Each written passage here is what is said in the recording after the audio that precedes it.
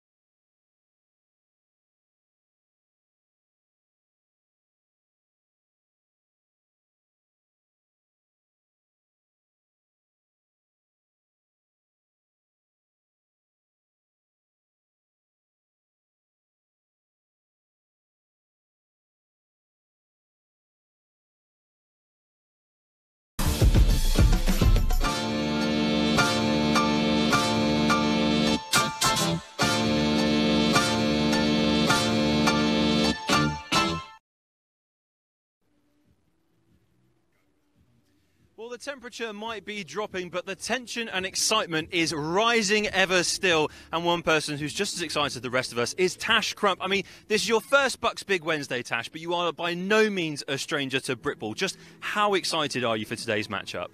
I'm really excited. I think this first Division One final, we know, for example, NTU, they're no strangers to this final, and so that's going to be really exciting to see that experience come through.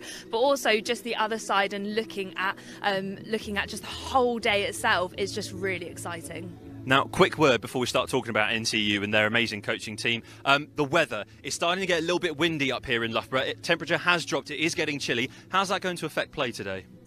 I think, especially with the wind, that does affect what you are going to do. And if they have planned, especially to get the ball through the air, they're not going to be able to do that. Like, they're not going to do that at all. And I think looking at their run game, they do have strong runners. And so I think with NTU, they are able to do that, like, dual play. And so I think if the wind can calm down, they will be able to use use their use their threat through the through the wind through the air. Sorry. Now let's have a quick word then on Nottingham Trent University themselves. This is fantastic. They've made it this far, all the way to BUCS Big Wednesday, powered by New Balance. Um, but by no means it's been an easy run in for them. Though they've had a run in in post-season. They had to defeat both Leeds and Manchester. You could argue that that prepares them really nicely for this match. Oh, massively. I think when you look at the scores, um, when you look at their scores and how they've managed to get here, um, they, they have had a tough run, but that does prep them for the big final, and we've seen that, for example, through um, through previous not just Uniball seasons, but but British American football seasons, where the people that have the tougher runs are actually able to then come out better the other side because they are more well prepared for these big occasions. Well, just quickly, uh, a word on their American quarterback, Chris Venegas. He's been absolutely outstanding all season long. I mean, how crucial is it to have someone like that, not just in the locker room, but out on the pitch playing for you too? Yeah, having someone with experience and that knowledge and probably been playing for basically all of his life, um, it does help when it comes to actually understanding, being able to read the plays. And you want a quarterback that can really lead the team. So having somebody that fully understands what they need to do when they need to do it, but also what they need to change up, it makes the coach's life so much easier having someone on the pitch that they can trust. And they obviously trust him. Well, on that note, let's have a quick word with Adrian Giles, the head coach of Nottingham Trent University, and find out what he has to say ahead of this fixture. Adrian, first off, a huge welcome to Loughborough University. What does it mean for your Nottingham Trent side to be here at BUCS Big Wednesday, powered by New Balance?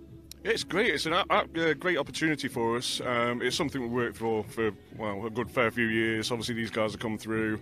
Um, it's like the guys that are about to leave us, the guys that have come in on the team, they've all bought into the ethos for the squad, and it's it's it's paid off. This year we had a really good year. Now let's talk a little bit about the postseason uh, run of form. You've had some tough, tough matchups. Uh, people have been saying a lot tougher than the Exeter side of the camp, who many have argued have had an easier run in, and the 160 points for kind of argues in favour of that. But this game by no means is going to be easy, is it? No, well, to be honest, none of the games were easy. Um, they're, they're, every single game we've played, you know, we've gone full out. Wanted to, you know, every game you want to win. Um, but the guys have come together, they've bonded, they've gelled well, and we've kind of got it together going into into this you know, post-season. It's all come together well. Um, obviously, last week's game in the terrible conditions, but yeah, it, it, it, showed that we were able to step it up and, and get that job done.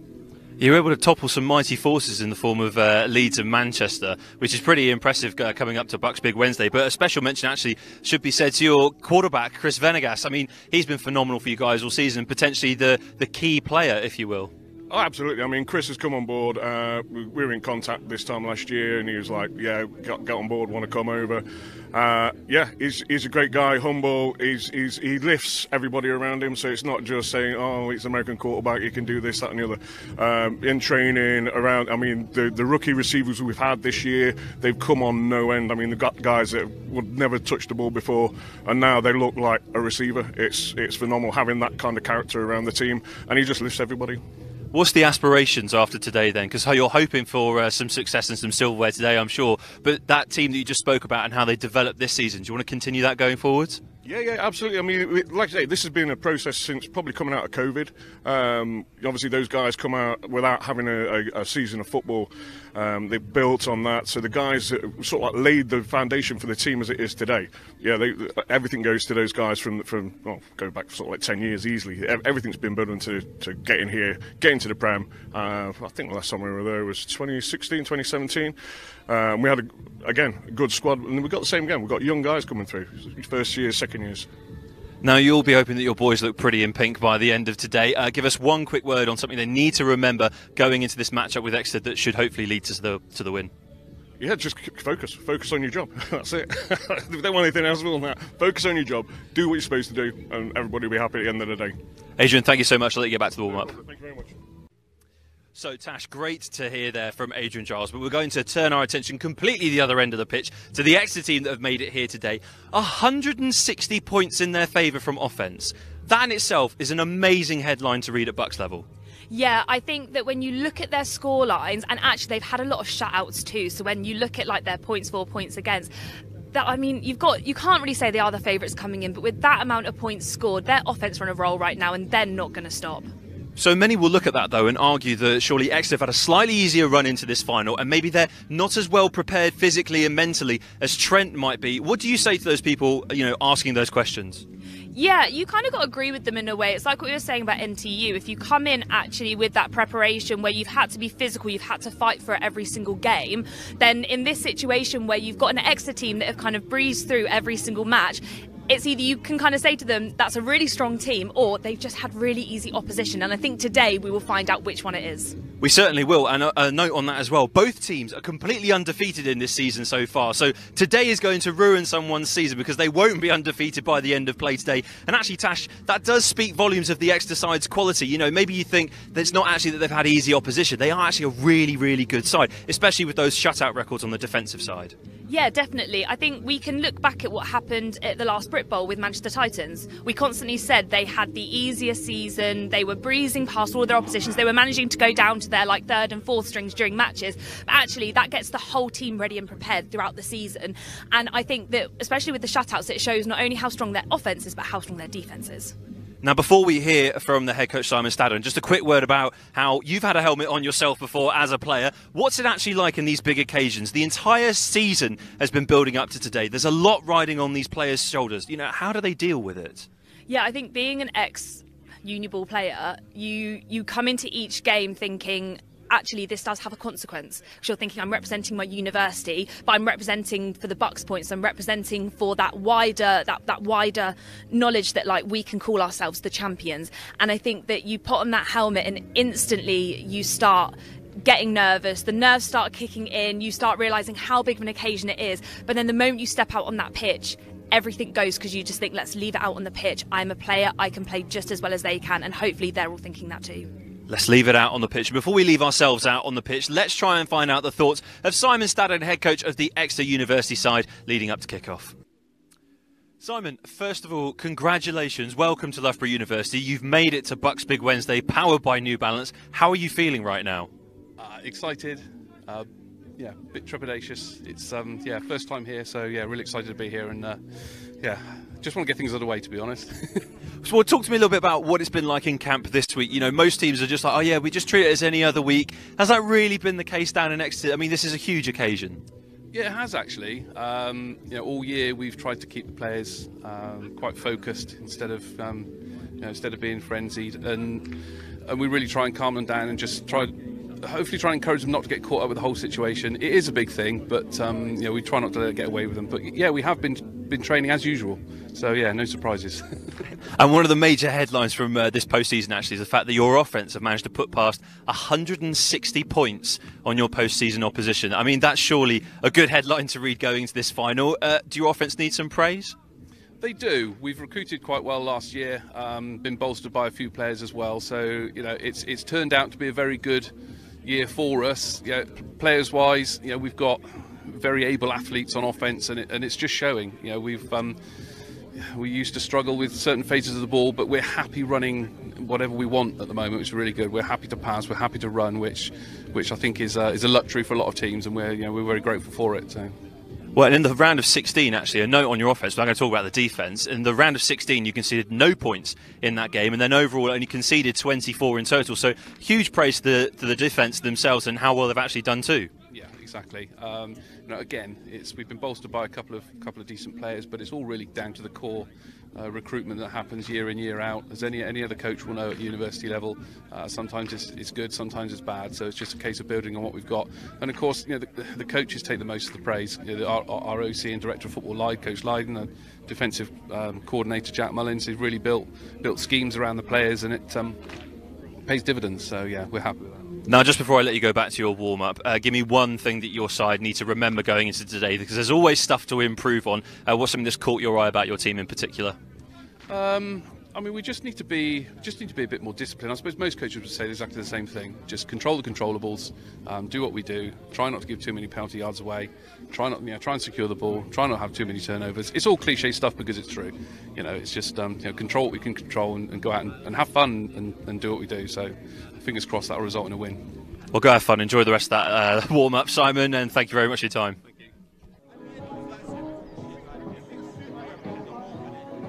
Well, the stage is set. The time is now for one of these teams to continue their unbeaten season and go undefeated all the way to claiming the championship final today. And I'm pleased to say that someone has run up to join me in commentary. It is, of course, Tash Crump. Tash, how was your journey up here? My journey up here was great, actually. I love coming to Loughborough.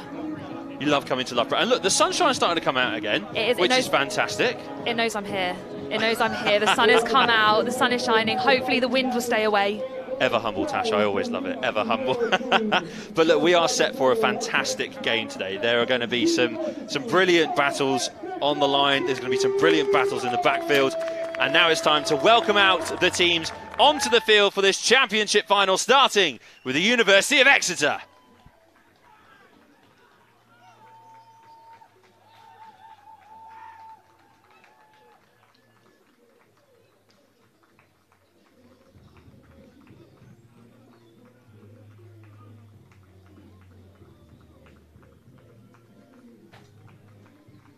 Fired up to the max there, Tash. Uh, I think it's fair to say. I was just enjoying the pictures of watching them all go running past. They are just filled with adrenaline right now. Yeah, I mean, who wouldn't be? This is such a big occasion, and this is great for them. Their first, well, their, their first Division One final um, for I think a very long time, James. So yeah, I, I'd be fired up too. And look, on the eve of BUCS finally getting a national championship for American football and University American football programs. What better way to put your hand up to be included in the future than by winning today here at BUCS Big Wednesday, powered by New Balance, and putting another statement victory on there. Just a reminder, because we haven't said it enough in the build-up already, 160 points in favour of Exeter so far in this post-season run. So expect plenty of points from the Green Machine. I think it's fair to say that the Demons are going to cause havoc on this pitch here in Loughborough today. And Tash, one quick word from you ahead of Nottingham Trent's arrival. Uh, do you think Exeter are scared of them at all? No, I think the Exeter are going in. They know what they need to do. They've got a stacked up team. They've got plenty of experience with GB under 19s, with actual G, with, with the full men's GB players. So yeah, I think I think they're going to be all good. Well, and as you can hear from the stadium announcer, it is now time to welcome the Nottingham Trent University team out onto this Loughborough field.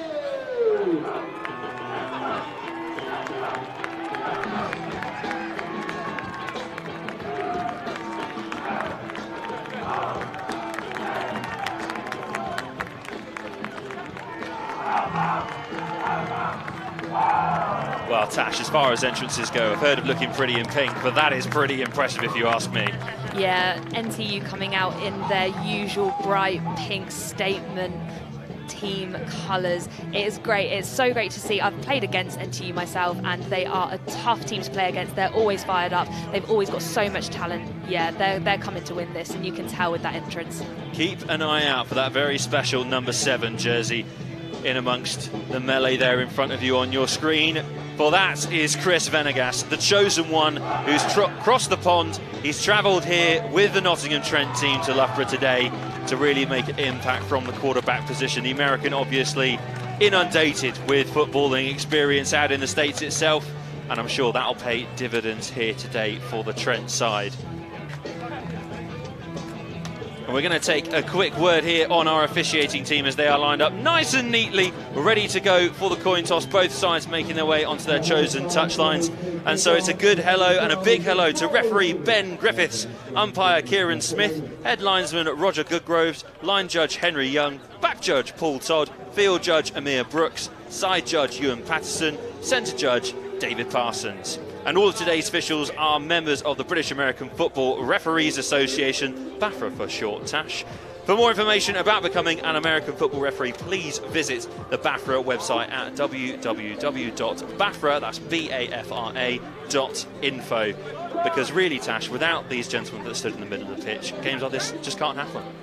And BAFRA are a great organisation who have managed to, I guess, really push their recruitment, but especially recruitment in women's uh, referees stepping up and taking the field. And we've seen a lot more talent coming through on the referee front in more recent years. Well, and this is the first big interaction between the sides with the referees, the coin toss. Tash, games are won and lost in this moment, I think it must be said. We saw it especially in the Super Bowl this year, where it was won at the coin toss, essentially, and decision that came from it. But for now, it's time for the national anthem.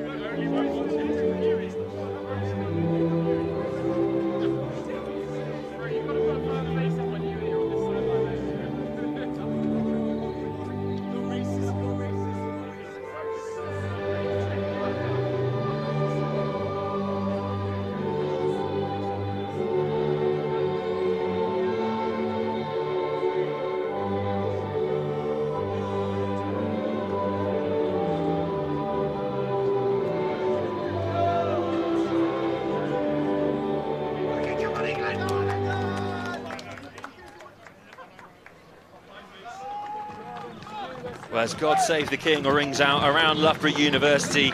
You can see the teams there on the sideline ready, raring to go. The adrenaline has not died down. The tension is palpable here at the moment within the Rugby One Stadium. And now it definitely is time for the coin toss to take place. So the captains from either side are getting ready to step forward.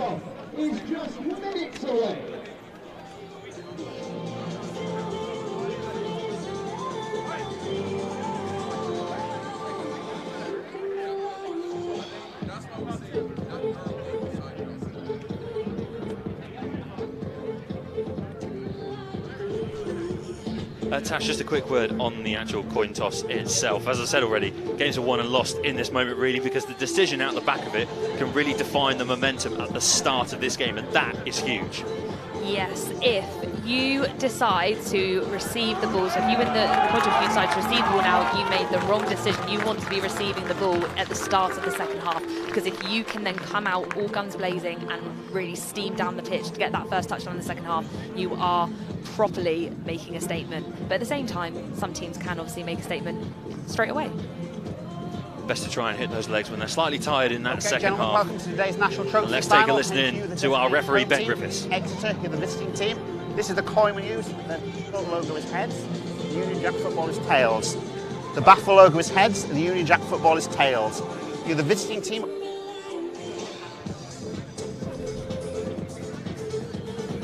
And it. Oh, that means you've won the toss. What are you going to do? You want to take the ball? Okay, which way, way do you want to kick, guys? Uh, okay, turn with your back to the end of the defending. So NTU, come with me this way. Okay. NTU have won the toss and will receive. Right guys, kick off in 30 seconds, please. Well, they have a confirmation from the coin toss. NTU have won the toss and they will receive at the kickoff. Tash, what do you make of that decision? Interesting. Um, yeah, they're, they're receiving first, but I guess I, I guess if they if they want to kind of put the pressure on uh, on the demons to, to go out and yeah try and take that second uh, half by storm, it's up to them, isn't it? It's up to them. Well, the destiny of these teams is in the hands of the players themselves. And I'm just so excited. I want this game to get started, Tash. We've been building up to it all week long now, and I'm sure the players, for one as well, will be just as excited and just as raring to go.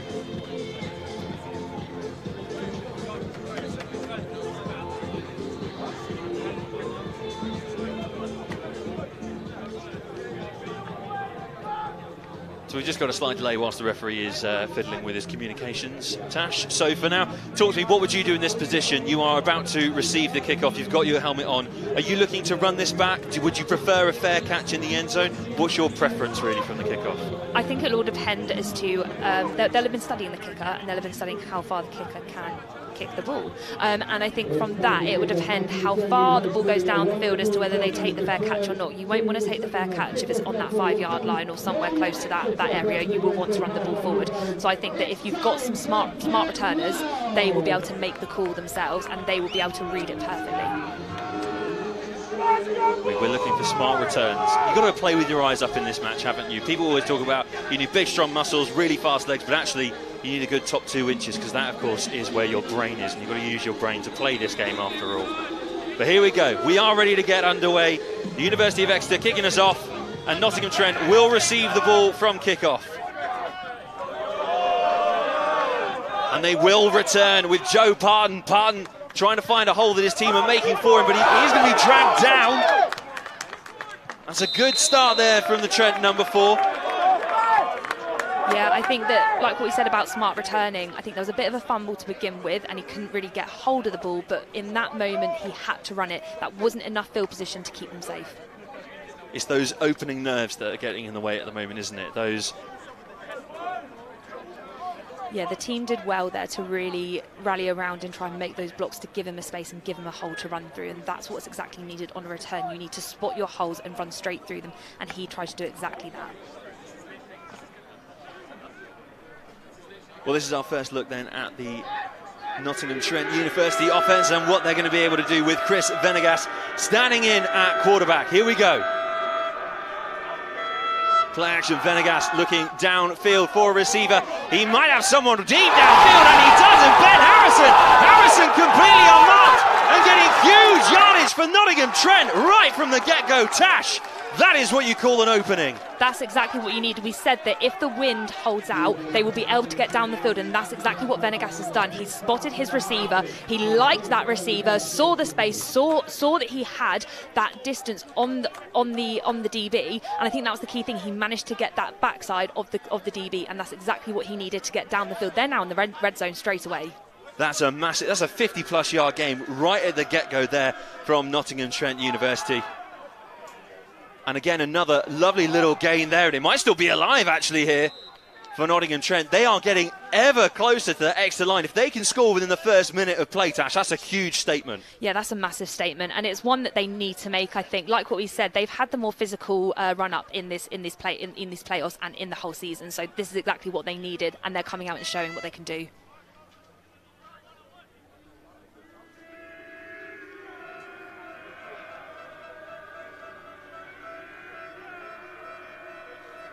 Well, there's Venegas, hands it off straight away to the brilliant Adwola Coker. And Coker is in for the first touchdown of the game. What a start from Nottingham Trent. What we saw there was the O line doing exactly what they needed to do. He wanted to run straight down the middle, and they provided that gap. They managed to get their blocks in perfect, so that it was basically like parting the Red Sea. The gap opened, he ran straight through, and was able to get the touchdown and get the ball over the line. Well, talk about a way to begin a match. Adwola Coker has been on fire all season for Nottingham Trent, making yards like they were giving them away for free, and it's paid dividends here in the final. First touchdown of the game for Nottingham Trent, 6 0 up, extra point to come. And it's a lovely, easy kick for Tom Giles, and that is the extra point. 7 0 to the good for the boys in pink, and it's advantage Nottingham Trent right at the beginning of this game. I think they're showing their experience straight from the get go. We talk about Venegas and what Venegas can do, but actually, Nottingham Trent have been in this situation so many times in the playoffs, and actually, they know how to play this perfectly. A special uh, mention must be said actually to Coker because that looked incredibly easy when he was running it in. But Tash, you can assure me from real life experience, it, it's far from it. Oh no! Like as a running back, you're basically aiming to get three yards maximum like every single play because you know how much um, how much energy you're going to be expelling like throughout the game. But also like normally a running back can only get the three yards. Like every coach will tell you your aim is to get three to four yards every play to get to that first down, and that's all you're looking for. So he's managed to push straight through, and also it wasn't even pushing straight through. I think he two guys on him. Well, there you go. Showing his strength from the get go there, Coker, and won't be the last that we see of it by any stretch of the imagination. And he's one to keep your eye on going forward into the rest of this fixture as well. But here we go. Trent with their first kickoff, and Weston Perry standing just off of his kicker. Giles will be chasing this one down with great intent. And that's bounced beyond everyone on the extra camp and out through the end zone. Tash, explain for everyone at home what's just happened there because it looks like a bit of confusion from Exeter. Yeah, I think their communication went in the backfield, and I'll be honest, this shows exactly what actually happens if you get scored on straight away. Your confidence does dip slightly, and it does actually seem that in that situation, neither one of them wanted to go for the ball, which instantly made it bounce back into the backfield, and that's it. You're starting on a really bad field position now. Now, we are talking about them being in a bad position right now, but they will receive at that second half restart, and that will be important for them, surely, as we see them pack down for the first time. Here we go, good snap to Ben Abbott. And he handed it off to his running back there, and it's a nice little bit gain of about three yards there for Exeter University. Yeah, that's exactly what they need. As I just said, with running backs, you're looking to get three or four yards every single play because as long as you get three or four yards, you are getting that first down.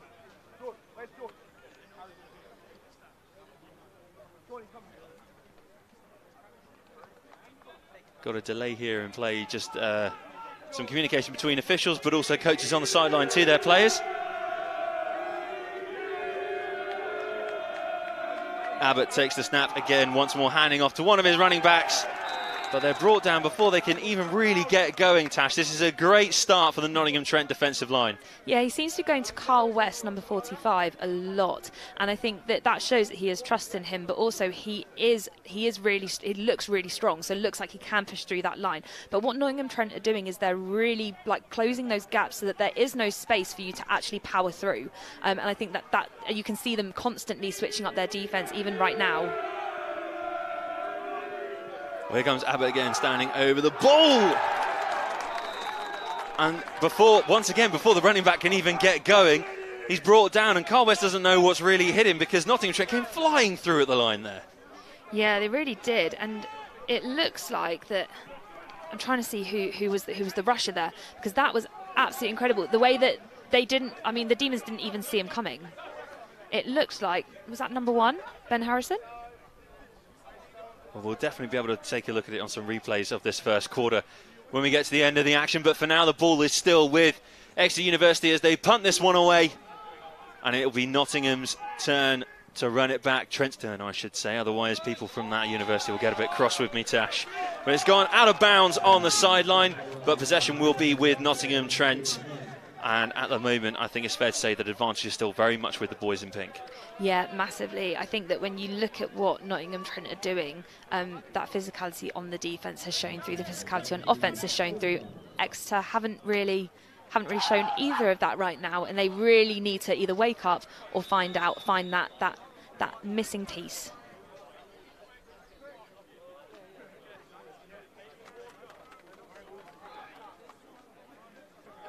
Well, setting up nice and wide here, actually, the line of scrimmage, Nottingham Trent. Sometimes teams get a bit too narrow in the opening exchanges. Looking to use a lot of width on this pitch. Venegas once more hands it off, though, to his running back. And they're not going to make many yards through the Exeter defence on this occasion. And so Sahota is brought down, or Coker, sorry, I should say, is brought down. Yeah, I think what they were trying to do is exactly what they did on that touchdown play, where they just wanted him to, to do a dive play straight through the middle, and it just didn't necessarily work because because Exeter straight away managed to close those gaps, which meant zero space for Coker to get through. Well, even one or two yards is better than zero yards, Tash, especially when we've still got eight minutes in this first quarter. And now we're getting ready for second and eight here from Nottingham Trent University.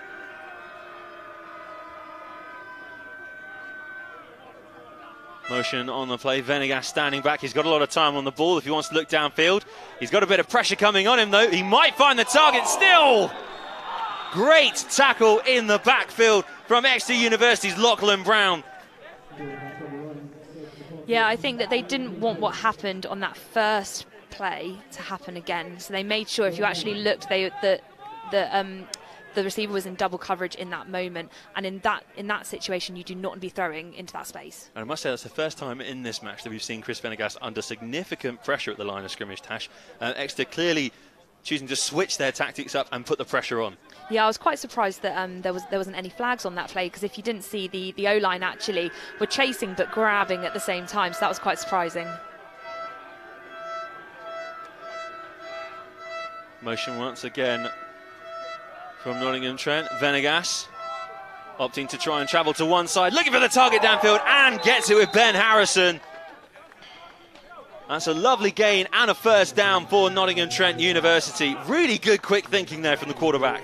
Yeah, that just shows his experience right there and shows his knowledge of football because the fact that he managed to get out of the pocket, but also while he was being rushed and managing to still make the play. Yes, it was low, but having a receiver like Harrison to be able to slide down, get the ball, that's exactly what you need. That's by no means a, an easy feat for Harrison to achieve, sliding and catching and getting low when you're above six foot. That is the challenge. But here come Nottingham Trent. First and 10 on this latest drive. Hands off to Coker. Coker might see a little bit of a gap. Good gain there from the running back going through the middle. He's probably got a good four or five yards there off the first drive. Yeah, really, really nice running from Coker there. And once again, just showing his strength because managing to get past two guys, then needing and further two guys to actually take him down just proving how strong he is as a running back and why he is Venegas's first choice in that backfield. I actually did him a disservice. It was a good six yard gain there, actually, for Nottingham Trent. So it's second and four for the boys in pink. Let's see what Venegas decides to pull out of the bag now for the boys. And he hands it straight off to Coker, who's looking to go straight to the. But that's a huge tackle from Exeter's Owen Beaumont. Fantastic work from the green player at the line. That was phenomenal. Yeah, that was perfect because if you actually saw they had a blocker in, so they had two in the backfield. Having that blocker in means that you've got more of a chance to create the hole and create the create the dive that that, that that the running back really needs. And actually, when you looked at that blocking effort, it didn't pull through and it didn't come out the way that NTU really wanted it to. Well, it's third and three now for Nottingham Trent University. I think it's fair to say the demons have finally woken up because they charged through that line like I've never seen before. And here comes the noise from the crowd for the Exeter defensive effort. And Venegas clearly changing the call, getting vocal at the line of scrimmage. But here come Trent. Venegas looks out wide, finds his man, but they've dropped it. It's a fumble from Joe White, the number 85. Big mistake there from Trent, and it's looking like it's going to be a fourth down and punt. And that's really disappointing. And sometimes when you are a receiver and you have that moment where you, you've got your back turned to where the defense are going to be running at you and you jump up to catch it, if you hear footsteps, that's the reason, that's what the defense is there to do. They're there to put you off and they're there to actually make you make those mistakes. And that's exactly what the Demons did. And let's just quickly clarify, Tash, uh, that was uh, an incompletion, not a fumble, sorry, my mistake. But can you quickly describe the differences for us for anyone watching at home for the first time? Yeah, a fumble is when you have control of the ball and then um, it either gets stripped from you and it rolls out, um, or an incompletion is where you go to catch the ball and you then drop it. So you need to have at least, I think it's two or three strides before it would then be classed as a fumble. That was a very high snap for Tom Giles to take, but that's an excellent punt downfield and his Nottingham Trent teammates are watching that to the line. Wow, what a kick!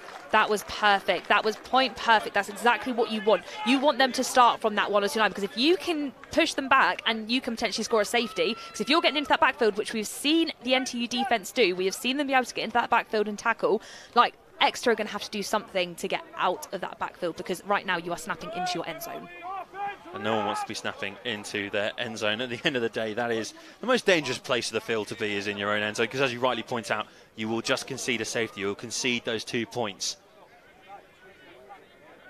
And now here come Exeter out from said end zone.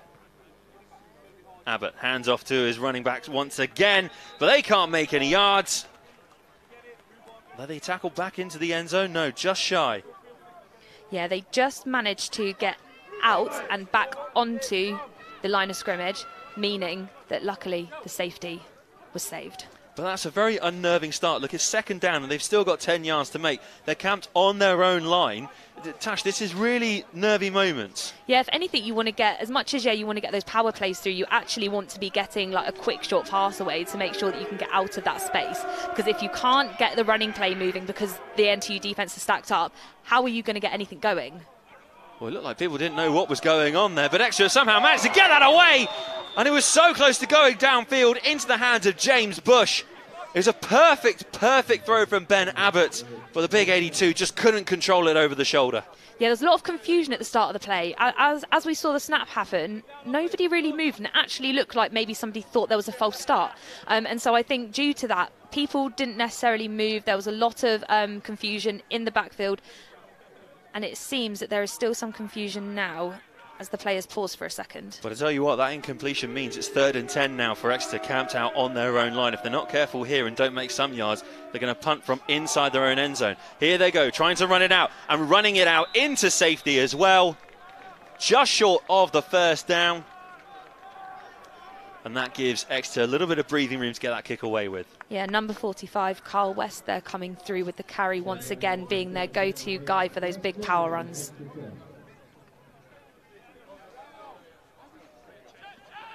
Oh, it's looking like it is, it is a first down. So it's first and 10 for Exeter University. Call coming in from the side of the field there. Let's see what happens here. Abbott standing in, ready to take the ball from his line. Snap to Abbott, hands it off straight away to the big number 45, making it all the way through for another first down is the wonderful Carl West and the demon is alive, Tash. Yeah, that is their go-to guy now. He is he is the one that's making waves for them. He's the one that's keeping them going and keeping the momentum going. And I think as long as you've got him still in a good place and running as strongly as what he is, you can keep getting the ball to him because they cannot seem to get him down. Well, it certainly won't be the last time that we see him taking the ball confirmed it is definitely a first down. So first and 10 again for the University of Exeter. Let's see if they choose to run the play again. Abbott hands it off to another one of his running backs, but they're going to go around the outside and almost pirouetting out the tackle as well. And pirouetting out around the far side and finally thrown out from the sideline. That was a great play from Olawase Paul. That was textbook running back play. Yeah, that was perfect. I think the great thing is there is he managed to spin out of a tackle, but actually NTU not getting low enough in their tackles. I know that we've spoken about this previously at Brit Bowl about getting low, taking the taking the legs really, because if they don't have their legs to run, they cannot run, and that's exactly what NTU didn't do in that play. God, you know a bit of trauma. Sound like my old rugby coach. Uh, but here come Exeter, first and ten, and the throw over the top from Abbott was just a little bit too high for Casper Stock. And that is a slightly missed opportunity for Exeter because they went nice and quickly looking to catch Trent off guard. But it means that we're going to have to reset the play. Orders barking in from the sideline, and it means that Trent actually have a chance to reset Tash. Yeah, it seemed to be a rushed play there in that moment. Um, what we saw was kind of not necessarily confusion, but just wanting to get that ball away. And I don't think that that was the right call to make. Abbott hands it off once again to one of his running backs, but they are shut out by the brick wall that is the Trent D line. That was a big impact. Yeah, we're seeing right now that, that they can see that their running plays, um, Exeter's running plays, are, are actually the things that are carrying them forward. So I think now what NTU are doing is the moment that they see anybody in that backfield that could be a threat is making sure that that line is stacked so that then you're not able to actually get through and make the holes that you want. Um, we haven't necessarily seen Exeter do anything in the air yet, and that's the reason why yeah, we're going to be seeing a lot more running plays from Exeter, I think, but NTU will be able to read that. Oh, that was interesting. That was like something out of Strictly Come Dancing here at BUCS Big Wednesday. It's third and six for the University of Exeter. Is there something special for them? Paul is absolutely creamed by Joe Parton. What a tackle from the Nottingham Trent player. Wow, yes, what a play that is. And from the looks of it, that helmet is giving me Hertfordshire Cheetah vibes. And as we saw, Hertfordshire Cheetahs are now going into being a Premiership team. You can see where he is getting his skills from. But that was a pe- perfect play by number four there, Joe Parton. Let's take a look at a replay of it now. Paul gets on the ball, boom, lined up. That was fantastic. Hang it in the Louvre, Tash. That's art. Punt now from the University of Exeter. It is downfield. Trent are going to leave it, which is an interesting tactic because you never know where this ball is going to bounce, Tash. Especially, we must comment on it, especially on the artificial turf. Yeah, I think that with that, you could see as the, the ball was angling down, um, that it was going to go to the side and it wasn't going to have a one of those dodgy back bounces, um, which is actually it was it was good uh, good read there by I think Ben Harrison, um, who is the who was the returner in that moment, um, to actually just leave it so that they could start on the twen- on I think it was on the 25, which is actually a good field position. Well, Harrison will get straight back into position and look to offer himself to Venegas as an option. He's already been used deep downfield by the quarterback, and whether the QB looks to go to him again remains to be seen. But here we go, Nottingham Trent, first and 10, with them in possession, counting down 90 seconds to the end of the first quarter, and he hands it off to Coker. Coker jumping over the linemen that are down on the floor, and he makes a couple of yards there for Trent, and he just gives him a good base to build from, doesn't he? Yeah, I think with Coker there, you can really see that he, he understands when to bounce because he was going towards one direction, saw that that hole had been filled, and instantly bounced out into the middle. Yes, then once again getting brought down by a defensive lineman, but in that moment, you really need a running back who can read that, bounce out, and that's exactly what Coker can give you. Well, here we go once again with Nottingham Trent. Is second down and five.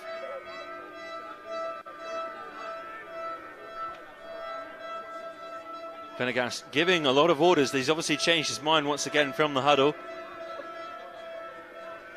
And it is with the QB. He's looking downfield. He's looking deep downfield, but he's going to go through a hole. Venegas now traveling with the ball, going through the Exeter line, out to the edge. Finally brought down before he can make too many dangerous yards. But it will be a crucial first down. That's a really good read there from Venegas. He saw that it wasn't necessarily that he didn't have any receivers free, it was more that there was more space and holes for him to be able to get up the field and just get that first down, and that's all that he needed to do. He looked and he saw that the D line had parted like the Red Sea, so he thought, I'm a Moses it. And he went through.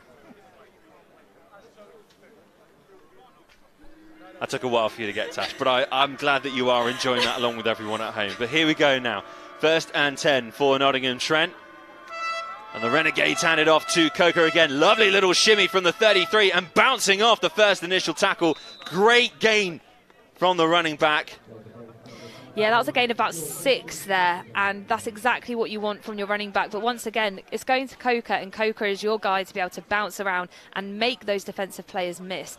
Um, I think that it'll be interesting to see what happens when they need to be bringing in the, the, the other running backs. Um, so we'll, we'll see what happens there. One o'clock, that is the end of the first quarter, and the officials do call it as well. This is the end of the first quarter.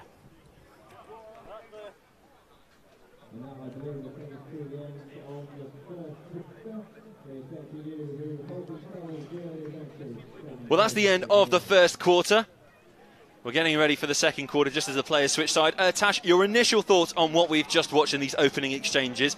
I think it's advantage Nottingham Trent. The scoreboard thinks it's advantage Nottingham Trent. Is that how you're reading the game? Yeah, it's definitely advantage Nottingham Trent at the moment. I think that like when you look at Exeter, it's taken them too long to get out of the to get to get out of the of the gates, and I think that in the last few plays we've really seen them starting to move more with their running backs but if they don't if they can't get that air play as well going then they've got no hope really because at the moment when you look at Nottingham Trent they've got the they've got the ball going through the air and they've got the ball on the ground and they have both both of those those opportunities um, Exeter don't have that they have one thing going for them right now and NTU can shut that down Will Simon Staddard be talking about that now in the little break with his team and maybe questioning Abbott on why he's not using the air a little bit more?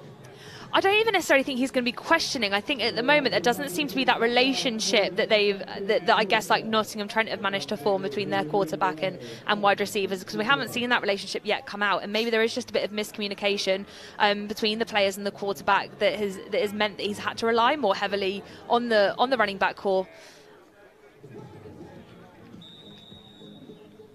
Quick word on the weather as well, actually. It's beautiful sunshine now in Loughborough, and we had a huge grey cloud over us earlier. I put my jacket on because it was getting so chilly and windy.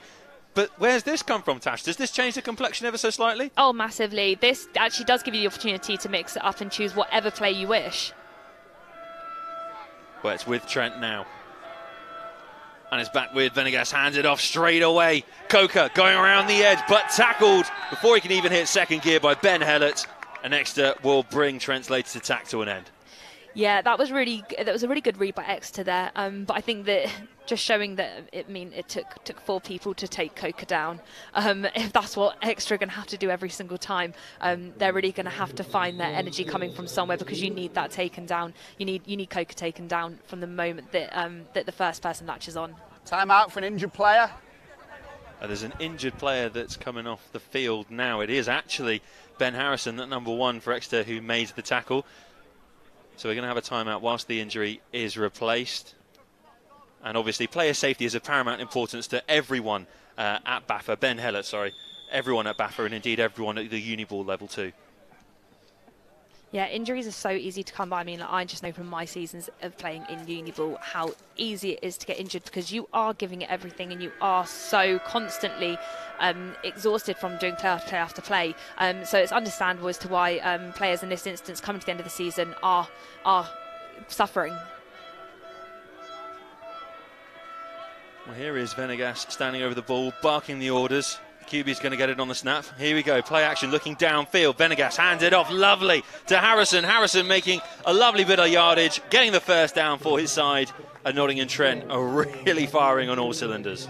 Yeah, that link up there is becoming so important for for um, for the Renegades right now. Um, I think that we're, we're actually seeing Ben Harrison not only play in that wide receiver position, but also I think we've seen Ben Harrison playing on defence too, and I think that just shows how much of an important part he, he plays on this on this team. Not only making the plays, but making the play, making the tackles too. You've got to do it all. You can't just have one job that you just stick to and don't do anything else. You've got to be a very dynamic player in this game. Here we go. Venegas standing over ball, hands it off to Coker. Coker going around the outside of that D line, and still he goes. Coker driving those legs. A good gainage of three yards there for the Trent running back. Yeah, as we say, that's all you need, those three yards. He did have to put a bit more effort in, though, to get those three yards than what you typically would, um, as initially you just want to run up the middle and get those three yards, whereas there seemed to be a lot of energy exasperated uh, going the going the long way round. Um, but yeah, Exeter did really well there to read that, get players out, get men out to that side. And let's see if Exeter can continue to shut him out because if they don't find a way to quieten down Coker's game, then unfortunately he's going to run riot all afternoon around them. And here come Trent once more, the Renegades of Nottingham. Play action to Venegas. Again, Venegas looking downfield to see what options are available. It's a lovely long pass into brilliant open space, but it's a fumble on the play. Somehow Trent managed to pick it up and keep it alive. Initially, the fumble came in from Sosa, but Harrison was there to dive on the ball and keep Trent in possession. That was such a good play. You had you you, you had um, number 14, yeah, so Sosa, free, completely free. And when we watch this replay right now, you watch and it's the drop back from Venegas that makes it. Look how much space that he's got to be able to loft that ball into the air, right to his right. Oh, and it was the tackle from number one. Ben Hellett, he's come straight back on from that injury assessment. It's great to hear that he's able to continue. He's made the vital tackle, the vital intervention, but somehow Trent still in possession and really knocking on the door once again to get another score in this trophy final. Here we go. First and 10 for Nottingham Trent. Venegas doesn't hand it off. He's looking downfield. He's looking for options still, trying to escape away from the team. He might be forced all the way out of play here. He's going to go himself and slides to keep it safe. It's not enough for a first down, but it is enough to keep Nottingham Trent in possession. Yeah, just enough. And I think that we actually saw, I think it was Ben Harrison wa- physically waving for the ball who was free, but it was it just it was too late, unfortunately, because that was when the Exeter Demons started charging down Venegas, um, and who needed to then scramble out of the pocket to slide downfield. You can see him just having a word on the sideline here about what should happen next, and Venegas is going to be the communicator. He's going to be the messenger from the touchline to the huddle and we await to see exactly what the play will be for Nottingham Trent because this is a scoring position right now, Tash. Yeah, definitely. We've seen uh, we've seen Venegas be able to loft the ball through the air. A fair few yards, let's say. Um, and so this is a really good opportunity to either hit those corners or hit straight down the field. Venegas giving himself a bit of time and space. He's under pressure, looking downfield. Almost, almost an interception for Exeter's number 33, Amalak Sahota. That was very, very close. Yeah, that was really close. Um, as as we saw the play develop there, when I saw Venegas looking towards the side, I was I was a bit concerned because of the fact that if we watch this re- yeah watch this replay here, you watch the Exeter defense and they are clearly in zone coverage right now, um, and that safety was just inches away, inches away from from making the play. the screams are going in from the sideline. Come on, demons! Well, they've really got to find the demon within them in they, defensive they time, do, haven't they? They do. Here we go then. Nottingham Trent. Third and three. Venegas looking downfield for the throw. He might have to go himself. There's not many options available. He's under some significant pressure here. Lovely evading of the tackle. Still looking downfield is Venegas and wide open. He's got a friend with him. That's a great bit of play from Nottingham Trent. And then number 85, Joe White. Great Great read of the play from Venegas, but once again, we big, bigged him up in the build off. He is paying dividends so far in this match. Massively. I think without him, Nottingham Trent would not be where they are right now. He is the, his ability to be able to read the play, let the play develop, but also make those make those key calls. I mean, we watched this replay he had to hold on to that ball for so long before he could actually find a receiver that was free. So that just shows that Exeter are doing their job well. But at the same time, yeah, we, we look at what Joe White had to do. Time out NTU. That's the first time out of the half. That's the first time out called of the half and it's come at a vital moment because Exeter were doing really well in zonal defence and zonal coverage. But you might argue, Tash, had they adopted a man on man play there in defence, they would have shut down Venegas earlier, and that play would never have happened. Yeah, possibly, but I think they have done really well because it's fourth down and they've actually forced Nottingham to go for the three point instead of the touchdown. I mean, you never know in a final cause, because as we know, finals create big plays. So for all we know, they could fake it and try and get the touchdown. But at this point, they're seven they're seven nil up. There's no point in doing that. Just get the three points in and go even further ahead. Just get the three points, go even further ahead. It's just easy, isn't it, Tash, when you put it yeah. like that? But it's certainly not that easy when you're actually out on the pitch yourself. Yeah, definitely not. And I think this is where um, it will show if Nottingham Trent's uh, special teams are just as good as what their offense have been showing. Because, um, uh, yeah, you want across the board, um, you want across the board your defense, offense, and special teams to step up. And once again, we see them come out and they've decided not to punt. They've decided to go for it. They're going for it on fourth down. They obviously feel confident in their QB Venegas, but Venegas not comfortable to play is, man down. It is fourth and inches. It is fourth and inches.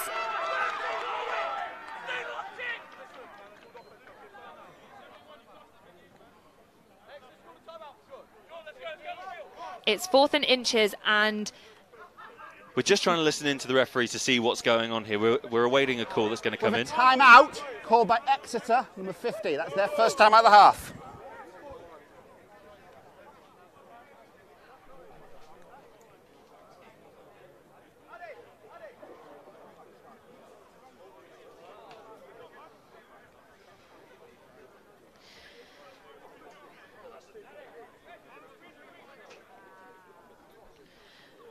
So in that moment there, Nottingham Trent were fourth and inches away from getting that first down, which is why, understandably, they would go for it.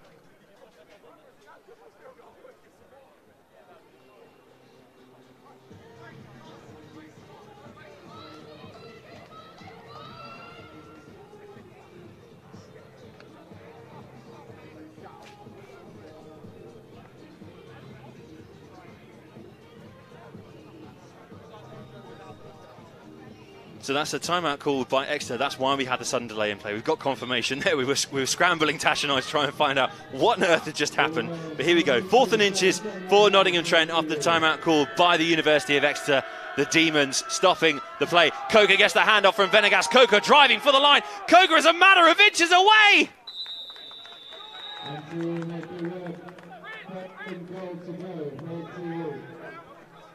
To first down First and goal for Nottingham Trent University. That was a huge drive from Coker. Anything less, and that would have been a huge loss. I mean, that's what he's been doing all day, making those dive plays, showing his strength, and that's what Nottingham Trent needed in that moment, especially after they called a timeout, Exeter called a timeout. You've got to keep your head in the game. Well, here we go. First and goal now for Nottingham Trent. Venegas standing over the ball. Play action now. Venegas hands off to Coker. Coker going through the middle. Coker surely for the line stopped short is the call. So it'll be second and goal, Nottingham Trent. And Coker looks frustrated that he wasn't able to score there, Tash. Yeah, that was a big stop by Exeter, and I mean, we, we heard from our from our commentary box that the contact that happened there, and that was what Exeter needed to do: keep pushing them back. But at the same time, they've still got a second down, they've still got a third down, and if needed, they've still got a fourth down. If anyone was wondering what tectonic plates look like when they collide, just replay that with Coker meeting the Exeter D line because that's exactly what happens. And here he goes again. Venegas didn't want to hand it off to Coker. It's a fake from the QB, and he's in the end zone for the score! Oh, that was such a good play to watch. It was so good and it was so smart by Venegas there. So smart. The way that Venegas held onto that ball, spinning Coke around to the point where he was like, I am keeping hold of this ball, I am keeping on going. And actually completely throwing off the Exeter defence there. Absolutely per- point perfect for play. He's done a Pat Daly there. Oh, I mean, what do you expect from a from another Midlands team? Well, here we go. The extra point going in now for Nottingham Trent. And they got Tom Giles standing over the ball, ready to send this one between the sticks. And Giles adds the extra point, so it's 14 0 in favour of Nottingham Trent University. And the iconic Pink Brigade are marching further into the lead here at BUCS Big Wednesday, powered by New Balance. And let's rewatch this touchdown right here. And that was absolutely perfect by Venegas. Just look at how well he held onto that ball, completely fooling the Exeter defence that he was going to be handing that ball off to Coker. That's exactly what you need from a QB is smart play, smart thinking. And I love those play actions because that is the moment where you can really fake a defence out and create those moments of brilliance. Well, there you go. To the untrained eye, that was a moment of brilliance. But actually, Tash, that was fantastic team play because everyone had to be doing their job in order for that trick play to work. Yeah, I think this shows exactly what Nottingham have been doing this whole match so far. Nottingham Trent. Nottingham Trent. Nottingham. Trent. Jason's here. He'll get cross with you, Tash. Nottingham Trent. We not can't the, hide from not, him not, in not just uh, the only Nottingham. Well, here come Trent from the kickoff. It's a lovely deep kick, and so Exeter are going to look to return this now with Oliver Murden. Murden handed it off initially as well. Ben Heller is brought down. Yeah, we're seeing so many more of these switch plays during kickoff now, um, and so many more returning teams actually utilising those trick plays to try and put off um, the, the the defensive the defensive side to make sure that they can try and get down the field. Sometimes it works, and in that case, it did work as they got a larger gain than what they would have if they had taken the knee. Well, here we go then. Exeter University, first and 10 for them. Their first real attack in offence that they've had for a while, but they are, on this occasion, far away from their own line, so they can breathe a little bit easier than the last time we joined them. Abbott now, handing off to his running back, Paul. And Paul made a good couple of yards there for his team, and as we've said, one or two yards is still better than zero touch. Yeah, definitely. Getting one or two yards, like what you say, as a running back is exactly what you need to do. Um, you're still getting down the field and actually putting them in a good position to try and put that ball through the air and just get those extra yards that you need to get the first down.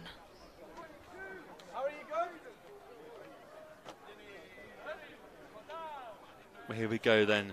Second and seven for Exeter University. Abbott looking deep downfield for the intended receiver, and he won't find them because he was just too deep there for James Bush. And so Bush will go marching back to the line, looking very frustrated as well about it as well. Yeah, when you look at what Venegas can do with the receivers, especially when you look at that um, the, the play that was initially a fumble, um, Venegas is getting it to the NTU receivers like point perfect, exactly where the receiver is going to end up. Whereas that's not necessarily happening for the Exeter Demons at the moment. So I think for this, especially for the third and fourth quarters, they need to be working that and ensuring that it's actually direct to the receivers. Well, Abbott seems like he's got some demons that he needs to shake off then as this game looks to continue. Bit of movement there at the line of scrimmage, but play action has it handed off once again to Paul. But Paul is ushered out to that sideline, and that's a big tackle from Joe Pardon, bringing the Exeter player down before he can get going. Yeah, we're seeing, we're hearing more and more of the same names coming from the NTU side, but also I think Exeter are really relying on some of their key players to make big plays, and that's just not happening at the moment for them. Well, Tash, you said at the break at the end of the first quarter they needed to look to the air more. They needed to look to the air. And when they tried the air just then, it wasn't very accurate. They tried the floor again, and it didn't seem to work. Paul showing the sideline. And wow, they're going to go for it again. It's fourth down. But Exeter have really, well, excuse my pun, but they've really got to take a punt at this. And here comes Abbott, hands it off nicely to Paul, who switches the play, and Paul is in a lot of space to exploit now. Going down the far touchline, Paul still going. Finally bundled out into touch by Ethan Sassman, but that's a huge gain from the extra running back. Yeah, that's exactly what they've been needing this whole match is that that one player that can that can switch up the play and give them some momentum. And we've been seeing that a little bit in um, in number in number 45, Carl West, but we haven't seen that from really any other player. But as you said, Paul in that moment just really actually pulled through for them. Oluwase Paul playing superbly so far in this match. Won't be the last time we see him on the ball. Abbott now standing ready to take the snap. First and 10, Exeter University play action, handed off to the big man, Carl West. But West can only make about a yard before he is stopped by that Trent brick wall. Yeah, I don't necessarily. I think because, Trent do have such a big wall in front of um, in front of the running backs, those dive plays aren't necessarily working. But what they did with with Oluwase Paul, where they did that small trick play, managing to switch it over, switch over sides, get that speed in, and I think that's where um, Exeter can really pull through is if they have that speed. Here we go, second and eight now for the University of Exeter. Still looking to get some points on the scoreboard. Abbott hands it off once again to West. West starts to bound forwards, and he's finally brought down. Good read from the Trent defence. Yeah, really good read from the Trent defence, but also it's whether has Paul managed. Uh, sorry, has um, West managed to make the first down?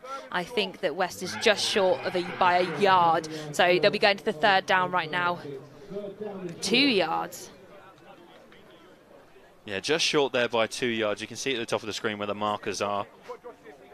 Big, bright orange things. You can't miss them, Tash. If you do, then you should go to Specsavers. Other opticians are available. but here come Exeter now. Taking a look downfield is Abbott. Abbott's going to send it downfield too. Is there a trip in the backfield? The Exeter fans are complaining, but the players on the pitch certainly aren't. No, I don't think that was a trip. I think that was actually diving for the play. I'm just I'm just looking at our screen right now, and it didn't it didn't really look like that the the DB was actually close enough to make the trip um, on the on the player right there. But as you say, I might need to go to Specsavers, so you know. well, we've got a fourth and two now for Exeter. Once again, they're taking a punt on this play, and they're going to see if they can create some magic with it. Abbott hands it off straight away though to West. He only needs to make two yards, and will he? He does move those chains of the calls coming from the crowd, and of course, Tash, that means they have indeed got the first down. Yeah, they've got the first down, and I'm actually, I, I, it's not that I'm shocked, but I am quite surprised with how many Exeter supporters there are here today because, as we know, Nottingham Trent a lot closer to Loughborough than what Exeter is. So this is actually really great with the fans that Exeter have right now. We just had the call for a timeout for an injured player, Tash. So once again, we're going to take this quick timeout to have a word on either team. So Exeter have had a really, really good drive. They've gone from pretty much 15 yards away from their own line to that amazing run by Paul that got them downfield and now they're in a situation where they can start thinking potentially maybe three points from a kick. Yeah, definitely. I think they're really capitalising on the fact that NTU actually looked tired. If you look at that last play where they managed to get the first down, some of the NTU players were really kind of lethargic in their movement. They weren't they weren't progressing towards towards the ball carrier, um, and that's how West managed to make it through and get that first down. So actually, we're getting towards. I mean, we've got two minutes. We're, we're nearly at the two-minute warning um, in in this first half of, of, of the final, and NTU are tiring, I think. Well, there's the play action. Abbott handed it off once again to West, and West rounding the Nottingham Trent defence and making some really good gains there for the Demons in green. I'm just looking at the side there. It looks like a gain of about six yards for the University of Exeter. Fantastic play from the running back. And just before you comment on the running back himself, special mention to those fans. It's a 201 mile trip one minutes, way. Two minutes, you've got so two left. 402 two miles in total. So every fan that's come down today to support the University of Exeter, or come up, sorry, Coach, has two done a fantastic job. Yeah, I think we're hearing a lot more support for Exeter as well, which is actually, as I say, surprising because of that journey, but just shows how much support they have behind them to to try and win this match. Um, and, and yeah, Carl West once again um, doing his job and getting those vital yards for the team. If they can get a touchdown before the end of the half, that would be amazing for them. Well, Abbott handed it off once again to Paul, who's broken through the first couple of tackles. Paul all the way potentially. He's in the end zone for a touchdown. He's got Exeter on the scoreboard. It's finally happened after the two minute warning. And what a play from Oluwase Paul. Yeah, that's really exciting for Exeter and actually so deserved because they've been using West and, uh, well, Carl West and, and Paul um, this whole first half trying to get them down the field. And finally, they've come up, they've got the touchdown. And that's exactly the momentum that they'll need to go into the second half to try and really make that um, make that game back on NTU. You can see there from the replay the physicality of the number 14 to spin through the challenges, to keep driving those legs towards the end zone, and it has paid off. He's got six points on the board for Exeter finally, and hopefully here comes the extra point for them too. Yeah, we talk about needing that speed, and they really did need that. Oh, speed. it's a fake! It's a fake. They're going for the two points. They set up looking like they were going to kick up. They got it. They have. That's the extra two for Exeter. It's now 14 8 on the scoreboard. Tash Crump, where has this come from? Yeah, that's amazing. As I saw that shift, I was thinking, oh, they're going for it. But you saw the shift of getting those two big guys out, ready to be those lead blockers, so that they could instantly do a shotgun straight back, try and get through um, and push for that extra two points. And look at this. Yeah, exactly what they needed. It's James Bush that's taking it into the end zone. The ginormous number 82 certainly would take some stopping. And what a play from the University of Exeter. It is games like these that moments like that mm-hmm. become so important. Yeah, I think like what you said about the trick plays and finals, they work really well because you can have some moments of brilliance that like come from them. But also, I think that um, that James Bush really deserved those points and really deserved that that that momentum to go his way because of the fact that he's been pushing and pushing to try and make something happen as as a receiver, and it hasn't been happening. So yeah, really, really good props to him for making that happen. Is there nothing this man doesn't do? He's just about to do the kickoff for crying out loud. He he does everything for the University of Exeter. He kicks, he receives, he tackles, he scores. He's a unit. and that's exactly what you need. Like what we said earlier about um, about about Harrison, about Ben Harrison, who was who's kind of been that like all-round player for NTU. You need all-round players at the uni ball level because at the end of the day, you will have to play multiple people in multiple positions because you don't always get the numbers to have a full offense, a full defense, and a full special teams like what you see at that, especially national level or at that high level um, when you look at the senior senior players and the senior teams. Well, here we go. We're getting ready to greet Nottingham Trent back into offence just before the stroke of half time. We've got a minute 43 left on our clock. And let's see what Venegas has got up his sleeve before we approach half time. Venegas takes the play, hands this one off nicely. And Coker's making good yards here potentially for Trent if he can straighten up. And that's the problem sometimes with running backs when they want to run around the defence and the D line. They end up going sideways and not forwards. Yeah, and I think what we saw there is a gain of two yards um, when actually the amount of running there was probably enough for a first down. Um, and that is one of the biggest problems when you've got speed backs. Um, being a speed back myself um, at uniball level, I was told to instantly aim for the sideline because at the end of the day, you can get the most speed there because that isn't where that, that's where the big guys are not going to be able to get you. Um, and so I think that's what Coker was trying to do is get away from the guys that can make those tackles. here comes Venegas again. He's got a bit of motion. He's moving around himself. Venegas going out towards the sideline. He's going to have to slide into touch. Well, and he just runs it out of play himself. He was looking downfield for the options. Harrison potentially might have been free, but he didn't have a clear eye line. And the number seven had the vision and had the knowledge that it was safe to keep that in hand. Yeah, I think that Venegas did really well there. Um, once again, he's making some really smart decisions, and if he can't, if he doesn't see the play there, he's not going to throw the ball away um, because nobody wants to get picked, and especially not in this game at this moment when the score is now 14-8 to Nottingham Trent. They want to keep that lead, and no QB wants to get picked in the final. Just a quick word, actually, on Ade Coker is he's a convert from the rugby game. So no wonder he's doing so well at running back. As we see him on the ball once again, not able to quite get through the tackles on that occasion, but we've already seen it work out really nicely. Rugby players transferring across into American football. I mean, particularly Christian Wade is one that mm-hmm. stands out, ending up on the Buffalo Bills practice squad. Of course, now back in rugby. That but that will certainly help him with his running game. Yeah, definitely. Um, we see. I think that that was basically how the women's game came about. Was um, especially when you look at the Birmingham Lions and their, I think it was eight-time championship winning team. The majority of their players were actually um, originally from rugby backgrounds that came across to American football and just wanted to try something different. Ended up then not only becoming champions with the Birmingham Lions, but then also joining uh, the Great Britain national team um, and becoming um, some of them becoming silver medalists there at, at, Worlds a few a couple of years ago.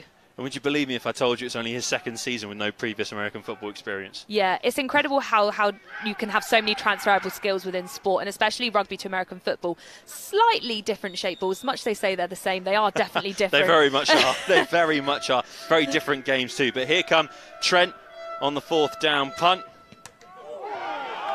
And that's a bit of a ski whiff one from Giles because it got charged down and Exeter just run it straight into the end zone. What on earth has just happened? I'm I'm speechless, James. I'm speechless. What has just happened? As far from what I could see, it bounced off the back of, of Nottingham Trent's number 75, off the back of the helmet. That's I mean, I might be getting the wrong number there, but it was definitely a 70 player, and it came off the back of, of his head, and they'd taken the helmet off straight away of that player.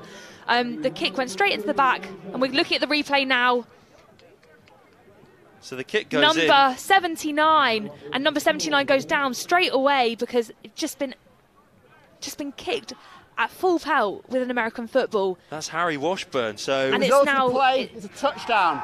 After the play, dead ball, sportsmanlike conduct. Number 77. So we're, we're all square now. It's council being forced on the try.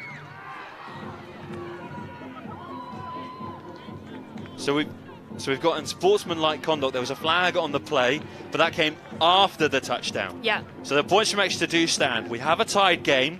However, they have conceded a penalty for unsportsmanlike conduct. It was Cameron, not Cameron Jones, being called out. It was Louis Burge being called out from the Exeter side.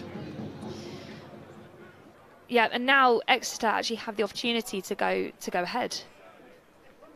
This kick could do it, and it's probably the biggest kick of his season for James Bush.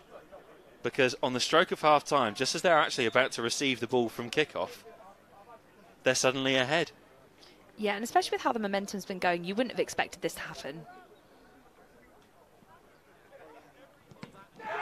And the kick is charged down by Trent. They might be able to collect this and run it the length. But unfortunately, the hands were not safe enough from Ethan Sassman. Really good work from the Trent number five to charge that down, though, and keep the game tied. And all of a sudden, Trent had an opportunity to actually instantly respond. Yeah, both special teams coming through there, I think. So we first look at the Exeter special teams and really making a smart decision to charge down after noticing that the ball hadn't in fact gone up into the air and had in fact bounced off the players. That was really smart there by the players to rush down on that to get the touchdown firstly. And then secondly, in that moment there, the Nottingham Trent special teams coming through with the pump block, which then could have gave, given them an extra point if they had been able to scoop that up and run it to the end zone. However, not to be, but this has now meant that the second half, second half we could be going in as a tied match we could indeed be going in with a tie game. If anyone joining us just now, you've missed out on an amazing half of American football. And actually, the scoreline doesn't reflect this fixture at all because Exeter scored completely against the flow of the game. Yeah, this is a really interesting setup as well that Exeter have got.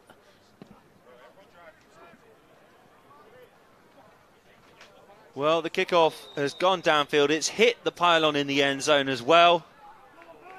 Lovely kick-off for the University of Exeter. Tash, we were interrupted very rudely by the kicker on the field. No, no, no. I was, I was just, I was just watching how Exeter are lining up, and typically when you do, when you go for kick-off, you just have two even lines, and in that moment they were almost mirroring um, the front line of um, of the returning team, um, and having a, a, a zigzag. A const, I want to say a constellation, but it's not a constellation. a Constantina effect um, on their on, on their approach, which is is something that I haven't necessarily seen before. Um, but as we say, a final is where you bring out those those uh, creative plays.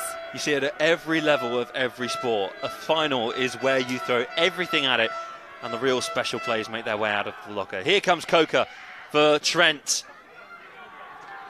And unfortunately made more sideways yards than forward yards, but it'll be second down for Nottingham Trent University. Second, and they're moving the pylon, so it looks like it's going to be second and nine for them. Yeah, that was really good by the Exeter Demons there, their defence. Um, when we talk about going low in your tackles, we don't talk about going low in a dangerous way. We just talk about being able to stop the runner from pumping their legs because that is the only thing that is carrying them forward. Um, and the Exeter Demons managed to do that right there, if you saw, um, by, the, by wrapping up. Well, that's the half here the end, at Loughborough University. Confirmation from the referee. That is the end of the first half. It's a tied game. It's 14 all currently between Nottingham Trent and the University of Exeter at BUCS Big Wednesday, powered by New Balance in this American Football Division 1 final. And really, it's anyone's game looking ahead into the rest of this match.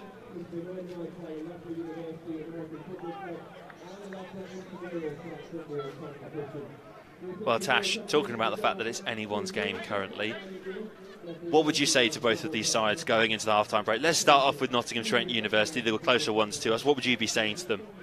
Oh, I'll be totally honest. If I was their head coach right now, I would I would be going in on them. I would be there would be some stern words happening, mainly because they have been the ones that have been on top this whole match, and that last five minutes is what has caused them the greatest upset so far during the game. You can see that potentially they've been tiring, but that doesn't matter. This is a final. You should be playing right until the end. This is your last game of the season, and for some of these guys, this could potentially be their last Uniball game ever. You need to be giving it everything, and if they're not giving it everything right now, why not? Because at the end of the day, they were on top. They had momentum and they have now let that fall. So I'd be saying, why? Why are you letting this fall? This was your game to lose and now you are losing it. Similar message to the University of Exeter, would you say?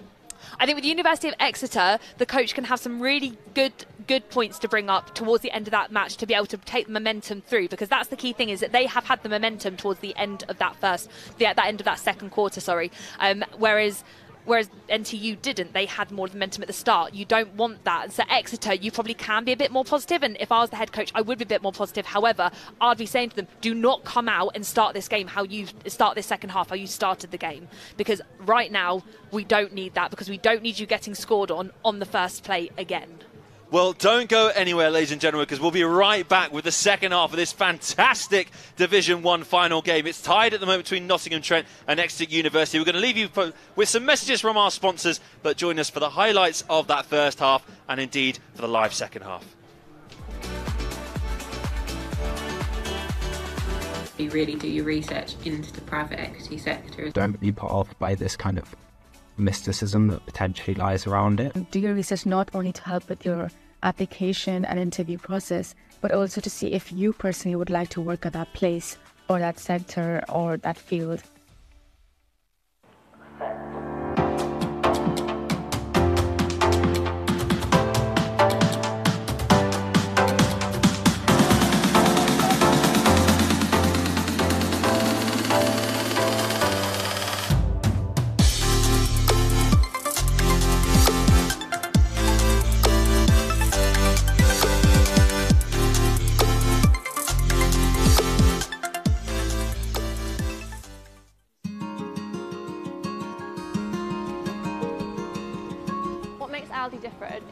Much responsibility they give to each and every one of us in the business, and with that comes a lot of trust. Three months into your training, you could be uh, running the store on your own, responsible for ordering all the stock, making sure the staff are happy. Aldi really believes that young people can do great things. It's, it's definitely something that excited me and attracted me to the role. I felt really supported at Aldi. From day one, you're paired up with your mentor who is with you throughout your whole journey. You develop a really strong network with your peers, you can always pick up the phone to them. But you all work part of a team towards the common goal. I really valued my time in store because I think it's a really important part of you learning the practical day-to-day -day of the store operations. It was actually really exciting and I really enjoyed it. It's, it's a change every single day um, and that variety really uh, attracted me to the role.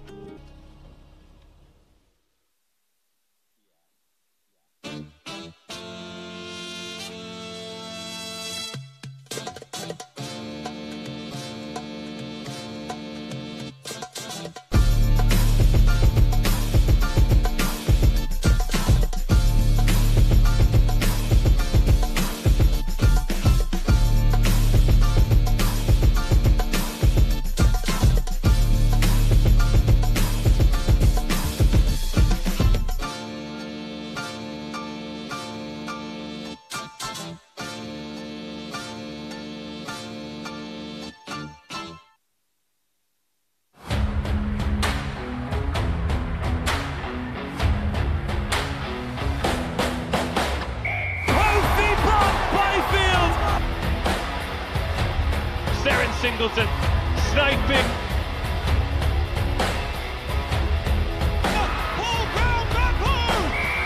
Oh, Tilly Smale is on the scoreboard, and Hartpury University surely at this stage now. Hartpury University, the Women's National League champions.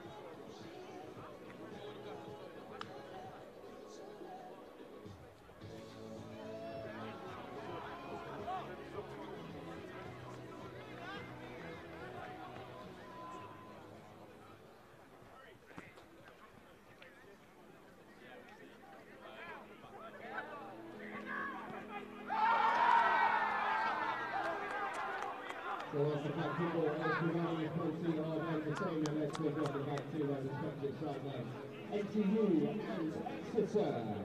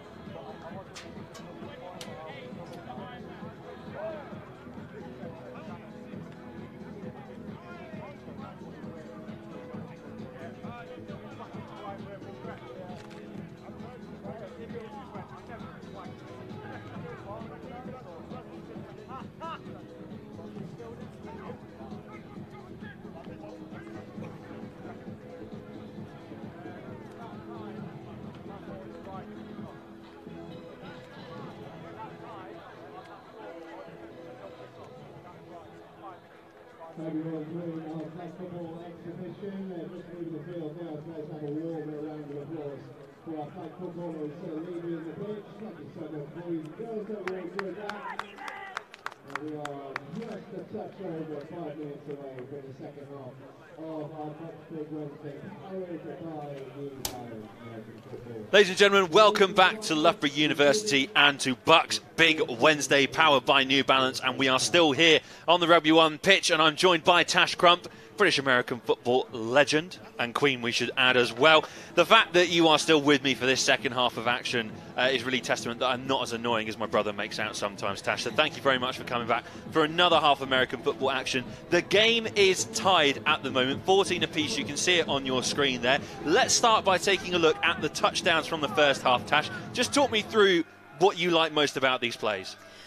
I think with the NTU first touchdown, especially, it was that um, the the setup to the touchdown which I liked the most. So it was that pass to Ben Harrison, but this one in particular, um, when Coker got that first drive through, it was the fact it was such a simple play. It was just a simple dive play, but it was the fact that the the O line did their job immaculately, making that hole, parting as you say, like the Red Sea, and really getting that in. And then this second one from um, from from our main man, that was the key play that actually really showed what NTU can do. Um, I'm a member of the Chris Venegas fan club, and I'm also a, a, a member of the Oluwase Paul fan club because that is a stonking touchdown.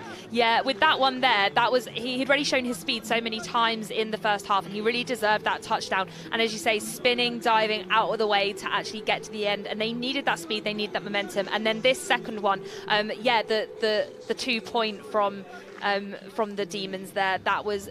That was the play that you never saw coming because that sudden switch at the end um, by James Bush. Uh, yeah, we'd mentioned him a couple of times, and then this mix up by NTU by their special teams, um, number 79, I want to say, getting hit in the back, and number 11 from the Exeter Demons taking it in there for the touchdown, um, Tom Sager. And we've actually, I think it's Tom Tom Sager that I've got down here. Um, is- Tom Seeger did Tom Seeger there. is um, is a is a DB and play, has, and has previously been actually selected for the GB, the main men, um, who is head like the head coach is Mr. Jason Scott, who I know that you've caught up earlier in the Uniball season. Oh, he gave me a big hug actually when I saw Oh. him today, Jason. That was very nice of him. But no, you are right. Look, he was the starting safety against the game uh, against France in August 2023. Look, it is his fifth year playing with the Exeter Demons. Tom Seeger is a really key player for this side. Um, and, you know, I'm sure it will continue to prove in this game just how key and how important he is to the success of this side. Do you want to know something interesting about Mr. Seeger, actually? I do. So before he started his PGCE, or so he tells me, I don't know how much to believe these people because sometimes I get some very strange stories uh, when I try and talk to the players. um, but apparently he spent two years as a full-time chef flipping burgers before starting his PGCE, making a return to the University of Exeter. And he's on that uh, postgraduate studying to be a secondary school geography teacher. Oh, interesting. I know, so- very interesting. Tom Seeger, you rock. Um, And I mean, studying geography, he's got a surname that definitely goes with that. Hey. Linking with the sea there. Goodness me, we'll see you on live at the Apollo very soon, won't we? well, look, Tom Seeger's had a fantastic game so far. It's no surprise that he's been up as a defensive MVP. He's been part of that GB squad already with Jason that we've mentioned, who obviously gives the best hugs in all of BAFA. And look, you know, it's going to be a great rest of the game for him in particular because the impact that he's made in that first half of play um, is just going to continue into this second. Yeah, I think that especially um, when, when we look at his uh, his his intelligence there, his football intelligence to jump on that ball at the end, it just shows that's the reason why he's in the main GB squad. Um, he works alongside that that DB core, um, and he's part of the main men. Um, he'll be a, a real turning point for the Exeter for the Exeter team. I think if he can continue um, continue that momentum and really bringing the team up. But I think there are also some other uh, some other players um, on like within the Exeter team that, that have been standouts.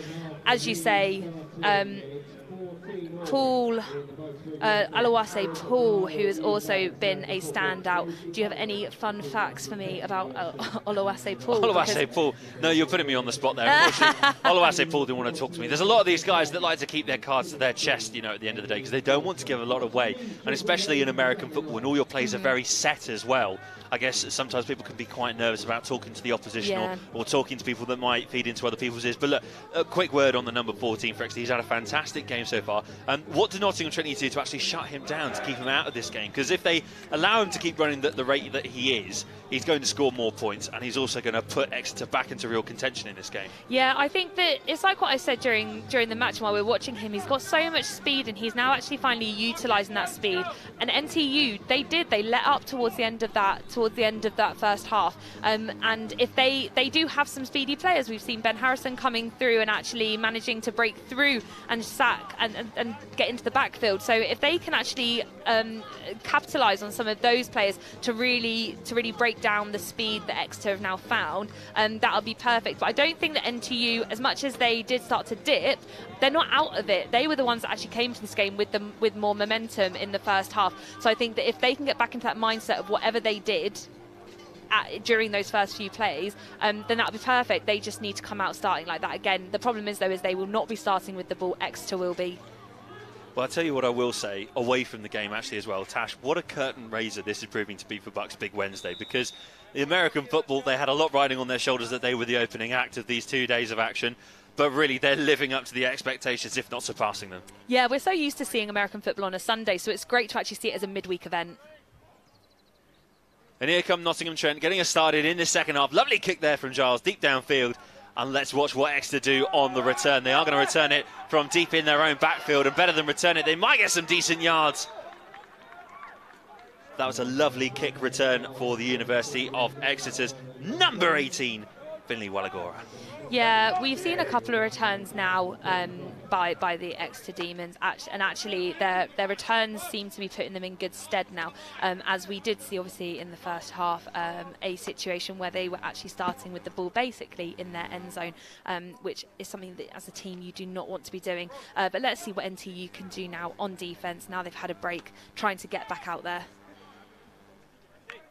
So they were sent out of bounds there on the sideline, and now Exeter, they've had a change of quarterback. Tom Norden standing in there now, ready to take the snap. Here comes play action. He hands it off to his running back, the big presence that is Carl West.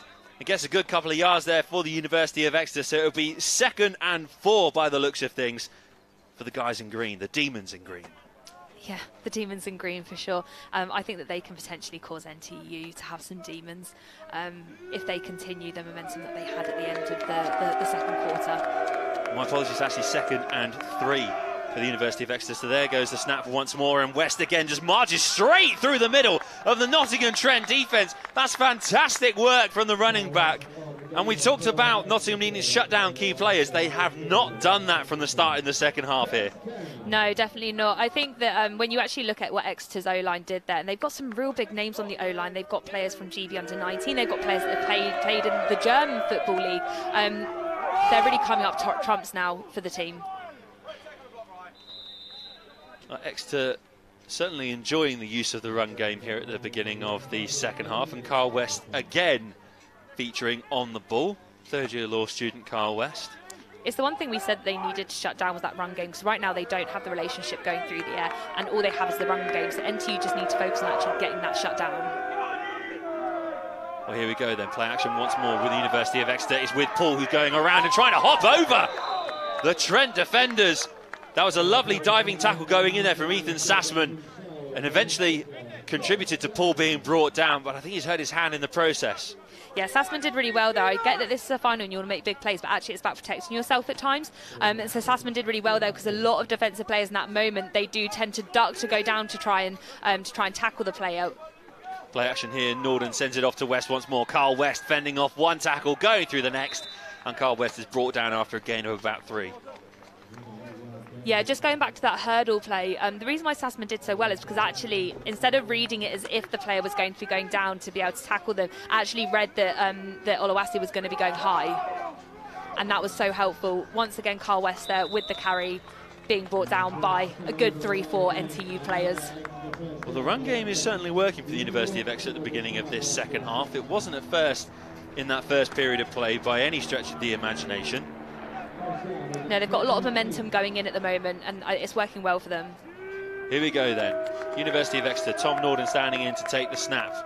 Norden doesn't hand it off to West, instead hands it off to another Exeter University, Oluwase Paul. He's going to go straight into the end zone, but there's a flag on the play from one of the line judges. Let's take a listen in and see what's happened.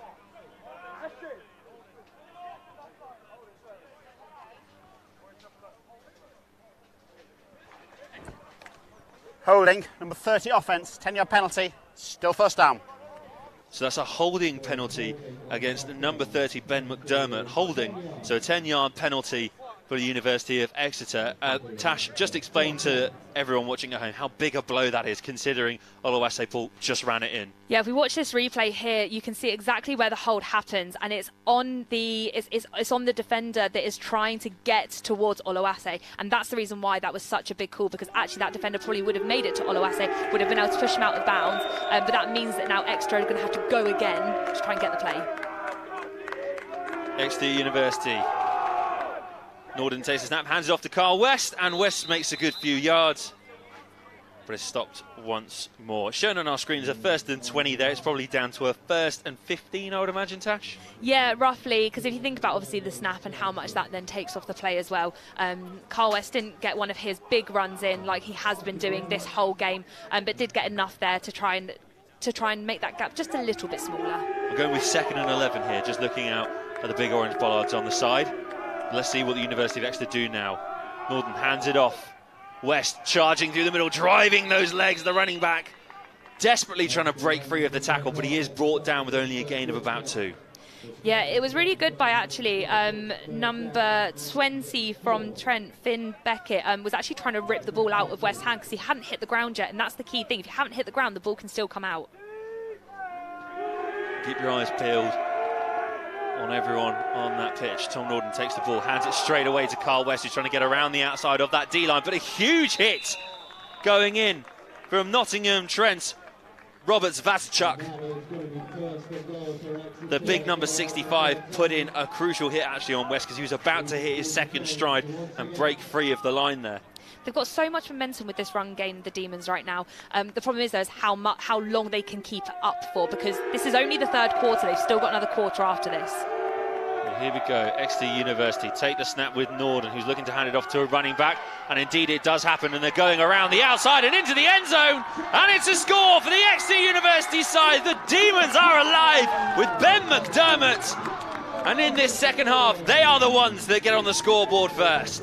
Yeah, that was a really good play there. Um, they actually managed to do a bit of sleight of hand and really going around trying to um, try, trying to, to fake out where the where the ball was going, which put off the NTU defence. If we if we watch this replay right here, it is it's that play action where you're trying to put the defence off, and there was only one defender there to actually try and get um, try and get the Exeter Demons down, and unfortunately that could not happen. Well, good work actually from Tom Norden right at the line itself, the line of scrimmage, because he held the ball. He had the bravery to hold the ball up, to keep the ball in hand and wait for the runner to round him on the outside.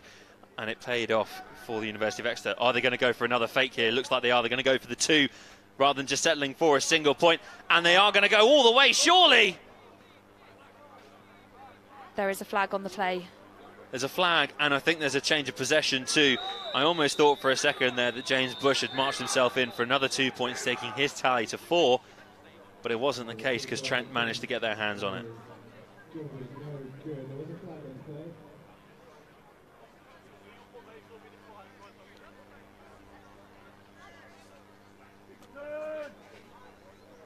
Illegal formation, offence, that penalty's declined. The try is no good. So it's an illegal formation by the offence. The penalty declined by Nottingham Trent, and it means their attempt at two points is no good, says the referee. And Tash, that's a big blow. Yeah, that's, I mean, because now when you look at it, NTU just need to get the touchdown and then the extra points to go in the lead. Um, it almost takes the stress off of NTU a little bit now in terms of like that scoreline. Um, that is the the risk of going for the two points is it doesn't always pay off and it doesn't always come come to fruition. And especially if you're trying to make those quick snap changes on the line, if you get that formation wrong and you don't line up correctly, that's what happens to you.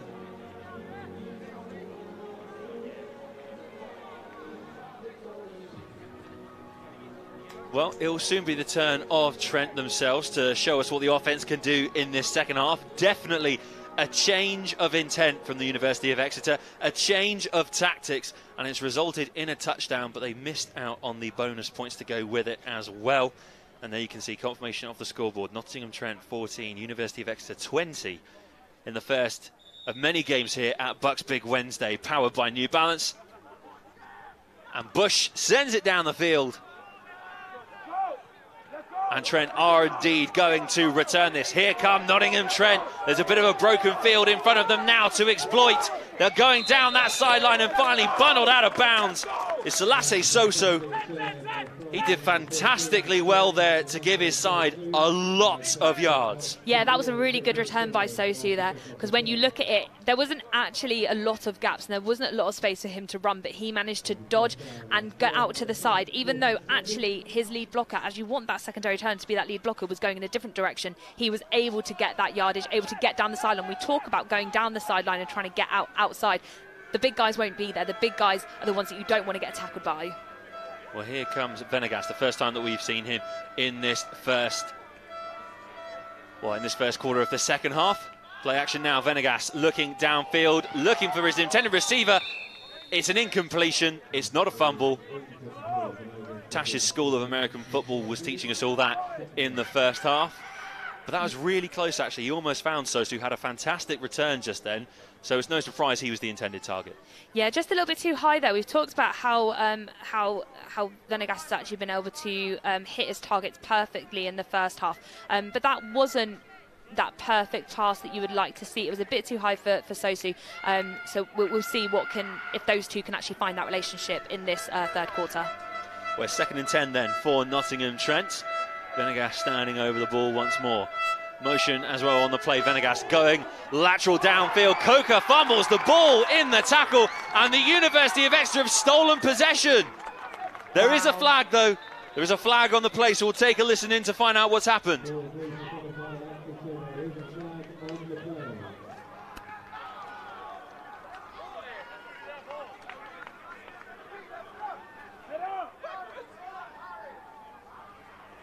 After the play was over, personal foul, Exeter. 15 yard penalty from the dead ball, first down.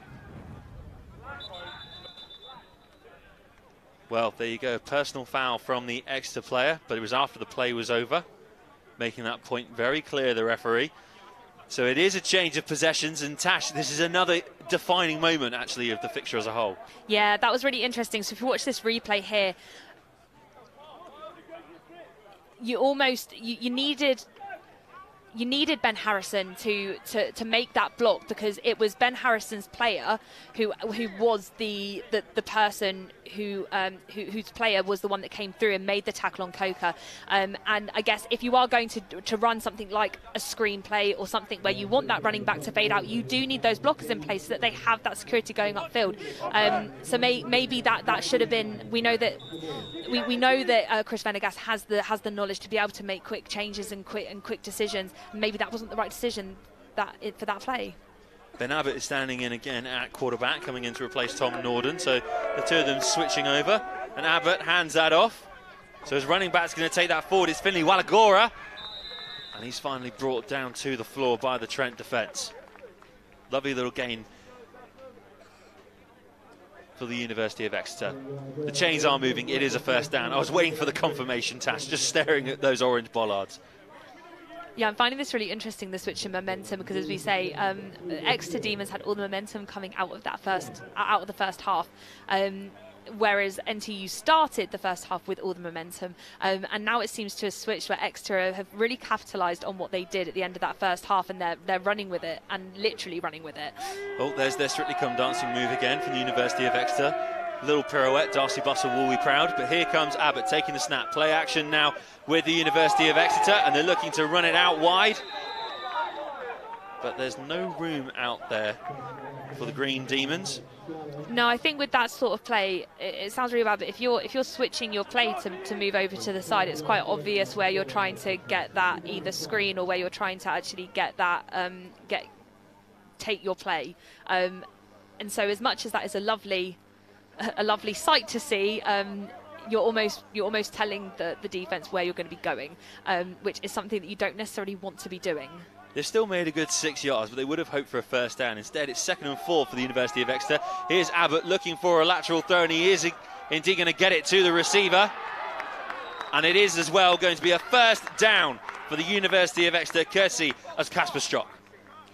Yeah, that was really good there by the University of Exeter. I think that I didn't necessarily. We, we kept talking about like the whole the QB receiver receivers not necessarily having that relationship, um, but actually the relationship is now starting to build up a little bit more. Even though it's short passes, as long as you have the people that you can rely on to actually run it downfield and get those yards, all that you need is those quick short passes. Well, here come the University of Exeter. First and 10 now. Abbott standing over the ball. Play action. Abbott hands it off straight away, though, and that's a big hit going in. Yeah, that was really well read there by the NTU, uh, by the NTU defence. Um, Alex Schulz was going nowhere, was he? No, definitely not. I think that they're, they're really trying to utilise that run, but especially when you can see two in the backfield, it's quite obvious then they're going to try and choose the run in that instance um, because then you've got that lead blocker moment. And so having that, having the NTU defence being able to read that, being able to get down quickly, um, quickly get onto to the ball carrier, yeah. Very helpful. Apologies, I got a little bit distracted there by a dog that tried to get into our booth. I was just distracted, don't worry. But it's second and 14 now for the University of Exeter.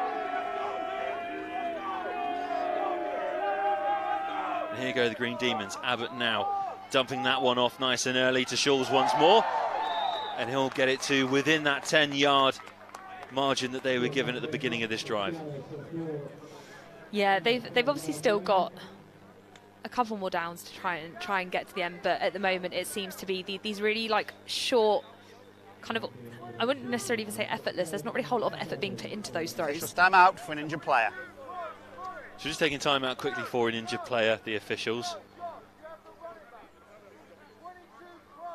We're trying to identify which player it is that's in need of some attention. But it's a good thing that the officials have spotted it along with the medical staff because, again, player welfare and safety is of paramount importance throughout BAFA and BUCS and all of Britball, really, and Uniball.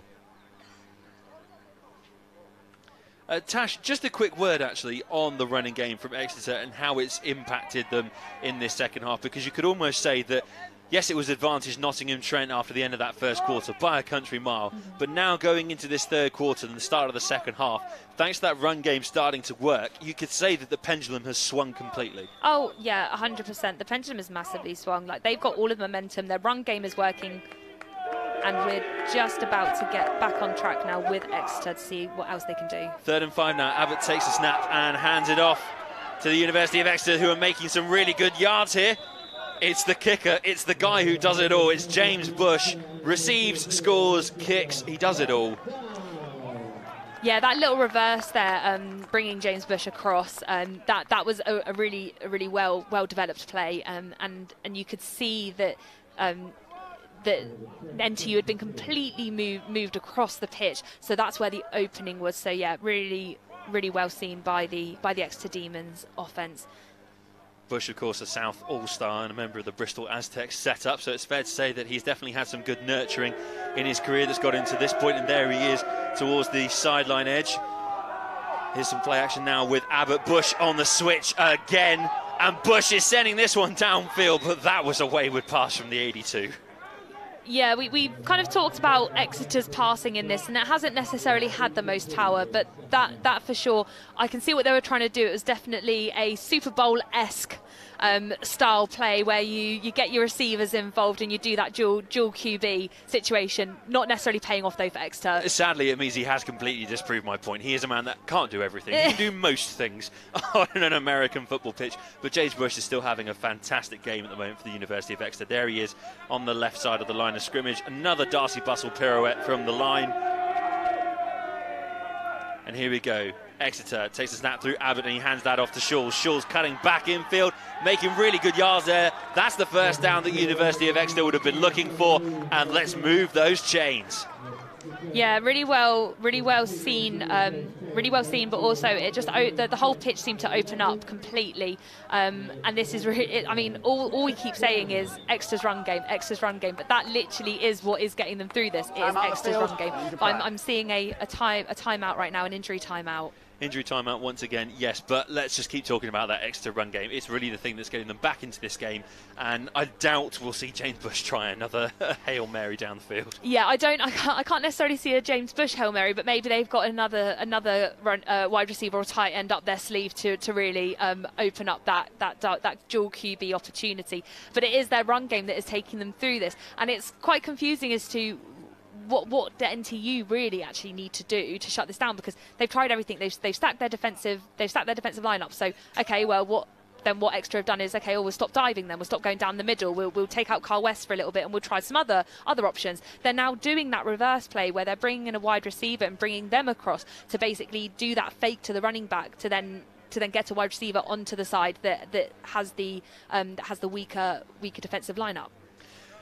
Tash, we're just going to go to a quick 30 second break here, just a, a quick one, and it actually gives me enough time to grab a glass of milk, which, of course, is the best drink to grab.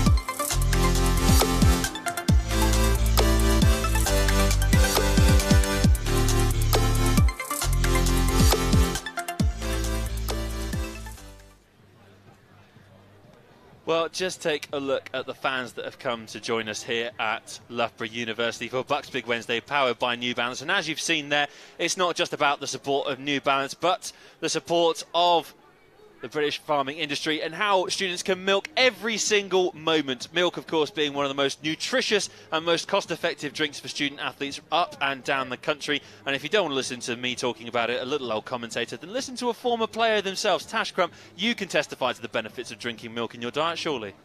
Yes, I can. I can in a way, yeah, of course. I mean, like as you say, nutrition is um, nutrition is the top thing that, you, that, especially when you're playing at a high level, like you have to understand. Being here at Loughborough University, literally, I would probably say the home of British university sports. Um, always topping the BUCS, uh, the BUCS tables, always, um, always top at their game. Um, they have a great team behind them, making sure that their scholars and their top athletes um, know exactly what they need to do. And we've seen so many players across the university spectrum coming through um, into national squads. We're talking going to the Olympics, not even just looking at these finals, but actually going to the Olympics, playing at the top level of their game, competing for Great Britain, as we've talked about with some of the players today um, in this Uniball fi- Division One final. Um, we're seeing them playing for GB under 19s, and yeah, nutrition is a massive part of actually keeping you fit and healthy. Something that I can't necessarily say for myself right now is dealing with an ankle injury. Maybe I haven't drunk enough milk. I was waiting for you to actually tell me that you're lactose intolerant, and I was really hoping you weren't going to throw me under the bus like that. But of course, uh, milk comes in all its, its its forms. You know, you've got your skimmed, you've got your semi-skimmed. Um, you know, and if you know you've got your full fat if you want to treat yourself. I know many of these players actually uh, have spoken about the blue milk very fondly, but that's a different story for a completely uh, completely different day. We don't want to get into that with Brit ball players all around us, otherwise we will never leave Loughborough without talking about it. Um, we have got a longer period of stoppage time now, uh, and rather than milking more content out of you about the great nutrition of the said drink that we were just discussing, let's talk a little bit more about how we expect the rest of this game to pan out. As you can see, Exeter only marginally ahead on the scoreboard. If Trent were to get a touchdown right now and even just get the extra point, they do retake the lead of the game. However, momentum is everything. Yeah, momentum right now is is it's all in like the pendulum has swung completely over to Exeter. Um, it's Exeter's to I would say it's completely Exeter's to lose at this moment in time. NTU just don't seem to have any momentum. They're not really getting the ball going on offense. Um, the the link ups that we saw in that first half have just disappeared. Um, and I think that that's actually costing NTU so much right now. Obviously, we saw the really big turnover, um, and everything that Exeter are doing um, just seems to be completely over overriding anything that NTU are trying. Um, I think, especially with Chris Chris Venegas, like as we as, as you said, James, you are a number one Chris Venegasite fan. I'm in the Chris Venegas fan club. I actually might get him to uh, sign a jersey for me at the end of Yeah. this match if he ends up becoming the champion. Because look, I mean, for me at the moment, he's the front runner for the MVP. If Trent were to win it, if Exeter were to win it, I'd actually have to argue. You might disagree with this. I'd argue that James Bush is up there to contest for MVP. I mean, James Bush, you've got to say you've got to give Carl West a shout. Like Carl West was there, was was actually in the first half, especially in the first quarter when X had no momentum. J- like Carl West was the one that was actually like trying to give them everything. Um, and I would say as well that like you've kind of got to look at some of NTU's big players as well for for MVP. Um, we're we're talking, obviously. Um, Sorry, I've, I've completely lost my, my names right no, now. no, don't worry, Tash. 'cause Oluwase Paul. Do you, do you know what? We're going to take a moment here because we are we've got a much longer period of stoppage than we were anticipating. So it gives us a great opportunity to thank all of our partners that have made BUCS Big Wednesday, powered by New Balance, possible in all of its forms here at Loughborough University. You really do your research into the private equity sector. Don't be put off by this kind of mysticism that potentially lies around it. Do your research not only to help with your application and interview process, but also to see if you personally would like to work at that place or that sector or that field.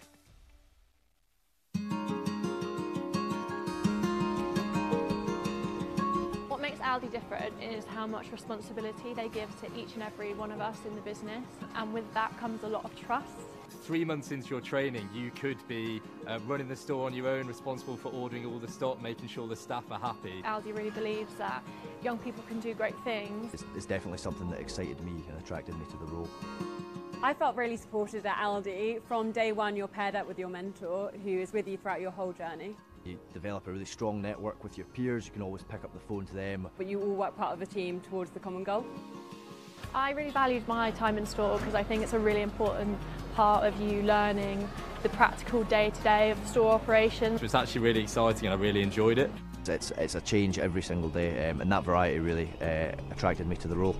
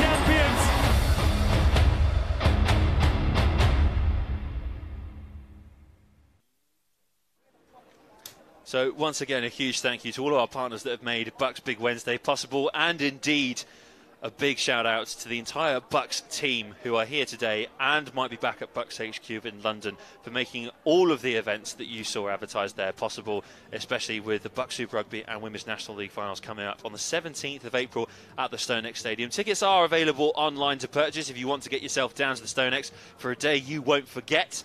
Then make sure you check that out. But for now, the attention is here at the Loughborough University rugby pitch.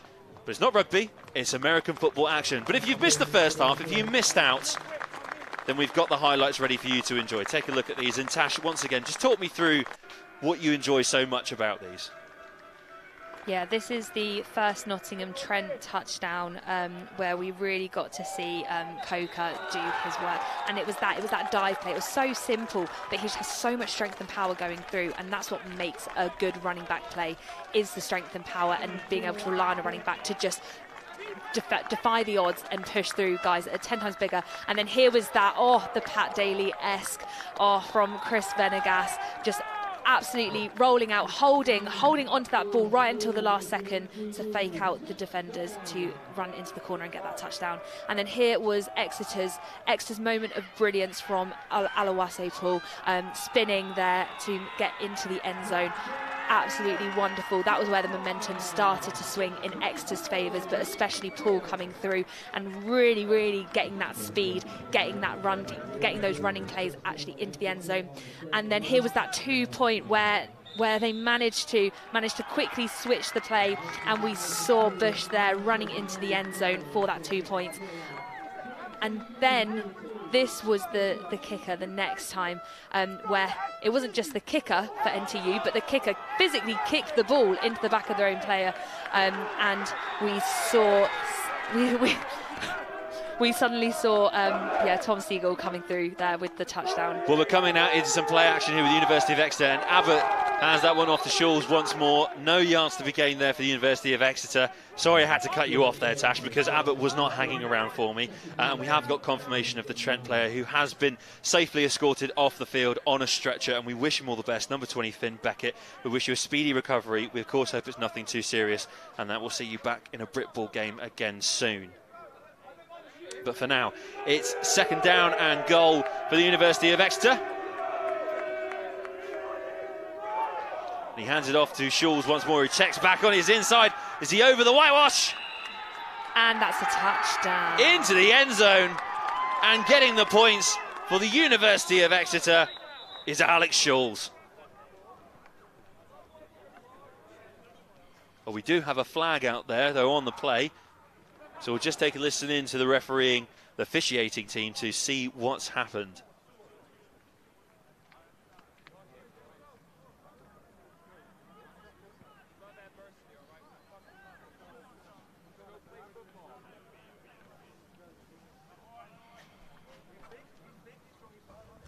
The result of the play is a touchdown. After the play, dead ball, personal foul number six, Exeter. That 15 yard penalty will be enforced on the try and time down. So they do indeed have a touchdown, but it'll be a 15 yard penalty for the act of Alex Schulz after scoring. I think that that's been a real problem for Exeter. Is it's great when you score a touchdown, but why why the need for per, for for personal fouls at, at, the end of the day? You don't need to celebrate or do something to the extent of actually damaging your team's chance of getting that extra point. And especially with the fact we know they like to go for the two points, you can't necessarily go for the two points when you've had penalties and flags on the play. Well, surely they're going to have to just settle for the one point here even though they're setting up nothing like it. In fact, they've actually set up like they're going for the two points. Ben Abbott standing in at the line of scrimmage, ready to receive the ball. There he is, hands it off to Schulz.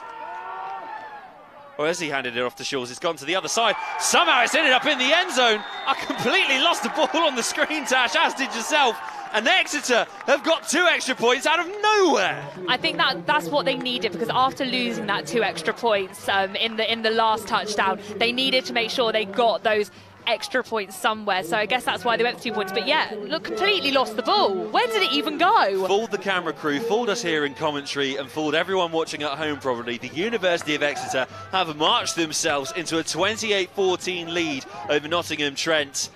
And now that is a statement. I would say let's get a replay, but I don't think any of us actually know know where the ball was, so we wouldn't even be able to call it on a replay at that moment. Um, but definitely a statement play there by the University of Exeter, really coming up tops. And let's look at this here. So they managed it's... to get it out to James Bush from the looks of it, and he he did actually he did show that he can QB. Well, I take it back. James Bush uh, really can do it. He all. can do everything. Wow, for anyone that was talking to me earlier saying, yeah, James Bush can't do it all, he flipping well can. Just look at that as a prime example. I think they were just trying to show us and make a point. Well, Nottingham Trent are trying to take this forward on the return here with Sosu. He's still alive with Sosu. He might go through a gap in the middle here, just as he jumped to go through the middle, brought down by two extra players. That was really nice by Sosu there, like massively managed to get out of uh, out of a tricky situation by spinning, diving, doing whatever he needed to do to move around. But we are now going to be taking um, another injury uh, time out, and the referees are going to be pulling the players away to get so, the player. Sosu is down at the moment. He took a really big hit there from two University of Exeter defenders, so it's no surprise that he's he needs some time. But he is up. He's marching straight back into the line of scrimmage. Tashi heard you, and he was like, "No, I've got work to do. I've got things that need to be done. There's a championship to be won. He has definitely got work to do. I think that he is going to be taking um, a bit of time out on the sideline just to probably get his breath back because that was a big hit and he did go down quite heavily. Um, so hopefully we can see him back out on the field in um, in no time. Well, here we go. First and 10 for Nottingham Trent University. Venegas standing ready to take the ball from the line. It's snapped to Venegas looking downfield. And he has found an open target. Great play from Joe White to get himself into a bit of space. That's a lovely little gain there for Nottingham Trent. Yeah, it's really great to see Venegas as well, um, utilising his knowledge, but also getting back to hitting those passes right on target, getting that ball directly into Joe White's hand, who had plenty of space to turn upfield. Bit of an eight-yard gain there for Nottingham Trent University, so it's uh, second and two for the boys in pink. And Venegas ready to take the snap. Play action now. Here we go. Hands it off to Coker. Coker trying to go straight through the middle of the D line. Is it enough for the first down? It is. The chains are moving, Tash. Yeah, that's exactly what you want. You want those quick plays by the receivers that can get you a good amount of yardage so that then your running backs only need to get a couple of yards to push for that first down. Here we go then. First and 10 for Nottingham Trent University. Chris Venegas standing ready. Play action now. Venegas sends that one downfield. Once again taken nicely by Joe White. And I think it's fair to say that they'll be looking to the talisman for the rest of this game. Yeah, Joe White now seems to be the go-to player. I think that they've obviously seen something on this on, on this right side that um, that Joe White can give them that maybe other players that are on the left cannot. Um, but obviously, it does help with the fact that Joe White is an absolute tower of a man. Um, and also has strength behind him to, to, to push forward and to hopefully get past those DBs. It's a second and three now for Nottingham Trent. Venegas hands that one off to Coker. Coker going through the middle, and he's definitely got the first down, and he's got more there for Nottingham Trent. Still up is Coker, and finally brought down by the extra defence. What a run! Yeah, what a run there by Coker. That was absolutely incredible. It was the way that he kept pumping and then kept taking down the Exeter defenders. You can see they're trying to move quickly now because they're all getting back into the huddle. So they really want to go quick play offense, which shows what Venegas can do. But just look at this replay right now. Spinning out, taking down two men, taking down a third, and then finally getting that forward momentum being taken to ground. Here we go then. First and 10 for Nottingham Trent.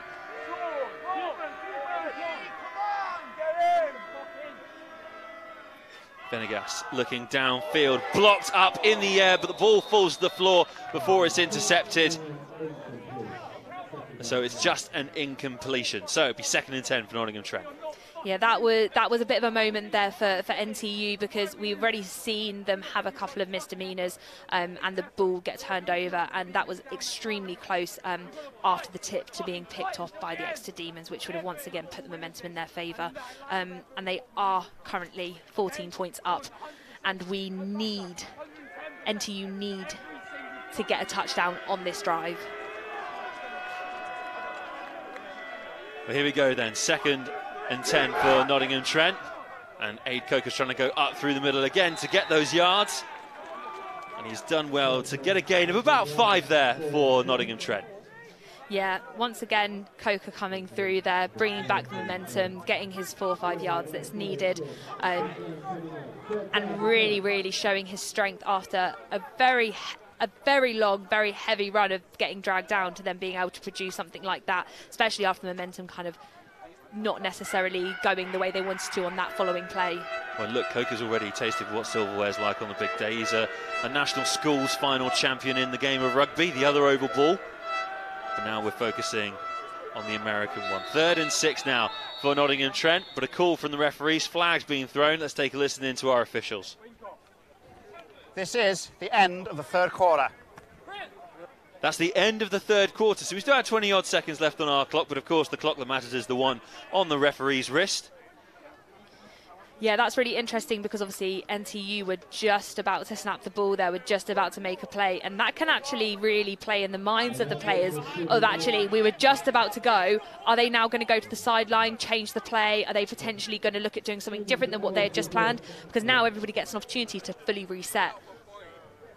And let's talk about the fact that you know Nottingham Trent have lost a player. They are they are down a man, and we obviously have sent Finn Beckett our, our best wishes. But that'll really inspire a team and spur them on, and really fuel the fire in their bellies as well. So it's no surprise that Trent have come charging out the blocks in offence. Yeah, definitely. You you have that mindset of the moment if that somebody goes down injured, you want to go and win the game for them because of the fact that they're now going to be going getting treatment. They can't experience this anymore. So what you need to do is now channel what they would have done on the field and have them almost like you look at how many players you have on the field. They're they're your they're your extra they're your extra member. They're your extra momentum to actually go out and and win.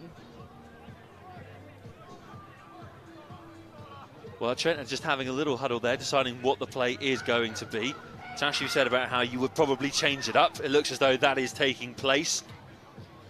Yeah, especially if the moment you change sides, like Exeter have a, have the opportunity here to to also like look and reevaluate. So if you've just seen a, a team come out in a formation, they've almost obviously assessed that already. Now they need to come out differently and something that can actually, and it depends as well what way the wind is blowing. Because if the wind's blowing in a different direction, the other side, that will then change your play as well. Here we go then, third and five for Nottingham Trent. Venegas giving some new orders to his linemen and to his running backs. Bit of movement there at the line of scrimmage for Nottingham Trent, and now Venegas looking downfield, moving himself out of the pocket into a bit more space. Venegas might take it forward himself. That's a huge tackle on Chris Venegas from David Oyada. Yeah, that's a massive tackle because as a QB, as a QB, you only take the ball if you know you have security to be able to either slide or get out of bounds without being tackled. You do not want to be tackled as a Q, as, as a QB in that moment, but especially not by one of the big guys. And Venegas went to go have a word at the sideline there. He didn't look happy after that play, and I don't think I would have been happy either after getting a huge hit like that. No, I've got a huge hit like that before, and I haven't been happy. Well, here we go. Nottingham Trent lining up. It's fourth and three. They've got to throw everything at this. They have to convert this into a first down. Otherwise, it's a big loss of possession. Venegas, his throw is blocked. It's an incompletion thanks to the work of Owen Beaumont. And now the University of Exeter will be in possession. Yeah, it really shows what height can do because if you can read that play perfectly, exactly how Owen Beaumont did right there, he like I just saw him running next to some of the guys, and we know that American footballers are tall. He was towering over some of them, so that just shows that arm span, that height can really come into play, especially if you've got a QB that that doesn't necessarily loft it at all times, that can throw that flat ball, and that's exactly what happened there in that moment. Well, here we go then. First and 10 for the University of Exeter. They are 28 14 up currently here at BUCS Big Wednesday, powered by New Balance. And we're in the final quarter two. They hand it off to West. West goes right through the middle of the Nottingham Trent defence, and he almost walks all the way to the halfway line, but he is finally brought down. That's a huge gain for Exeter. Yeah, and I think that Carl West has come back into play. We haven't seen him for a while, especially not in this second half yet. Um, and he's just he need. I feel like that he needed that break after doing a lot of running to begin with in the first uh, in the first part of the third quarter. Now we're seeing him come back and do exactly what he did in that first part of that first quarter, um, and just running straight through the NTU defense. There is nothing they can seem to do to stop him and to stop this momentum. Um, but also there was a little bit of um, tension between some of the Exeter players and NTU players towards the end there. So we'll see how that that plays out as well. First and 10 is with Abbott, who's looking downfield. He was under pressure. Interception by Nottingham Trent. Are they going to run it back into Exeter territory? Brought down just inside what would have been the beginning of their 10 yard play. Sam Wincott Johnson with the interception for Nottingham Trent. That has completely changed this final quarter. Yeah, that is such a good read there by NTU. Oh my goodness. That's exactly what they needed. We've talked about the Exeter passing plays here, and they haven't necessarily been working. Yes, they worked for I think one or two plays, but they weren't necessarily over the top in the middle. If you watch this, watch this replay right now, Exeter getting set up, NTU getting set up. And it was as the ball was snapped, it's this play right over the middle where where the QB was getting pressured, and it was right into where where your where the linebackers were standing. Absolutely incredible. Well, here we go then. First and 10 now for Nottingham Trent. Chris Venegas waiting to get the snap. Play action now with Venegas looking downfield. He's got to move out of the pocket. He's fumbled the ball. It's loose. Exeter can claim it. They've taken possession back straight away. And after the amazing work of the Trent defense, the offense have ruined the party. Yeah, they've done exactly. They've literally just like done exactly what NTU have just done to them. They pressured the QB to make a mistake. The QB made a mistake, and I don't think I could have said that we would have seen Venegas fumbling in this in, in this final at all. Very smart QB understands about ball control, and if we watch this here, we look drop back. It's exactly what happened to it's exactly what happened to the NTU QB, getting pressured, instant tackle, done. The difference between what happened to Venegas and what happened to the Exeter quarterback is that the Exeter quarterback managed to get the ball off. So Tom Seeger getting the sack there with Josh Lane and forcing the fumble, and so it is Exeter with possession. First and 10, Abbott hands that off once again to Carl West, and West marches his way through the middle, and he's still going strong, Carl West. There is a flag out on the play, though. Tash is another party being ruined. Um, potentially, that flag came out quite Offside, early, so it's definitely 57 something that defence. happened. That penalty's declined. The play results in a first down. So the penalty declined offside from Well, number for timeout 57 on the for an injured defence. player. And we are having another timeout for an injured player. Uh, Tash, sorry to interrupt No, you. don't you can worry. Keep going. no, it was, it was quite early on, so I knew that it must have been either an offside or or um, uh, or a false start by, by one of the teams. And as we say, we're, we're taking an, another injury timeout right now. Um, but I guess I, I, guess this this is really it's, it's quite an interesting one now because there's lots of flags. Um, the momentum is is swinging in Exeter's way, but then swings back to NTU for a little bit. But then NTU can't really seem to keep hold of it. Um, yeah, I, I'm I don't I want to say that that NTU are coming back, but I don't I just don't think they are right now, and they only have nine minutes to do well, just under ten just under ten minutes to do it in. Well, and Carl Walkinshaw's gone onto the the pitch, the defensive coordinator, to make sure the Trent player that's down is all right. But it looks like we're going to have another longer period of stoppage here at Loughborough University. If you just take a look at the bottom of your screen, you can see the score there. University of Exeter 28, Nottingham Trent University 14. It is advantage green Demons, but the Pink Renegades are still within fighting distance. They're still within reach of this game. And anything can happen in the beautiful world of Britball and indeed Uni Ball as well. Yep, two touchdowns is all it takes right now to get them back level. That's all that they need, and this game is going to then overtime.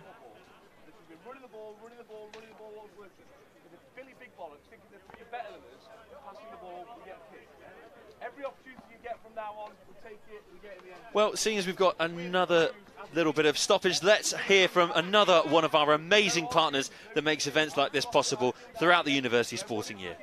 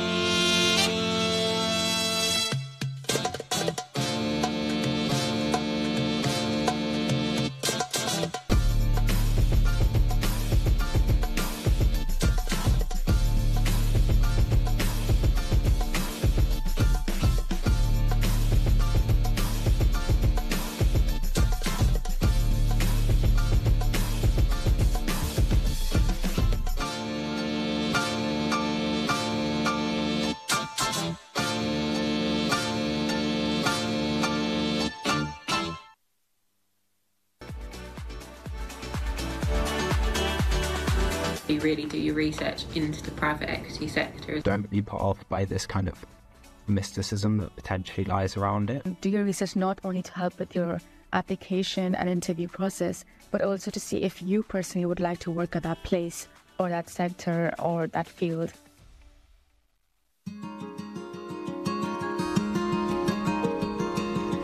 What makes Aldi different is how much responsibility they give to each and every one of us in the business, and with that comes a lot of trust. Three months into your training, you could be uh, running the store on your own, responsible for ordering all the stock, making sure the staff are happy. Aldi really believes that young people can do great things. It's, it's definitely something that excited me and attracted me to the role.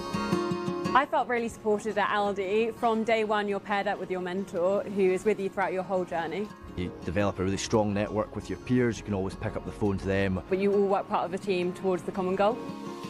I really valued my time in store because I think it's a really important part of you learning the practical day-to-day of the store operations. It was actually really exciting and I really enjoyed it. It's, it's a change every single day um, and that variety really uh, attracted me to the role.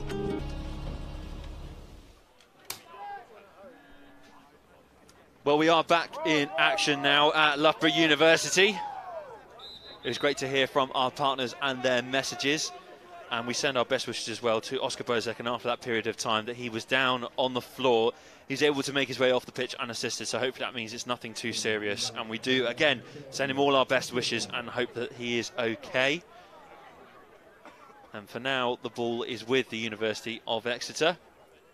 It's currently going to be a second and five.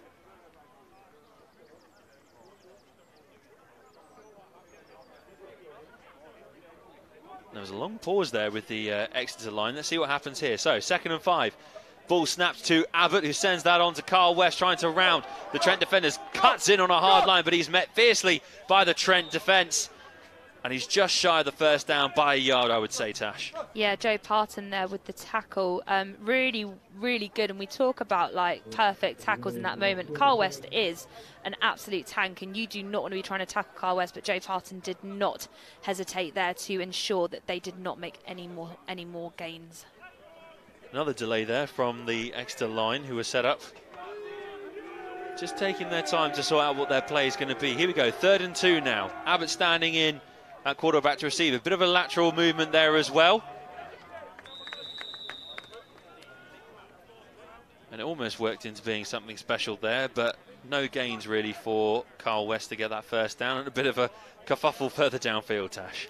Yeah, I think that with Exeter right now, there's been so many stops that they had so much momentum. It almost like does slow that down, and I think that some of the kerfuffles that, as you say, that we're seeing, it's been happening throughout this um, this fourth quarter.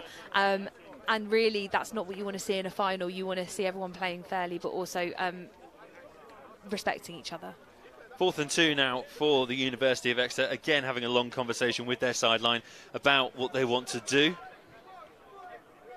And we see Ben Abbott ready to take the ball. Here we go. Four and two for the University of Exeter. Play action now. Abbott hands it straight off to Carl West. West has surely got to get the first down and a little bit more as he's bundled out of bounds. Yeah, they really stopped. Um, so we, we saw we, we saw Joe Parton make the tackle on Carl West last time, and they actually managed to block off Joe Parton from able to get through as they see they obviously can see him as a threat. Um, so that gave Carl West the opportunity to go out to the sideline, run it down, and as you say, get the first down and then some.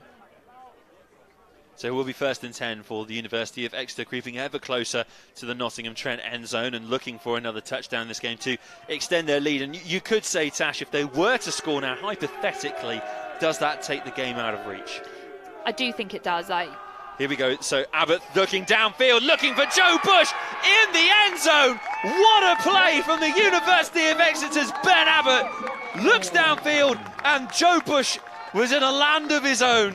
Not a Trent player in sight. And well, Tash, does that answer my question? Is the game now out of reach? Yeah, it really does. Um, for there's, injured there player. is a, a, we are going to take an injury um, timeout as well right now, as there is a player down. But we'll just look at this replay.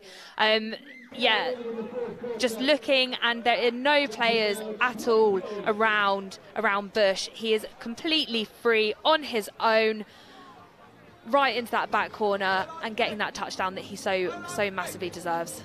James Bush has got to be the front runner for MVP now, Tash. I know, I know it's not my job. I know it's supposed to be your job, and I'm getting ahead of myself because there's still seven minutes left to play on our clock.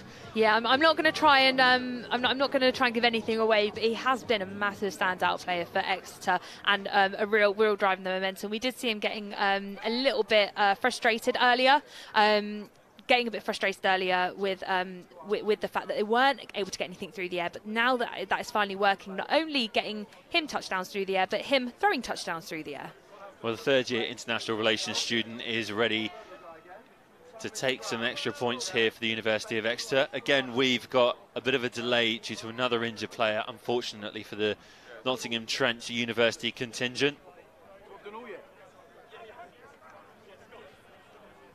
And again, we're hoping it's it's nothing too serious because the last thing that we want to see, Tash, is when players start to drop to the floor. And it looks as though it's number 15, Luca Bindi. I mean, we've not said his name a lot in this game, but sometimes it's the unsung heroes that we don't shout about that are the most effective. Yeah, I think that um, I think that with with uh, with Luca, like we haven't seen the um, airplay go well, and that's because the, the DBs of Nottingham Trent have basically been stopping um, the uh, Exeter Demons from actually being able to get anything through the air. Um, and as we saw, um, James Bush was completely free in the in the end zone, and unfortunately, um, unfortunately, uh, that was the first time we've actually seen that, isn't it? We've just got a bit of concern here for the for the player who's down at the moment.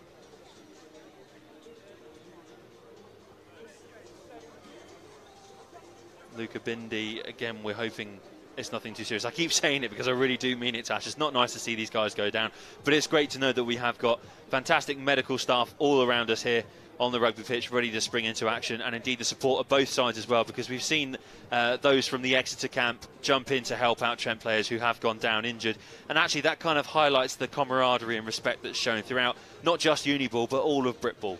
Yeah, I mean, you see it at all levels of British American football. The great thing is now is you have so many people that don't necessarily want to play but want to get involved with teams, including great medical staff. Um, and we're seeing teams actually growing and being able to either recruit or or bring medical staff on on placements um, and aspiring to get to that next level. Um, and it, it's it's so nice to see all medical staff from both sides always coming to the aid of players to make sure that player safety is the utmost priority um, for everyone. Uh, special mention as well to Joe Parton, the Trent number four, who stayed with the injured player the entire time. He is a standout really for that Nottingham side and, and, clearly one of the senior figures in that side. Yeah, definitely, and he's really shown like how much of a I guess a standout player that he is, um, ensuring that players are supported, but ensuring that he's able to do his job for the team. Um, and we've constantly been seeing big tackles coming from him, but also like players needing to block him out to to enable players to develop how they need to develop, because else he will be on on the Exeter Demon players, whoever has the ball. Well, I guess also a special shout out and mention to our in stadium entertainment team who have got the music going, they've got the announcements going. They're still trying to keep the energy high because the energy has been high all throughout this game from either side. So big shout out to them pumping out the tunes. I don't know if they take requests, but I'd love to see some Coldplay uh, being blared out. Don't laugh too hard, Tash. They're great. I know they're the mayonnaise of the music world, but you can't hit on me that hard. But uh, enough of my taste in music and indeed the Hellmann's. Um, but let's have a talk about how the rest of this game might pan out. Seven minutes on the clock. At the moment, Trent are down by 20 points. We're yet to see whether it'll be 22 or 21 points. And how do you dig yourself out of this hole that the Trent players might be finding themselves falling down? I think the biggest problem is right now is Trent are getting hit, hit, hit getting hit hard the most in terms of those injuries. Um, and the moment that you lose some of those starting players, you do then have to start going down to your second and your third string players.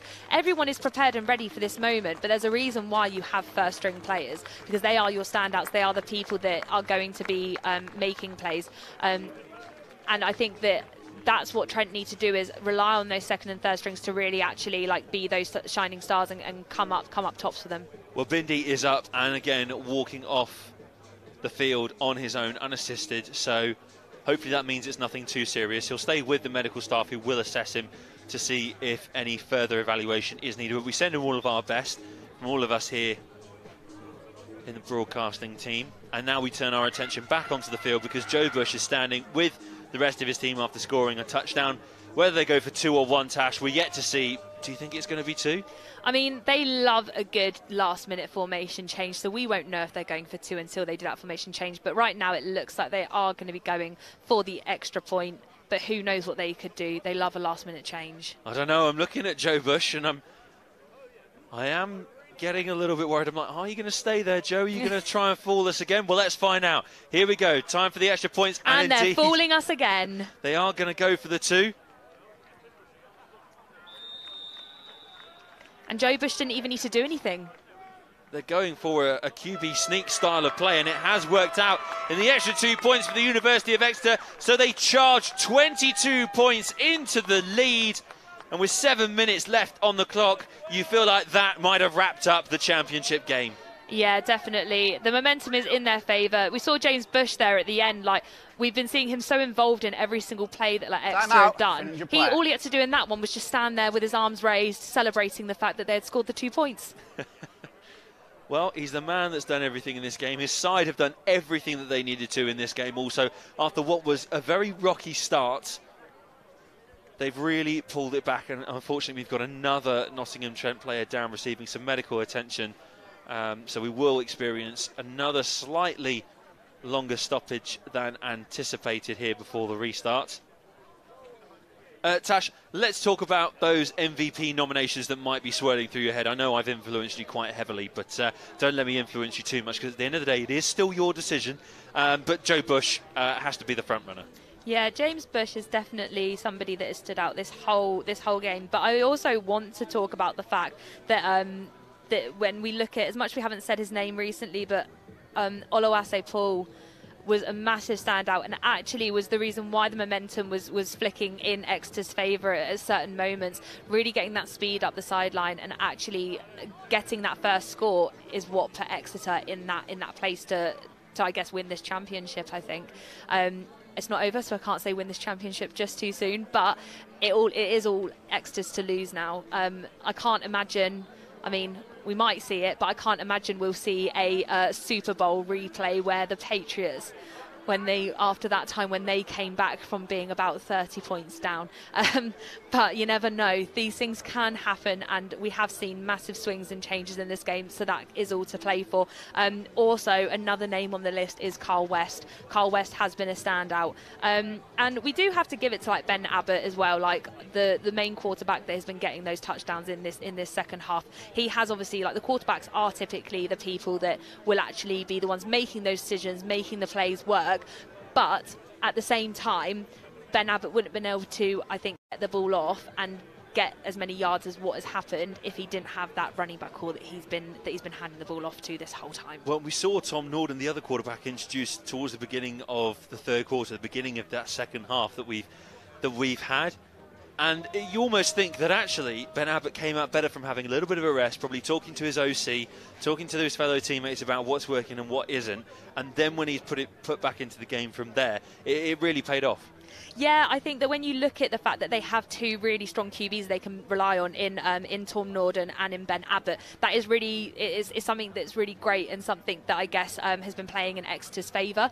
Um, because if you do have two people, you almost you you can and switch people out. You can give QBs a break, and sometimes QBs are that um, are that mental and physical being within a game. The QBs are the people that have to make the make the decisions as to what they want to do. Because especially if you have a play that you can do multiple options for, that QB is the one that is making that decision. So you are mentally and physically exhausted by the end of the game. Having two really strong QBs, that's a great option to have. A huge shout out to the crowd that you can see on the screen there that has stayed with us the entirety of this game and are still out there, even as the sun begins to set here in Loughborough and the lights begin to switch on around this rugby pitch. It's fantastic they've all come to join us in the Great North.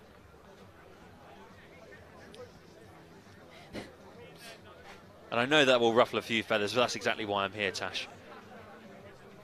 But for now, obviously, we've got a long delay. This takes away all the momentum that Exeter might have built up. Built up. Uh, obviously, we need to respect the fact that it is an injury, and that's why we have got this stoppage, and all care needs to be taken. But from an Exeter point of view, it's bad because you've lost your momentum in attack.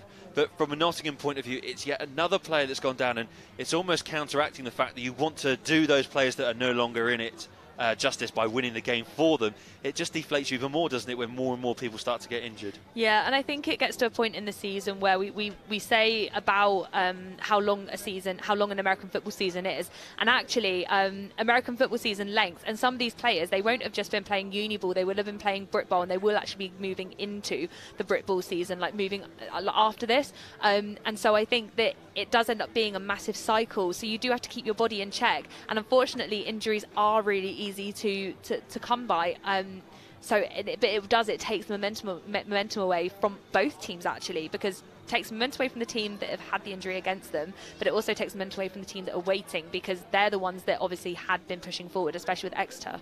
Well, it's also great to, to see actually today to talk about something a bit more light. We've got fans of all of all ages here with us today. You know, we've got kids running around, getting really involved along the sidelines, running with all the players on every play. As young, I think, is like two or three years old. And then we've got grandparents and great grandparents that have turned out in their masses to cheer everyone on today. Because after all, today is a really special occasion with the fact that it might be many people's final ever Brit Bowl or Brit Ball or Uniball game.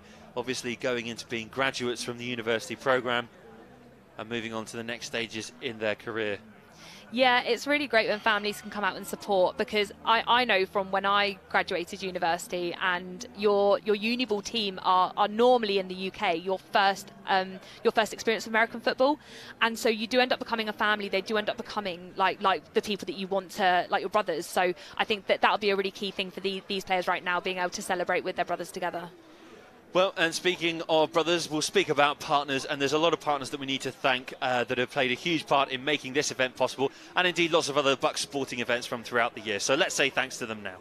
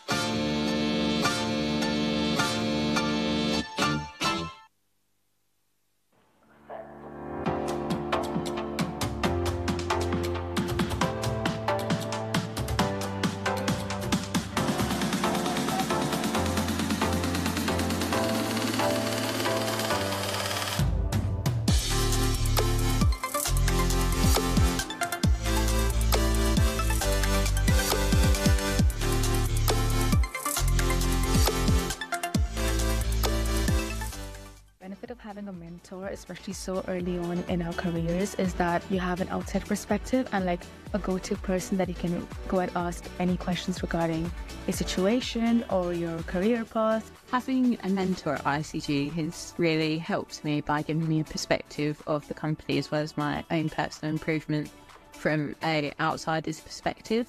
So I'm able to see and get different feedback of my own progress from someone outside of my team.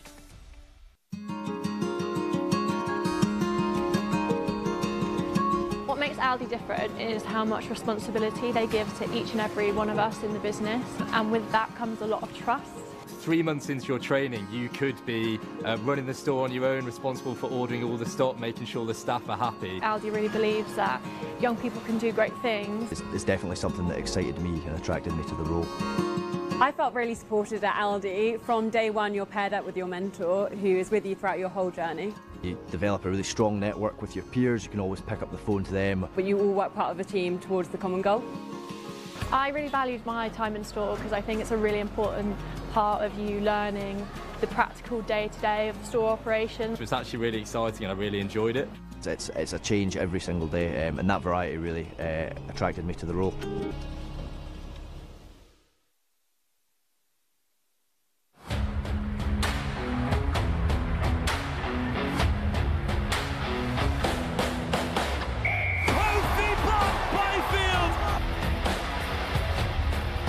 Singleton sniping.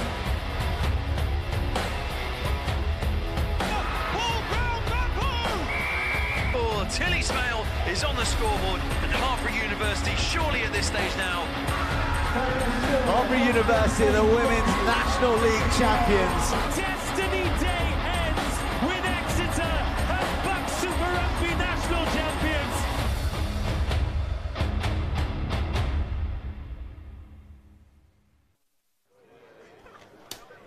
Well, there you go. A big thank you to all of our partners that make all our BUCS sporting events possible, and indeed BUCS Big Wednesday, powered by New Balance here at Loughborough University.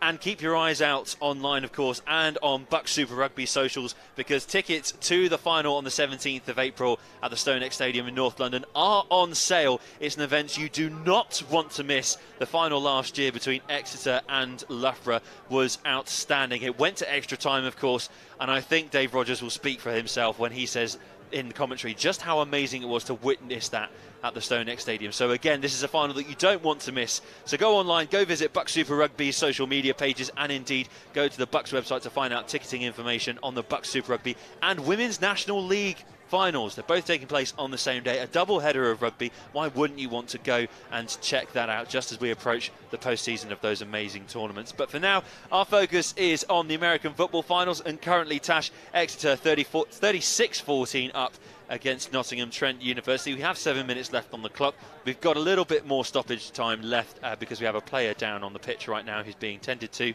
Um, but how do Trent get themselves back into a competitive position? Because you'd almost say that they have to do every snap as quickly as humanly possible. Yeah, they've got so much experience on, on their team, and I think it's really utilising those experienced players to actually step up and motivate the team right now, because that's the key thing is the motivation.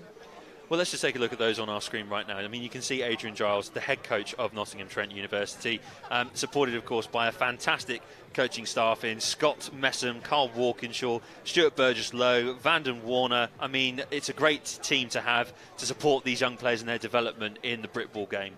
Yeah, it's it, as much as it is down to the players to, to help motivate each other on the pitch because you do want to be there for each other. It is also down to the coaches. They need to make the right play calls and, and fully understand what they need to do to to uh, to motivate and spur the players on. Um, in, in these last seven minutes. As we know, anything can happen. I mentioned earlier about the Patriots when they went on to win the Super Bowl after being down by, I think it was 28 points. Um, and so I think that right now, currently, NTU need to somehow do a Patriots and come come from behind.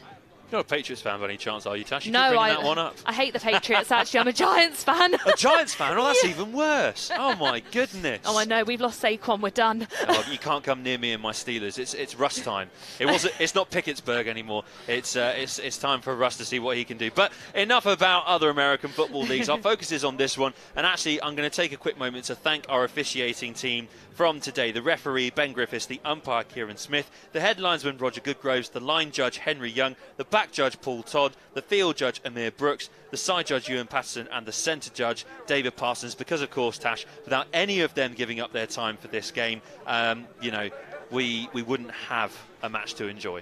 Yeah, BAFA is such, such an integral part of um, of the American football setup, and I think that the time that all of these referees do put in to make sure that the game is as fair and as and, and well contested, um, that is it's just a testament to them because this has been a really good game, and the, I, I feel that the right calls have been made. They've been they've been extremely integral in especially um, some of the big flags that have happened, but they have been the right the right thing. It's been the right thing to do, and that's exactly what BAFA's job is: is to ensure the right the right calls are made and that they are actually ensuring that the game is fair, but also looking out for player safety. Player safety, of course, paramount importance across many sports. At university level, competing under the BUCS name and organisation. Uh, that's not a sight that you want to see coming onto the pitch. A stretcher is coming out to help the injured Nottingham Trent player who's currently down on the floor. It's great that we have access to paramedics so quickly to be able to help players if they are in an injured position and do need some assistance and further examinations.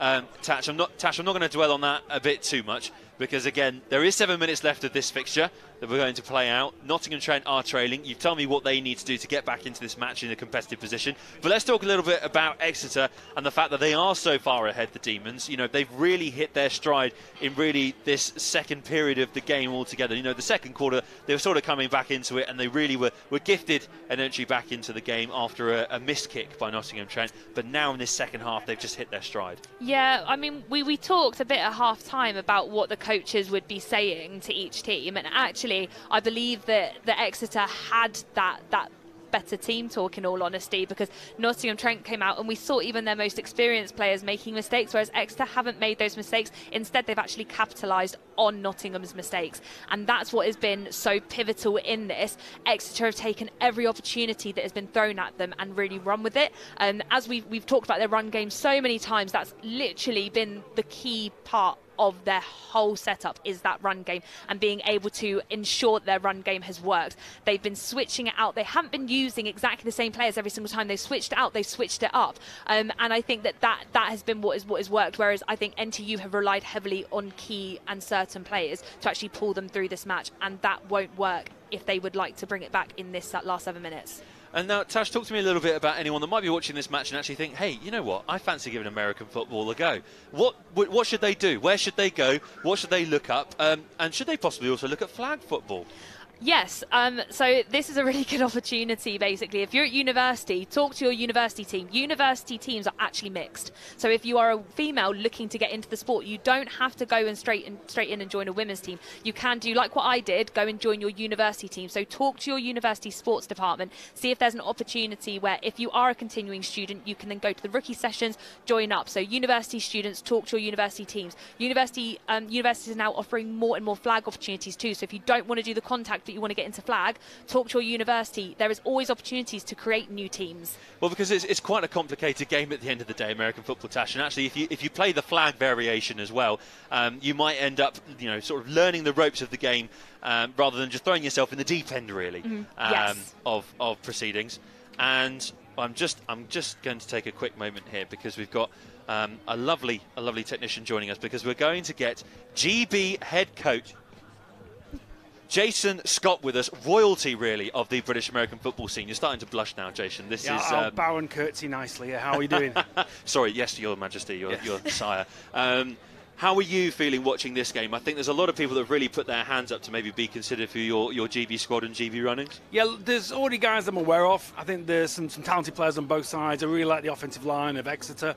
I think they're really well drilled and got some size. And Uh, that's a big thing. Trent, I've obviously been well aware of all season, living across the city from them, coaching across the city from them.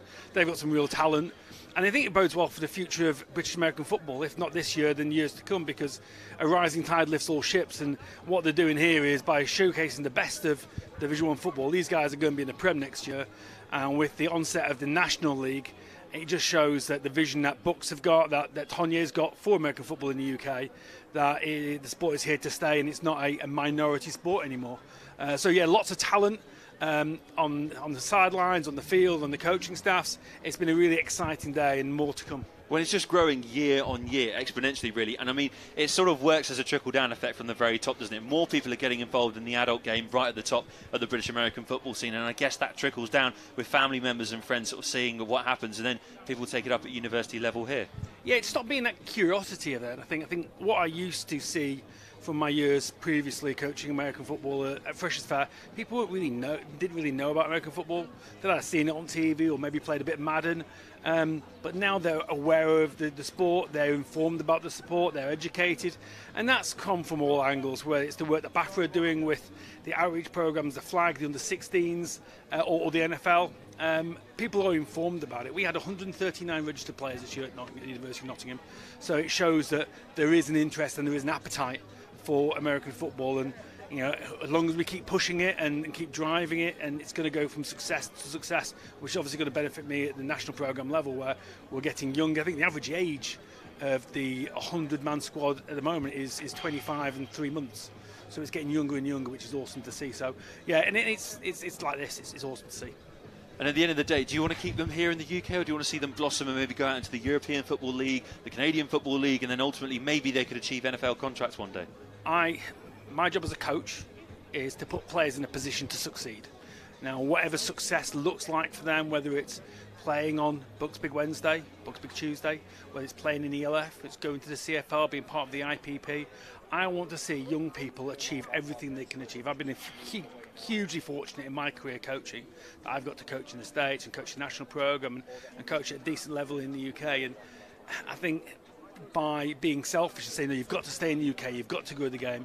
I want people to be scattered to the four winds and, and go and promote British American football because the youngsters will see that. The youngsters will see the success of guys going to play in college and, and play in Canada and playing in, in, in the NFL, and that really continues that success. So it's really important for me is that putting people in a position to succeed, whatever success looks like for them.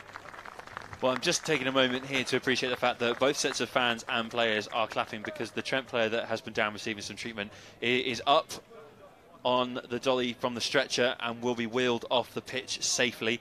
And there is an ambulance standing by as well, ready to take them to hospital. Uh, Tash, it's great to see that they've been able to be looked after so quickly and so swiftly. Um, this is a big moment now for Trent.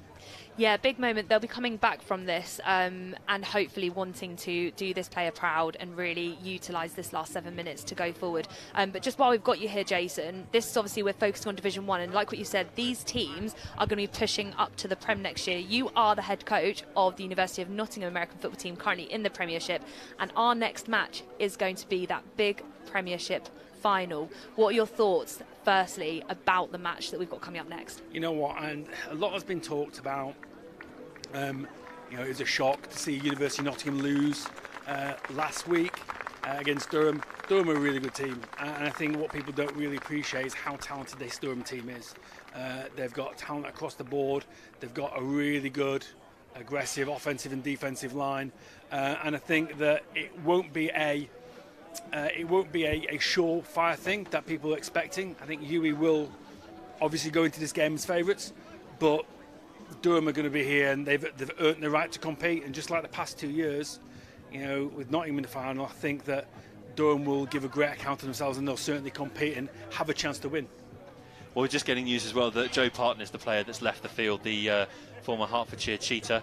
Um, Tash, you were very fond of uh, his participation in this game, and indeed how he stayed with all of the injured players that appeared so far in this match. So it is sad to see him leave on a stretcher. Yeah, definitely. I think that being a former Hertfordshire Cheetah women's player myself, um, seeing seeing somebody that's come from a former club, obviously um, being being stretchered off, is not a nice thing to have to have to deal with. But also, as we say, Hertfordshire Cheetah are, Cheetahs are going to be going into the Brit Bowl Premiership next Brit Bowl Premiership next season, so we don't want to see one of their players already out. No, absolutely not. And actually, talking about the Premiership, talking about Britball as a whole, uh, Jason, the league at every level, as you said, is growing, and it's very exciting to see. You know, events like this are not only supported by BUCS, the university organisation, but also by the fans. The amount of people that have turned out here to support this trophy final between Exeter and Nottingham Trent. I mean, there'll be plenty of people wanting to watch that National League next year and for many years to come. I think the best thing about British American football is the community, hands down. Is it has a real passionate following, and you know we know what our sport is and we know what it requires to succeed our sport. And walking around the field, you see a lot of the same faces who will go to every national final, university, flag, junior, senior, because they care about the sport. And you know, they've had a lot of great times and opportunities playing American football in the UK, and they want to share their love and show their appreciation for the sport. So, I think tonight under the lights, it's going to be a really good game. I think it's going to be really well attended. I think even more people will be there here for this, so it's going to be good things. Uh, Jason, just talk to me quickly about what they might be discussing here on the screen. I mean, you can see BUCS officials talking to the match officials, talking to the coaches from either side. Um, what do you think is going down? Uh, I, am not sure, but I know uh, Eddie Giles look, has a concerned look on his face over his arms folded. I think I don't know whether there's going to be a, an explanation of rules now. Obviously, with the injuries we've had so far, time is ticking, uh, and we're deep in the fourth quarter as it is. I don't know whether they're suggesting that the game may be called short uh, or, or, what. Um, and a book staff are there involved. Um, again, I couldn't possibly contemplate what's going on, but there's something serious to be involved where there's is that a medical officer there talking to, to the Trent coaches? We're only speculating there well, you don't want too much uh, speculation at the end of the day, but it's great to see that there's great communication between officiating uh, sides and teams, the both teams that are competing today, and also with BUCS, the organisation itself. I mean, this is a great example of the open communication and between all channels up and down the Britball scene. Yeah, we're all in this together. You know, we do it because we love the sport, and you know, I've had a lot of great opportunities to work with guys like Carl and Eddie before from Trent, obviously with our annual varsity game and um, sharing the great city of Nottingham with them. Um, so we all care about the sport, and whilst we may be opponents for four quarters, um, at the end of the day, we're here because we love American football in the UK and we want to see it grow and succeed and, and flourish. What does the future of American football look like to you in the UK? What would be your top two dream goals, if you will, for the game here in the United Kingdom? Well, I think it's just about expansion and growth, isn't it? And making sure that everyone has an opportunity to participate at every level. Um, I want to see our national programme succeed, whether it's the women who are playing in Spain at the end of the month, uh, it's the, the, men's national programme who have got um, huge uh, year with um, games against Germany and Sweden, um, more participation, more involvement, more spectators. Uh, we want it to be a superb event, and obviously with the ever looming uh, Olympics flag in LA in, in four years' time. That's also another big thing. So, look, we want to make sure that British American football is known in every household in the UK, and it starts with promoting it, quality games, and making sure we're putting out a quality product.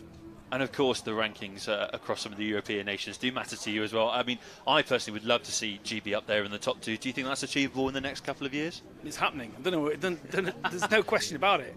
We will be competing at the very top table in the next two to three years, and we've got a great opportunity playing against two blue bloods. Uh, I don't think Sweden have been outside the top four in 15 years, and Germany a four-time European champion. Now, am I going in that trembling and quaking? Absolutely not. We've got players and coaches and the organisation to compete with the very best. And if you want to be the best, let me tell you, you've got to beat the best. So we're going to go into Sweden uh, under no illusions at the task in hand, but we're going to go in there to win, and then we get to host the Germans in Coventry in October. So again, huge challenges, but it's one that I'm there for. And again, that's a great relationship that BAFA have been able to establish as well with uh, Coventry Rugby that own uh, Butts Park Arena, which has really established itself as a home of British American football, I guess. Uh, yeah, I hope so. I mean, and long may that go. I know the Butts Park have got big plans in terms of building the hotel and, and widening their, their offer. Um, I think that's the only relationship that's going to grow. I just hope that we manage to get the deal done for this this year, and um, I'm led to believe that it's in, it's in the hands. So due uh, to the lack of it's a great venue, it's the game has been suspended for, for, until further notice. So there we go. Uh, the referee on his referee mic there, uh, just going out to our live audience right now, Jason. Sorry to cut you off. Um, the the game has been suspended due to there not being a, a an ambulance presence for any medical emergencies uh, that might present themselves. Again, Tash, this goes back to our point of safety is at the very top of the list of priorities here uh, for BUCS, for BAFA, and for all taking part today. Well, it's more about the rules. So um, it, it, actually, um, I think it was a few years ago, um, they nearly suspended the rules that you, um, as an American team, you only needed to have paramedics instead of an ambulance crew. Um, but due to uh, how much you can, um, how, how much, how, how high the injury risk is in this situation, you do need an ambulance on site, and so it is good that they are abiding by that by that ruling and making sure that, as you say, player safety is is the utmost. But like I remember my first um, my first American football safety session where you, you do you have a situation where you're basically presented with by the way if you play this sport you could get concussed. By the way if you don't tackle correctly this is what could happen to you. And that's the reason why these these crews are needed on site well, there you go. Confirmation in the bottom left-hand corner of your screen with that lovely graphic. Game suspended. Play will resume shortly. Um, the intention is to resume play. The intention is to see out the rest of this fixture. The intention is to find out who will be crowned the champion of this particular game, the trophy final champions.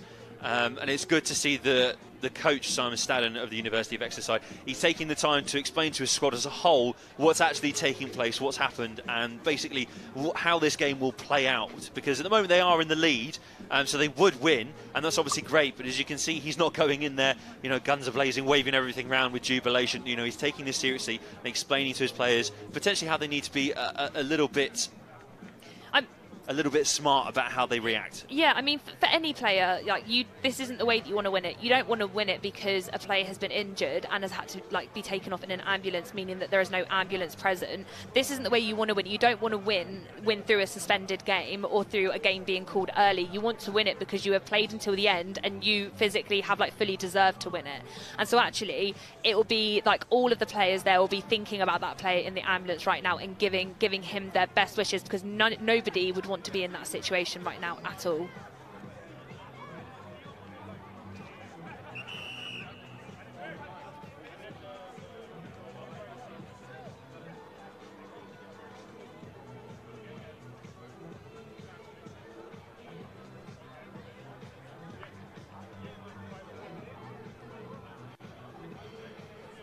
Well, it's good to see the uh, players keeping themselves warm, keeping themselves limbered up and optimistic, Tash, about uh, a potential involvement again in this fixture. I mean, it's it's never nice to see a fixture get to this point, um, but we're going to take a little bit of a break. I feel like your voice might need a little bit of a rest. You were very excited with some of that play in that final quarter. So once we let Tash take a rest, we're going to hear from our sponsors and from everyone that's been supporting BUCS Sport up and down the country throughout this academic year.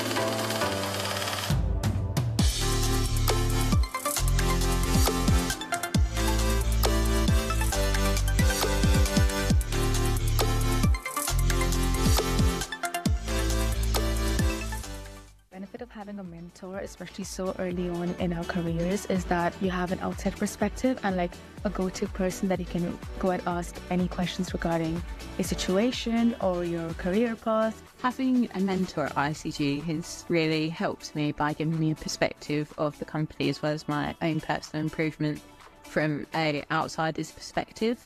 So I'm able to see and get different feedback of my own progress from someone outside of my team.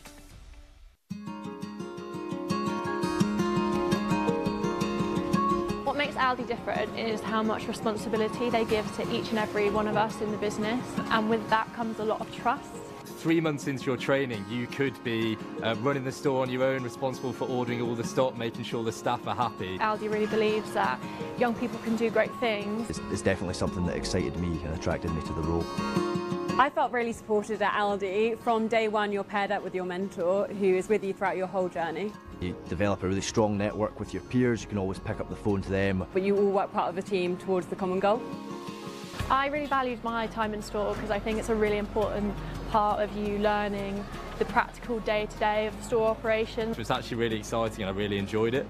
It's, it's a change every single day um, and that variety really uh, attracted me to the role.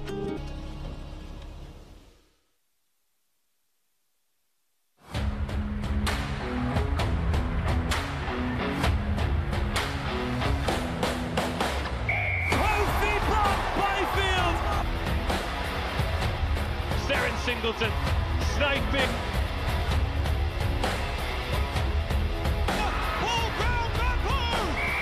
Oh, Tilly Smale is on the scoreboard, and Hartpury University surely at this stage now.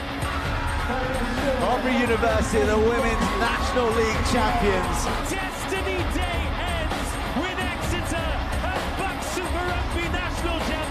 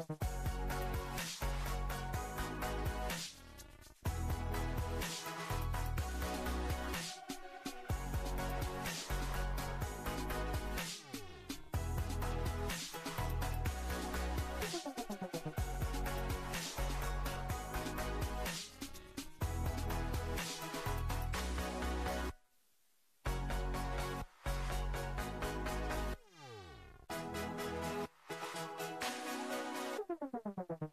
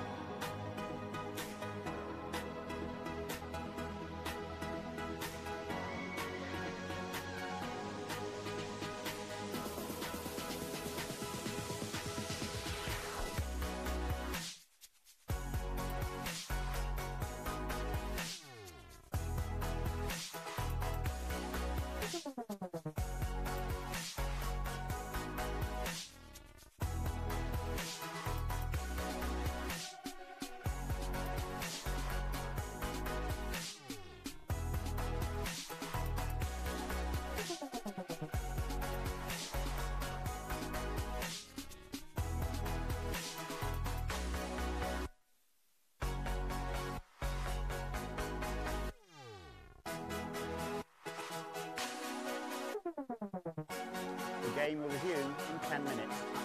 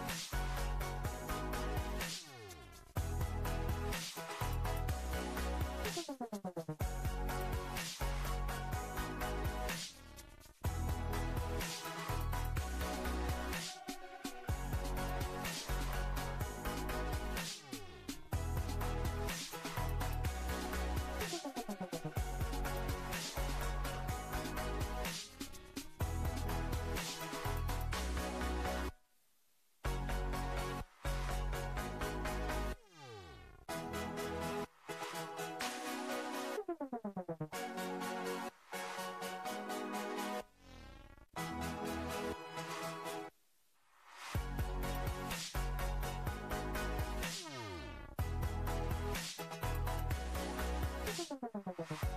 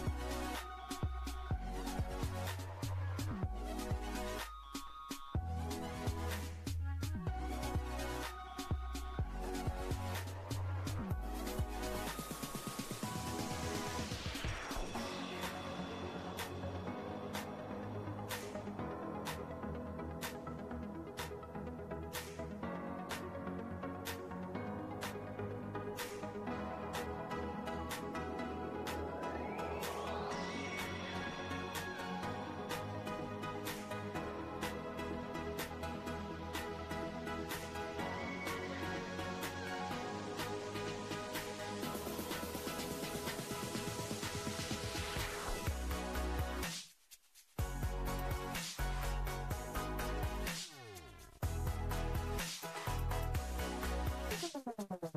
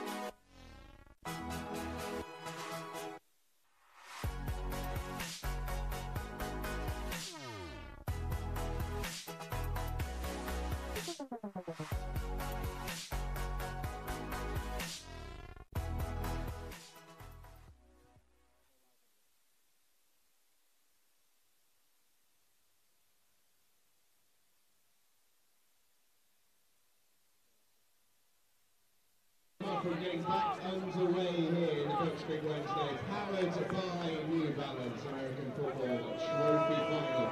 Just to remind you, the seven minutes in seven Welcome back, one and all, to Loughborough University.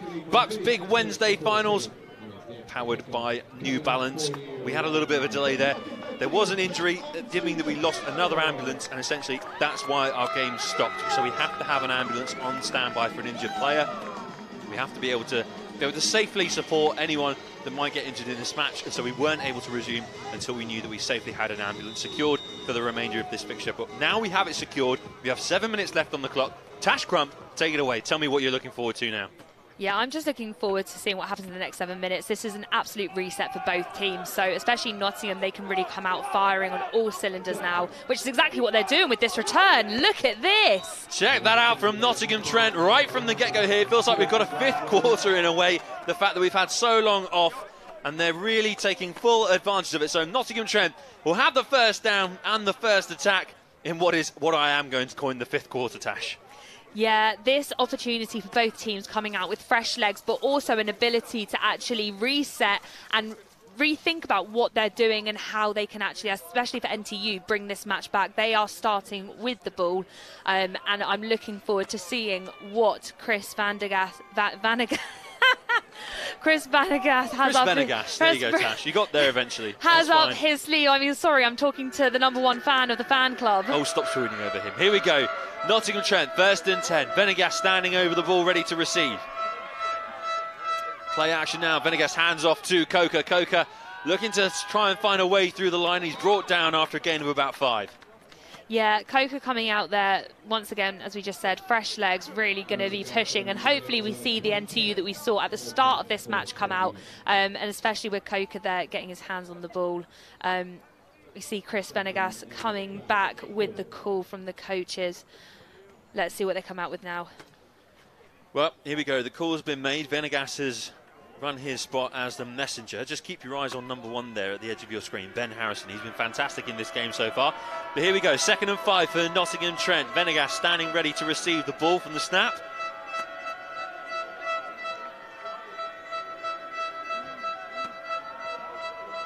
Here comes the play now. Venegas looking downfield. He's run far away from the pocket now, trying to give himself a bit of space and time. Evades one tackle, sends it downfield. The reception is good. Is it enough for a first down? It is enough for a first down for Nottingham Trent, courtesy of Selassie Sosu. That was a great scramble there by Venegas. As we saw, he really had to try and evade that defensive lineman coming through from Exeter and actually did a great job. Nearly got taken down, managed to get the ball away and to one of his um, one of his go-to players uh, this game, Sosu. But there's that key individual I, I spoke about just a few moments ago, Ben Harrison. He was there in the number one jersey talking to Venegas about what the play might be now. But here we go then. First and 10 for Nottingham Trent. You see the 50 yard marker on the far side of your screen. Here they go. Venegas, play action, stepping away from the pocket again. He's got time to send it downfield, and he finds the intended receiver as well. What a catch for Nottingham Trent's Joe White. Joe White they're coming up the catch. We've said his name a fair few times this match already, and he has been yet again one of those wide receiver core that uh, that Venegas has wanted to get the ball to. Um, and we'll watch the replay now. Um, it was really, it was great blocking there by the running backs as well. Let's give a shout out to the running backs. And then up in the air, and that was a perfect one-on-one situation. And with Joe White there, bringing up his height, making strong moves, grabbing the ball. Joe White getting the best of Lachlan Brown then. It's first and 10 for Nottingham Trent. Venegas again looking downfield, taking his time to make the throw. He does, and it's a touchdown for Nottingham Trent University! What about that from Selassie Sosu? Look at him in the camera. That's number two, and that is Nottingham Trent mounting a comeback. And this is what we talk about about that reset and refresh. Nottingham Trent have been down on their luck this match so far. They are the ones that have come out with the injuries, and rightly so. These players are going to be doing this for those players that are currently sat out injured right now. But watch this replay. What a dime! Throwing it through the air, making his target known, and Sosu coming up with the catch. Great run there from the number 14. I mean, fantastic work to completely get away from the defence of Exeter. And the extra point is good, so that's seven points for Nottingham Trent. Yeah, we haven't seen Nottingham Trent do what Exeter have done and go for the two points yet. Um, but maybe that might come up if they can get another score in. Well, they towards the trailed by 15, Tash, so you might say that every time they score, if they were to score hypothetically, they have to go for two every time. Yeah, hypothetically, if they were to score three touchdowns, well, another two touchdowns, they do need to go for that two point, those two points.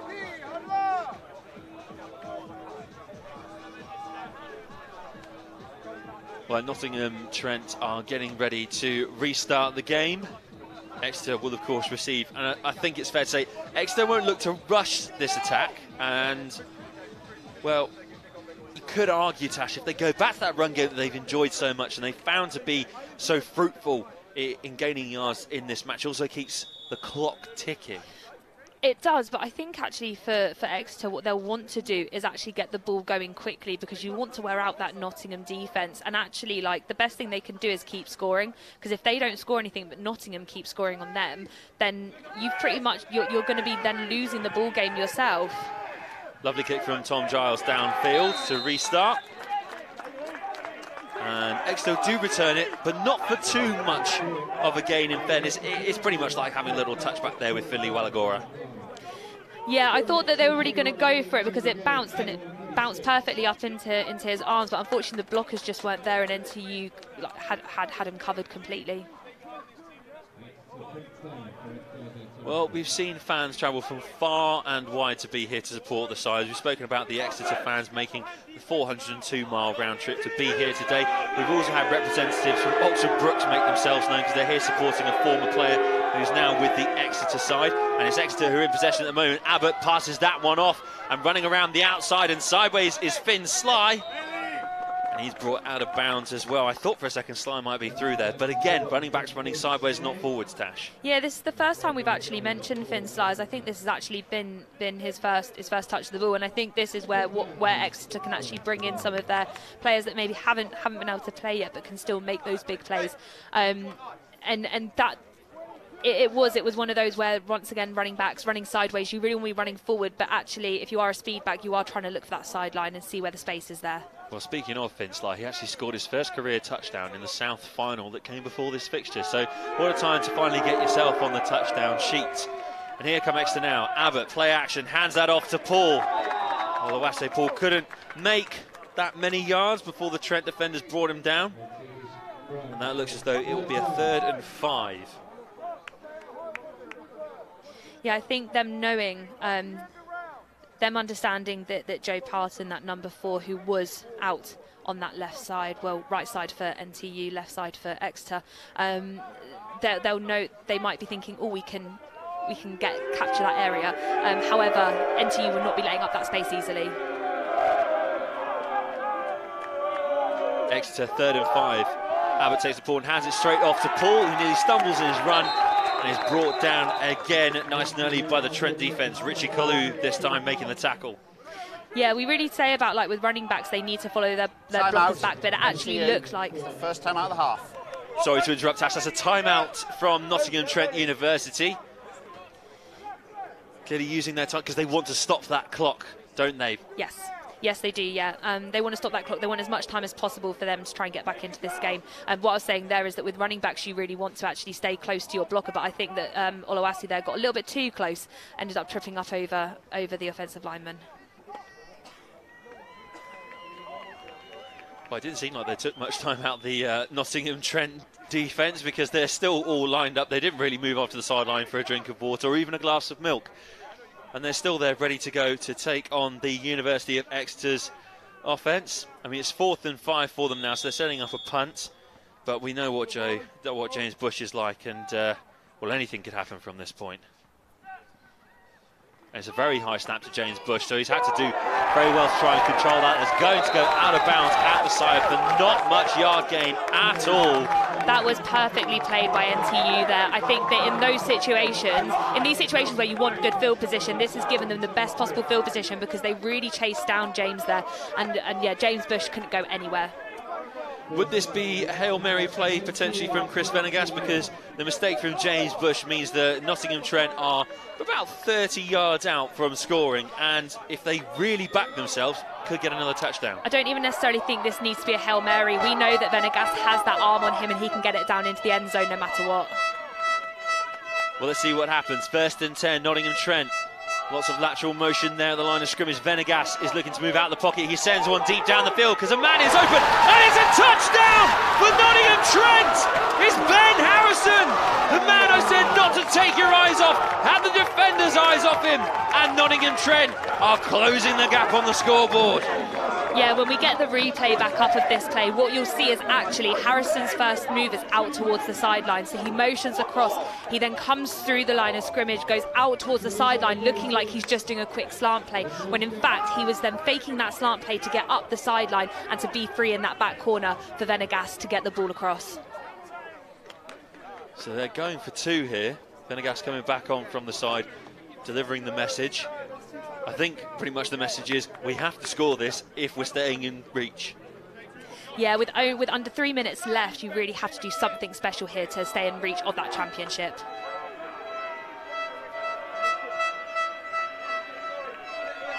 Well, here we go. Trent first and goal. work. it's the attempt for the two points. There was a lot of motion there at the line of scrimmage, and the officials aren't happy with it. Dead ball, delay of game, offence, five yard penalty, still try down. Delay of game penalty against Nottingham Trent there. Tash, what do you make of that? You will obviously want to use as much time as you possibly can, but there are some moments where you do actually need to think smart and think about your game management and think about what is actually happening in terms of like the, the timings. And uh, Chris Venegas just just got that slightly wrong there. There's a look at the trophy itself, the national trophy that, of course, these sides are both competing for. And now this is their attempt at two points for Nottingham Trent.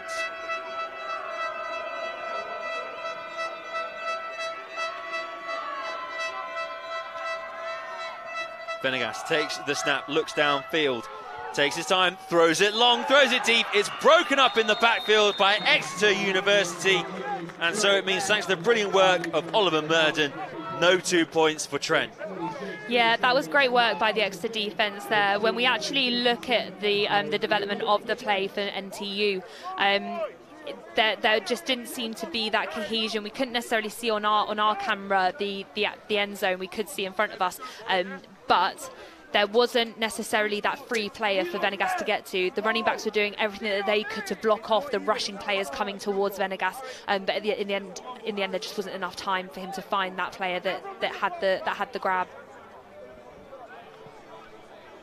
And well, unfortunately, Tash, you might also add that that is potentially the end of the Nottingham Trent bid to take the crown here right at the death of the game. I mean, only nine points behind, nothing's impossible. Maybe they could force Exeter back onto their own line, and maybe they could claim a safety. I mean, the key thing is, is with this kickoff, if they can, they're, they're probably going to go for an onside kick in this moment because you need to be able to get the ball back, and the only way to get the ball back in this moment is to go for an onside kick or to force Exeter to make a mistake. Well, let's find out what Giles opts for. Here goes Tom Giles. Sends it down the field. It's an awkward spinner. And Exeter just take it to ground. They don't want to even try and run it back because, like you said, Tash, any sort of mistake and they invite Trent straight back into it. Yeah, and that was close there. Um, if if number 58. Nope, there is no number 58 for Exeter. Apologies, um, I've got my numbers wrong. But um, if, if the player who, who had just gone up and caught the uh, caught the the kick, um, there was actually I think a touch just as he before he managed to actually grasp grasp get his hands on the ball, and so that could then cause them a world of a world of problems when actually he should have just stepped away and not even tried. Here we go, first and 10, University of Exeter. Abbott standing over the ball, ready to get things started, and he dumps that one off.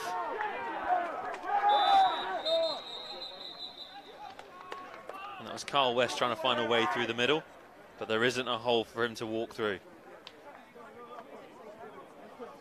Timeout. NTU, And- that is their second timeout of the half. Sadly, we have another timeout. It's an injury timeout I was hearing initially from the referee, but the player is getting back up again. It's number 99 for Nottingham Trent, which is Sean Janadu.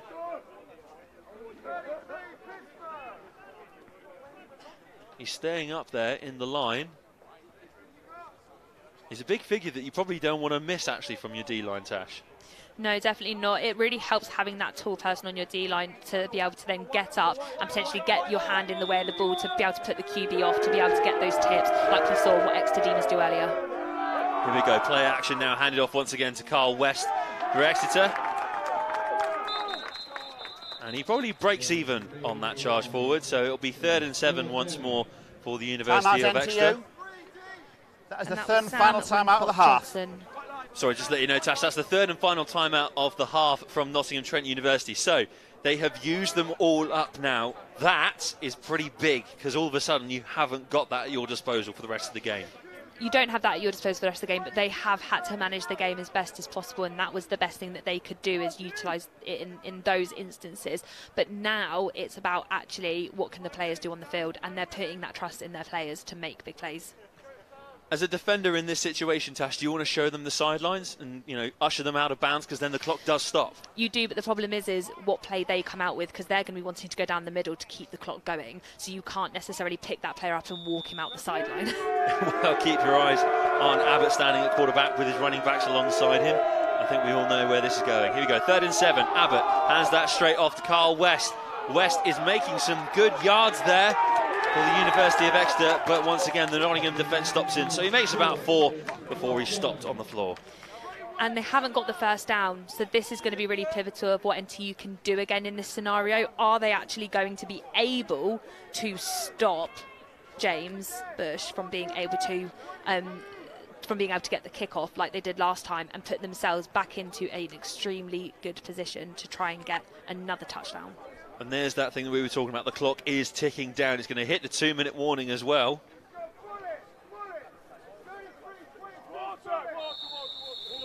And there is the way from the officials. This is the official This is two minute warning. Two-minute warning. NTU have no timeouts remaining. Exeter have three. A reminder as well that Exeter have three timeouts remaining and Nottingham Trent University have none left for them to use. Uh, Tash, on this fourth down, we're just going to bring him up again. James Bush. Uh, he's been phenomenal all match for the University of Exeter. And he's one of those players that will actually look to go for a kick, but then actually might throw that one downfield. Yeah, he can do that, but I think the key thing is, is actually they're going to want to try and put it like as safe as possible. But it actually, it looks like that um, that, that QB um, Ben Abbott's ben Abbott is, is getting back in play, so it looks they're going to go for it, and they have been successful in these situations throughout the game, so it makes sense.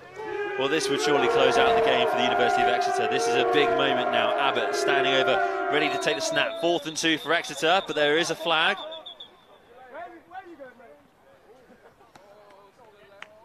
Just take a listen into our officiating team now for you.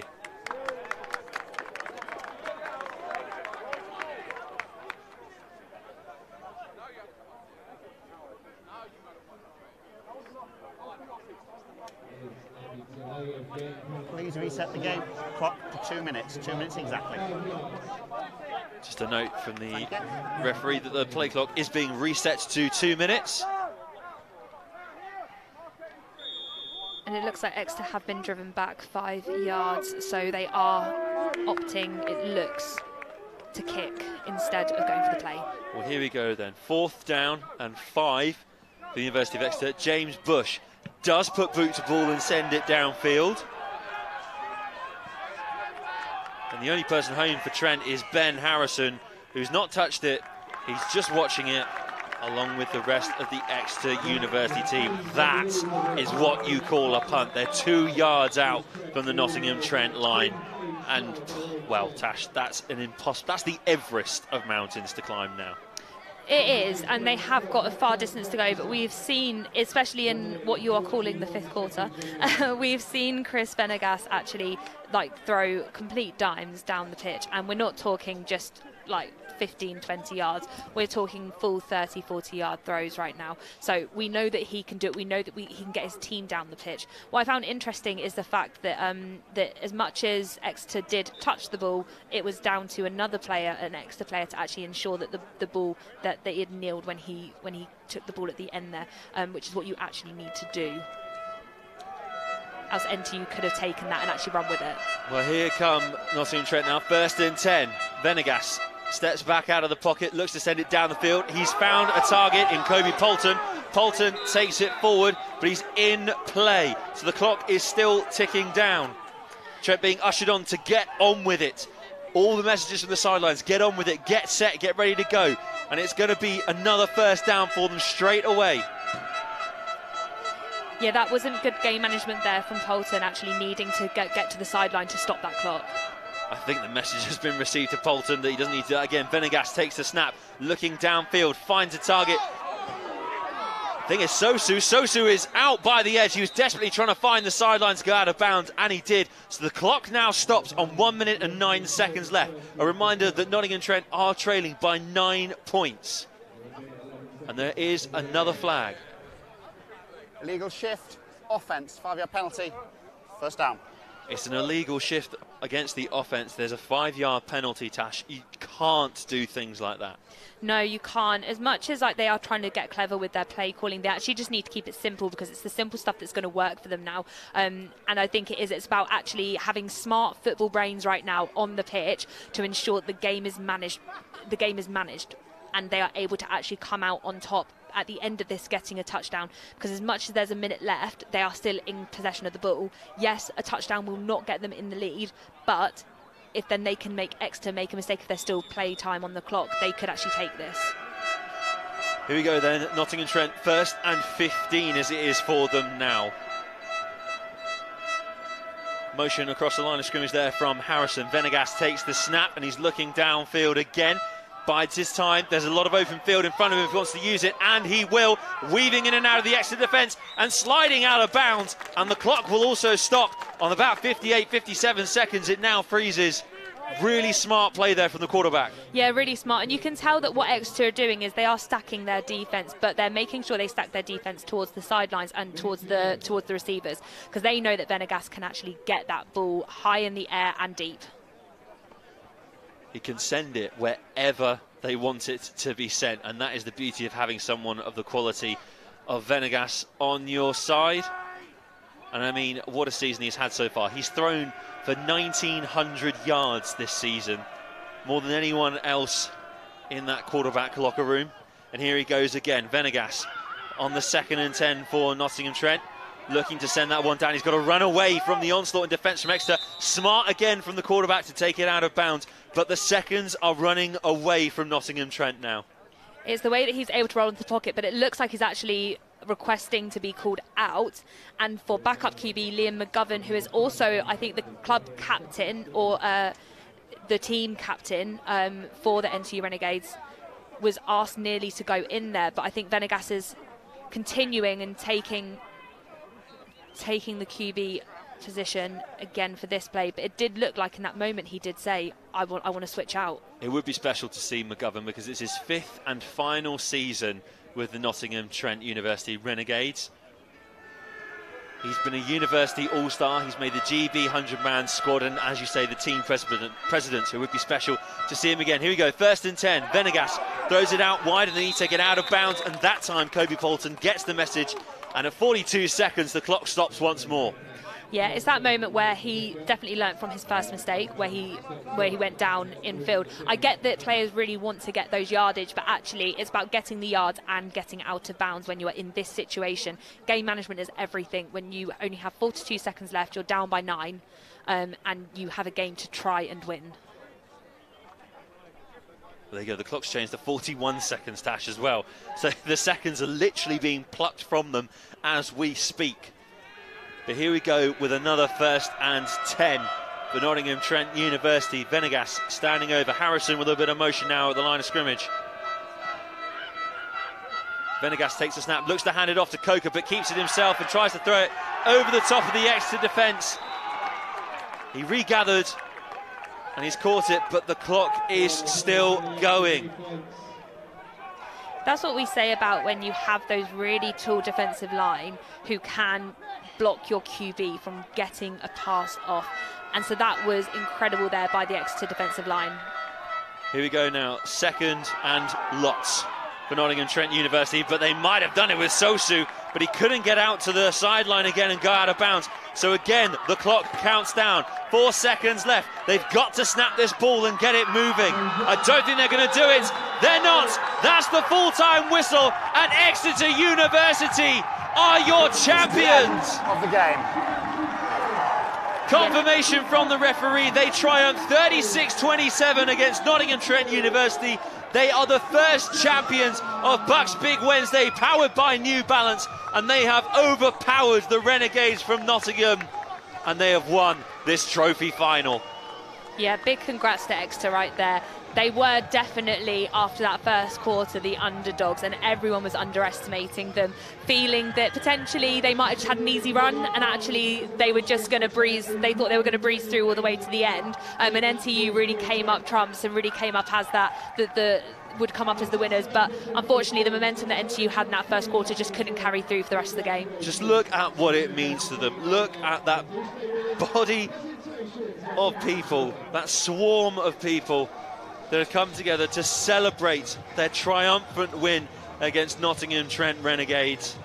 This is a huge moment in many people's lives because, as you rightly said at the very start of this programme, Tash, for many it's their final game of uni ball, and for many it's them bowing out of Brit ball as well, as obviously graduate commitments might not always permit people to continue their American football career, but what a way for them to sign off. Yeah, I think that this is what everyone looks for to, to the end, looks forward to at the end of a uni ball season is celebrating with their teammates. And what a better way to celebrate than not only getting promoted but then winning the trophy at the end of it. That's what you want to come away with. You want to come away with the silverware. Great being promoted, but if you don't come away with that trophy, what you've been working towards potentially um, hasn't then your your your goal hasn't been met. Um, for NTU, it is really really unlucky. Um, as I say, that first quarter for them was absolutely incredible. And yeah, big props then. They kept going all the way to the end, even through the injuries. And actually, it's just great. It was great to see some of the really big moments. And when you actually look at their, their gameplay, some of their gameplay was. Uh, head and shoulders above the rest and especially their game management towards the end there really pushing for top top game management, making sure players got out of bounds, making sure that players knew their responsibility. And even just towards the end there, where they were trying to hurry, hurry, hurry and get players on the line, they were set up and ready. It was actually Exeter that weren't ready, and the clock, the clock just had to run down. And a special shout out to that Exeter coaching side, obviously the head coach Simon Staddon, and then the list of assistant coaches that go alongside him: Lyddon Ward Best, Sean Tapping Davis, Ben Shepherd, Jack Mullins, Ian Chown. Ben Shaw, Nigel Hoyt, David Spear, Tom Seeger, Tony Toretti, and Benjamin Richards and Thomas Pauling. I mean, great to have all of them nurture this exercise into what has been a resounding victory for them. But now, once we've watched the celebration pictures on our screen, let's switch camps and talk about commiserations to Nottingham Trent, who really put up a fight throughout this entire fixture, even when they started to lose bodies quite considerably during this match, and lose some key figures as well through the likes of Parton as well, to which we send our best wishes. Um, but they really did put up a fight. Yeah, they really did, and um, I think that if if it, if the momentum had kept, kept swinging in their way, there would have definitely been some key people, and I still think there could be some key people that will be in in with the um, in, in with the the, the potential MVP conversation when we think about who's going to be MVP at the end of this game. Some of those NTU players were still making plays, were still making making uh, making waves. Um, so as we say, we look at Ben Harrison. Obviously, we keep me- men- mentioning about Chris Ven- Venegas. And actually, it's those players that kind of kept this team moving, kept this team going, um, and especially that wide receiver core. Like, big shout out to them, like, absolutely incredible. Without that link up with Chris Venegas, like, I don't think this team would have actually had much going for them. Goodness knows how many victory songs they can get through on a 402 mile round journey, but it's only 201 miles back to the Exeter University campus. And really big congratulations to them and what they've been able to achieve in their season. They are the undefeated they are the undefeated side that remain undefeated today. And for Nottingham Trent, it's only one loss in the entire season, but it's a loss that's come at the worst possible time for them. Yeah, I think that when we look at um, when we look at the celebrations at the moment, as we was talking about how obviously there's a lot of people who it'll be their final seasons, it'll be it'll be their last opportunity to play uni uh, uni ball, but hopefully this won't be their last time playing American football. Well, we're going to take a quick moment to thank all of our amazing partners and sponsors that make events like these possible and continue to support British universities and colleges sports up and down this wonderful country.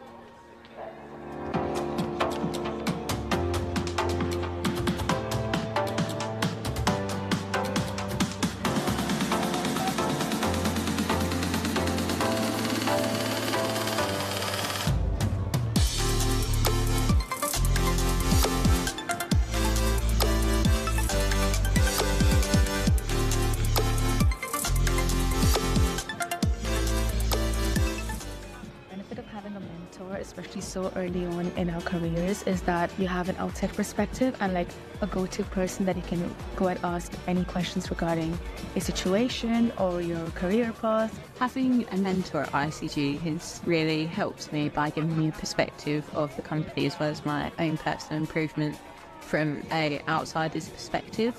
So I'm able to see and get different feedback of my own progress from someone outside of my team.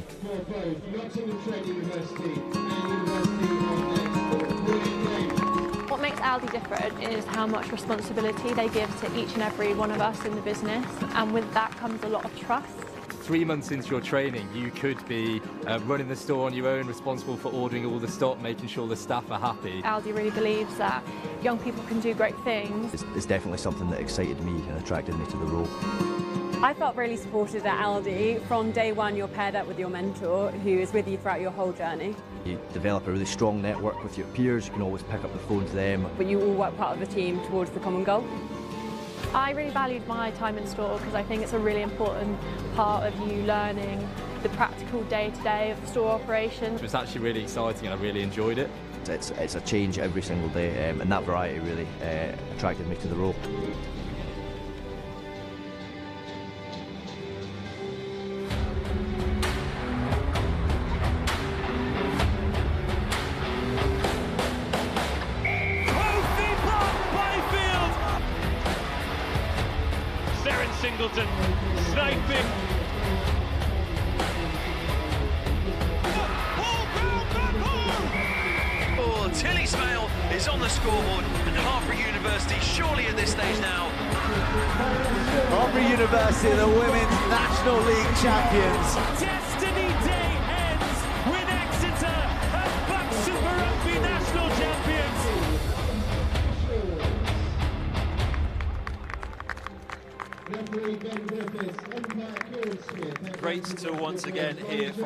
Fantastic partners and sponsors, and indeed look ahead to the other events that are still to come in this academic sporting calendar. But for now, Tash, we're going to turn our attention to the medal ceremony and the fact that we have just experienced a phenomenal game of American football, British American football, and it was a fine example of exactly that.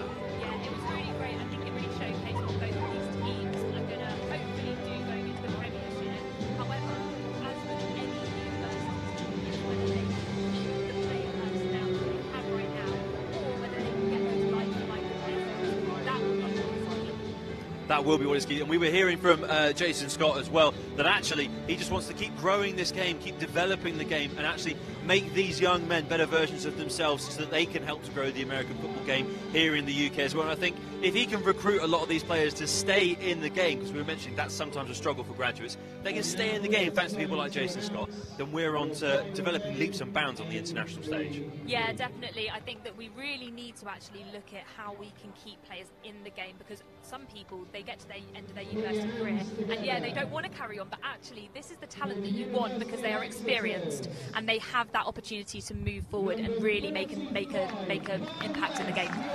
Well, and the MVP announcement has just been made throughout the stadium. It is number 45, the running back Carl West for the University of Exeter. He has just been named in front of his peers as the MVP for this game. And Tash, just a quick word on him as an individual. He's had a stellar outing. Yeah, he was incredible today for the University of Exeter. When you actually look at the runs that he made, he was one of the key momentum impact players of this match for the University of Exeter. So, yeah, really, really well deserved on that front.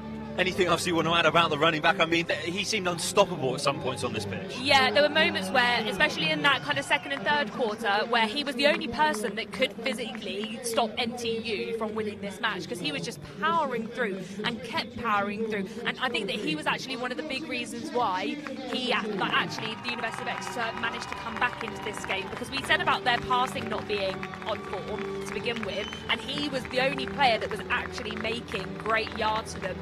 Yes, we had Oluwase who managed to get the touchdown, but that was all thanks to Carl West powering down the field, and that's the reason why he is today's MVP. And let's take a moment just to appreciate this. If we turn around and have a look, we can see the Nottingham Trent team making their way up to collect their medals. Yes, they are runners up medals and not the silverware they would have expected or hoped to go away with in this game. But at the end of the day, it's silverware nonetheless because lots of people compete to get to these finals and really not many end up at them. Yeah, I think the key thing is, it's similar to what we said about when we talk about um, the Brit Bowl and the uh, Division 1 and Division 2 finals. As much as you are getting that runners up medal, you have been promoted. Like, you've still got that to celebrate. You've still got to celebrate the fact that you are going to be in the Premiership next year. So, yes, they are runners up medals, but they have done a lot to get to where they are, and actually, they have done a better job than every other Division 1 team in this country. So, you know, got to give them, got to give them that. Look, the rise of Nottingham Trent University Renegades will continue, and I think we could see some very exciting matchups between Jason Scott's University of Nottingham side as well as this Nottingham Trent team for many years to come into the future, don't you think? Yeah, it's really great. So, um, Um, as somebody that's played against Nottingham Trent and University of Nottingham, that matchup is a big one because they play varsity against each other. They have that opportunity now to play each other again twice next season. So it will almost be like a warm-up opportunity for varsity. But I know for a fact that this has been a long rivalry that's been going strong for years, as Notting- University of Nottingham and Nottingham Trent have been not necessarily University of Nottingham in the last few years, but Nottingham Trent in particular, a yo-yo team between Division One and the Premiership. So that has meant then that that team has actually has the knowledge and understanding of what it's like to be in the Premiership, and also what it's like to play against University of Nottingham every single year. So they are going to be ones to watch next season for the Premiership because they know what it's like. They've been there before, and it's a great experience for them to once again be back where, in true honesty, like after playing against them in one of my seasons, like where they belong. Absolutely, and I mean, look, we're looking at this team now. The last few people standing up to collect their runners-up medals. Um, Adrian Giles should be particularly proud of the side that he's put together. And I think actually he probably shares the same ethos as Jason Scott. And I'm going to quote uh, a well-known BUCS coach here in Danny Milton. He doesn't want to turn these boys just into amazing athletes. He wants to turn them into the best versions of themselves that's humanly possible to send them out into the world as brilliant young men. And I think really Giles and his team really live up to that. Yeah, I think a massive shout out to all the coaches that coach in university American football levels because a lot of them are, are volunteers. A lot of them give up their time, and American football is actually one of the most time-consuming sports at university. You have probably about two, three training sessions a week that are all two or three hours long. That's nearly up to nine hours, and that's not including even the games. The game days are literally a whole day taken away. So that's a whole day taken away from your university like life, and you, what you're here to do, which is get an education. But actually, it's those volunteers, those coaches that are really like the true heroes that give up their time away from their families, away from their normal lives to come and help and, as you say, grow young men, young women into then the next stage of their lives. And it's amazing. Absolutely. Now let's just take a moment to listen to the cheers because Exeter are about to receive their winners' medals. So let's take a listen in as to how big the cheers are going to be from the travelling fans. Just listen to the fact that they're all still here. It's beginning to darken. The lights are about to turn on so we can see each other, Tash. And they're still out here supporting their Exeter team, and they've really done everyone proud, including the university themselves. Yeah, the Exeter team, but especially the Exeter supporters, it's like what I said to you. Nottingham is the closer university to Loughborough, so you'd expect them to almost have that like home field advantage. That wasn't the case because actually Exeter had such a big following when it came to this match. They had such a big following, they had such a big support behind them, and the cheers, the, the cheers and what we have just seen there with all of them running onto the pitch at the end, it was so great to see. And I think that actually, when we look at this X team coming forward, there's so many of them, and they brought all of that support with them because they are such a close knit group, and it's clear to see that. A special word on their fan base as well. There was a cockapoo that joined them as well to celebrate today and to join in the celebrations at the end as well.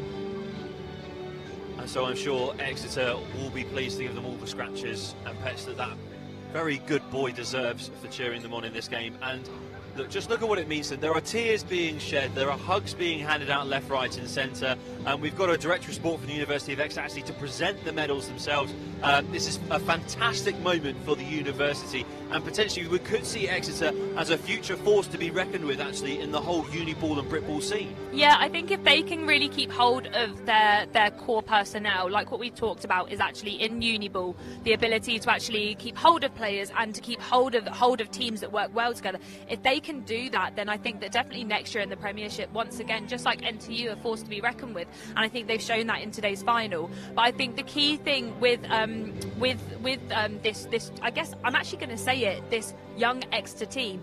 You had some core players in there from GB under 19s. They are just beginning their career, and to see them come out and win this, that would just push them to want to go even further in their Brit in their Brit Ball. Well, I'm just looking over at them now, and one of the questions I get asked a lot of the time with American football is there's no way that with the size of the squad, you all know each other and all treat each other as one big family. And many people won't believe it still when I say now, but Tash, is completely 100% true. Every single person there in that Exeter team will know exactly every person's name and we'll be congratulating them, know how much it means to them. And that's part of the beauty of American football as well, isn't it? Yeah, they will be friends with these people for life. I am still friends with people that I played American football with. We still have like the old boys and the old girls chats. We still do that alumni meetup every single year, and that is what American football is about. It's not just a family for while you're at university. It's that continue, it's that continued family that you have following your university career, and then you have that opportunity to go back to your campus every year to join up, potentially play an alumni game and relive your days. I know people from my old team that played about 25 years ago, and it is so great to come back, see those people, but also catch up and reminisce about your time playing Uniball, and that's exactly what these guys will be doing with their alumni who have also played and been and not necessarily been in this position but can be that can understand what it's like to play for this team and their alumni will be cheering them on right now and be so happy that they have managed to get this far and are not only division one champions for their um, for their conference but also they are now the overall trophy champions at BUCS. It's a very special achievement, and you can see their number 82, James Bush, making his way onto the fringe of that setup around the Champions Board. Uh, definitely one that should have been up there for, for nominations of MVP. Ultimately, it did go to Carl West, very deservedly, but another one who had a stellar game. Yeah, we talked about James Bush so much in the lead up to this, and it was because he he was doing so much. He was everywhere. He not only played receiver, he was the kicker. He was also on defense. Sometimes he was being a core part of special teams. It's one of those where you sit there and you think to yourself, wow, this guy can do everything. This guy can do everything. He's all over the pitch, and he was a massive standout for them, and rightly so. He should have been in that MVP chat, and I hope that he was. Well, I believe the final medals have been presented. All that's left is to hand over the trophy to the University of Exeter for them to lift aloft into the air and to enjoy the celebrations and the beginning of what will be probably the biggest party that this American football side will ever have hosted or experienced. And I think whilst we're watching plenty of sport tomorrow here at Loughborough University, Exeter might be partying all day long. There goes the trophy. Here comes the lift. The University of Exeter, they are your 2024 trophy champions.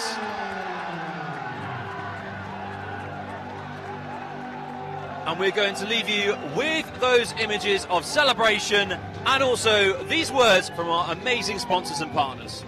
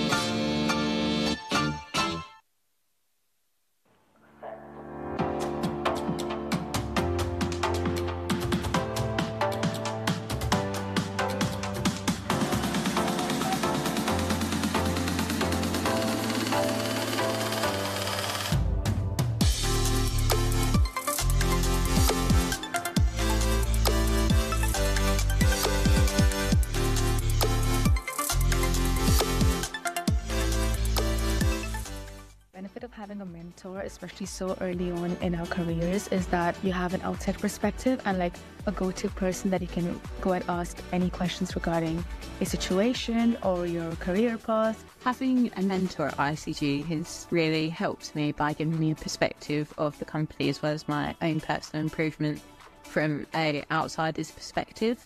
So I'm able to see and get different feedback of my own progress from someone outside of my team.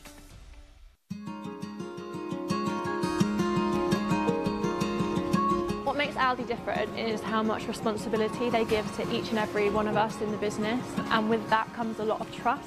Three months into your training, you could be uh, running the store on your own, responsible for ordering all the stock, making sure the staff are happy. Aldi really believes that young people can do great things. It's, it's definitely something that excited me and attracted me to the role. I felt really supported at Aldi. From day one, you're paired up with your mentor who is with you throughout your whole journey. You develop a really strong network with your peers, you can always pick up the phone to them. But you all work part of a team towards the common goal.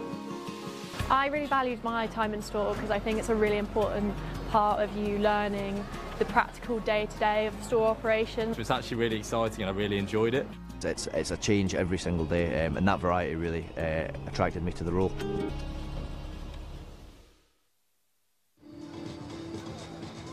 Well, you can see it nicely there on display for us all to see. Carl West, you are the MVP of this trophy final. How does it feel to be able to have that title? I, it's just the best feeling I think I've ever felt. I mean, it's been 12 very long, hard-fought games, and I'm really glad to just have this award, get some recognition, and also be national champions. The whole team is just incredible work from everyone. I'm just, I'm just really proud of everyone. I mean, it was a brilliant individual game from yourself. I mean, you're praising the team, you're being very humble about it, but you rushed for so many yards. You seem to walk through the Trent defence a lot of the times. I mean, talk to me about how you feel your own personal game has come on leaps and bounds. Well, I mean, last season I didn't score a uh, touchdown. I got 15 this season, so I'm quite just a slight improvement. A slight, a slight improvement. A small one, but um, no, I'm, I'm. It was a rocky start to the game, obviously going 14 points down, but then it just seemed like they couldn't handle me. I'm just, oh, I'm, I'm, I'm so chuffed for everyone for the team. The O line blocking for me, of course. My coaches would be very upset if I didn't say that. But yeah, no, I'm just really happy. Amazing. And look, are there any unsung heroes that deserve a shout out? Not necessarily players, but maybe coaches, physios, water boys that might be uh, helping out the squad along this journey? Nah, just e- everyone who's come with us, everyone who's taken the five hour coach journey down, a massive thank you.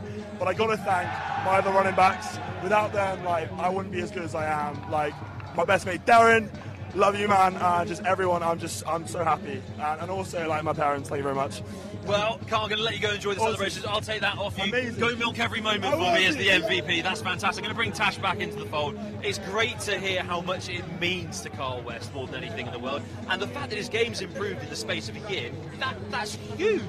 Yeah, and the fact that he's literally been doing it for a year, and as you say, it's just suddenly like come in, like starter, everything, and absolutely amazing. I know that in a minute we're going to grab James Bush as well to chat to James Bush about his game, but I think that just listening to what Carl West said, really thanking obviously the rest of the running backs, but also friends just being there to be supportive, just a really, really great, great thing to hear and great thing to see. Um, but right now we have James, Bush. Here we go. My uh, shortlisted MVP, James. I'm going to throw that out there now, not just because you're my namesake. Um, but, James, that was a fantastic game from your University of Exeter team. What I want to talk about is your love, apparently, for fakes. Um, you seem to set up for a kick, and then out of nowhere, Yeah. you're throwing for two. Uh, what is that all about? Uh, that's all the uh, director of football. It's all uh, Coach Leiden. Um, he just loves a bit of trickery, and he's always gone with the mindset of you only got to get that two points 50% of the time for it to be as good as one point 100% of the time. So we just go with that. And We love a with it. statistic. We love it when it's given to us straight like that. Now, James, uh, overall, this team has played fantastically well today, indeed across the whole season. I mean, 160 points in favour of you guys going into this game. Now, 196, four short of 200 in postseason alone. Uh, what have you got to say about the offense? I mean, it all stems. I've got to give credit to our O line. Like it all comes from them. Like yes, receivers we benefit from, you know, having these passes and these creative play designs. But to be honest, you guys have seen it all season. It's, it's been a case of us running the ball, you know, getting on top of the opposition and, and playing from there. So I've got to give credit to our O line. Like they've just been tremendous. Now, before I let you go back and join in the celebration, because I know you don't want to be talking to me, that's exactly what you want to be doing. What's next for this team, do you think, at the University of Exeter? Is this now a force to be reckoned with going forward into the future of British American football and Uniball? I mean, I definitely hope so. Like, unfortunately, I'm, I'm finished now. I'm three years and done. But uh, Uh, and There's always a Masters. yeah, Panic Masters could do. Um, but I think you know there's there's still a lot of the team that's here next year. Good good number of the O line, the corn defense as well staying. So you know it's definitely um, definite room for improvement. I don't see why we can't compete up in the Prem.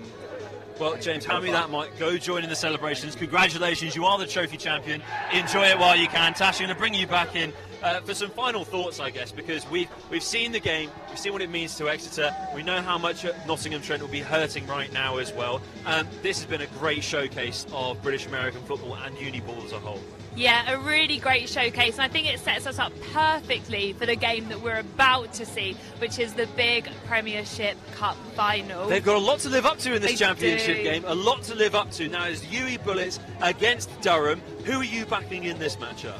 In all honesty, like I would love to say, oh, I'm here for the underdogs, but UE Bullets, they're just a whole, they're on a whole other level compared to every other uni ball team. And I think that if I wasn't to say them, I think everyone would probably be saying, do I have some sort of like Mystic Meg thing going on, where like I've seen into the future and I know somehow that like this is going to happen. Um, because yeah, UE Bullets tipped favourites, and rightfully so. They are stacked as a team. Well, one thing I will give a shout out before you join us later for that championship match, you should check out the Durham American Football Instagram page. They did a Blues Brothers style recruitment video, which was hilarious. It had a higher production value, I would assume, than most of the Marvel films coming out of Hollywood at the moment. Um, but quickly, before we wrap the show completely, Simon Stadden is sort of off shot, and I'm going to bring him in. I know he doesn't want to come in, but I am going to bring him in. If only I had one of those big long hooks to bring you in, Simon. Yeah, make No, sure you get the, yeah, included. get, make sure you get the medal Medal out. included. Uh, Simon, just tell me what it means right now to be the trophy champions in 2024. I'm just trying to take it in, to be honest. Um, sorry, I get quite emotional. Uh, take all the time you need, Simon. This is, I mean, it's a been huge a long, moment. hard season, um, and I've really been trying to impress on the guys that these things don't come across, come along very often. Um, I've been 30 odd years in this game, through the first, so yeah, it means a lot. Oh, Simon, thank you very much for, for sharing how much it means. And like, do you believe, or you've asked every single player, and I've asked Tash, I've asked Jason, do you believe that Exeter could be a new force to be reckoned with in the game of Uniball, a British American football also? Absolutely. Um, if we keep recruiting well, which is the goal, um, you know, Southwest football traditionally has always been a strong, strong division. Um, you know, we've had some closest, real good battles with our closest rivals in that division, and we're always a strong, strong area of the country. So there's no reason why Exeter can't carry on and springboard from here on and, and, and, and do really well. And that's, you know, that's our ultimate goal for the boys. Well, Simon, I'm not going to keep you here any longer. You need to get stuck into those celebrations again. Off you go. Go on. Enjoy the coach journey back. Thank you for everything today. Well, Tash, there you go. That's exactly what it means to, to Simon and his coaching team. I mean, I, I'm kind of worked up as well just from hearing how much it means to Simon and how big this game is. Your final thoughts ahead of the championship match, please. It's going to be incredible. It's going to be big. There are going to be some awesome plays, and I, I wouldn't miss it. Well, don't go anywhere. Keep your eyes on the BUCS YouTube page because coming up in just a few short hours is the UE game against Durham for the championship, the ultimate prize in the American football scene at BUCS level. Stick around.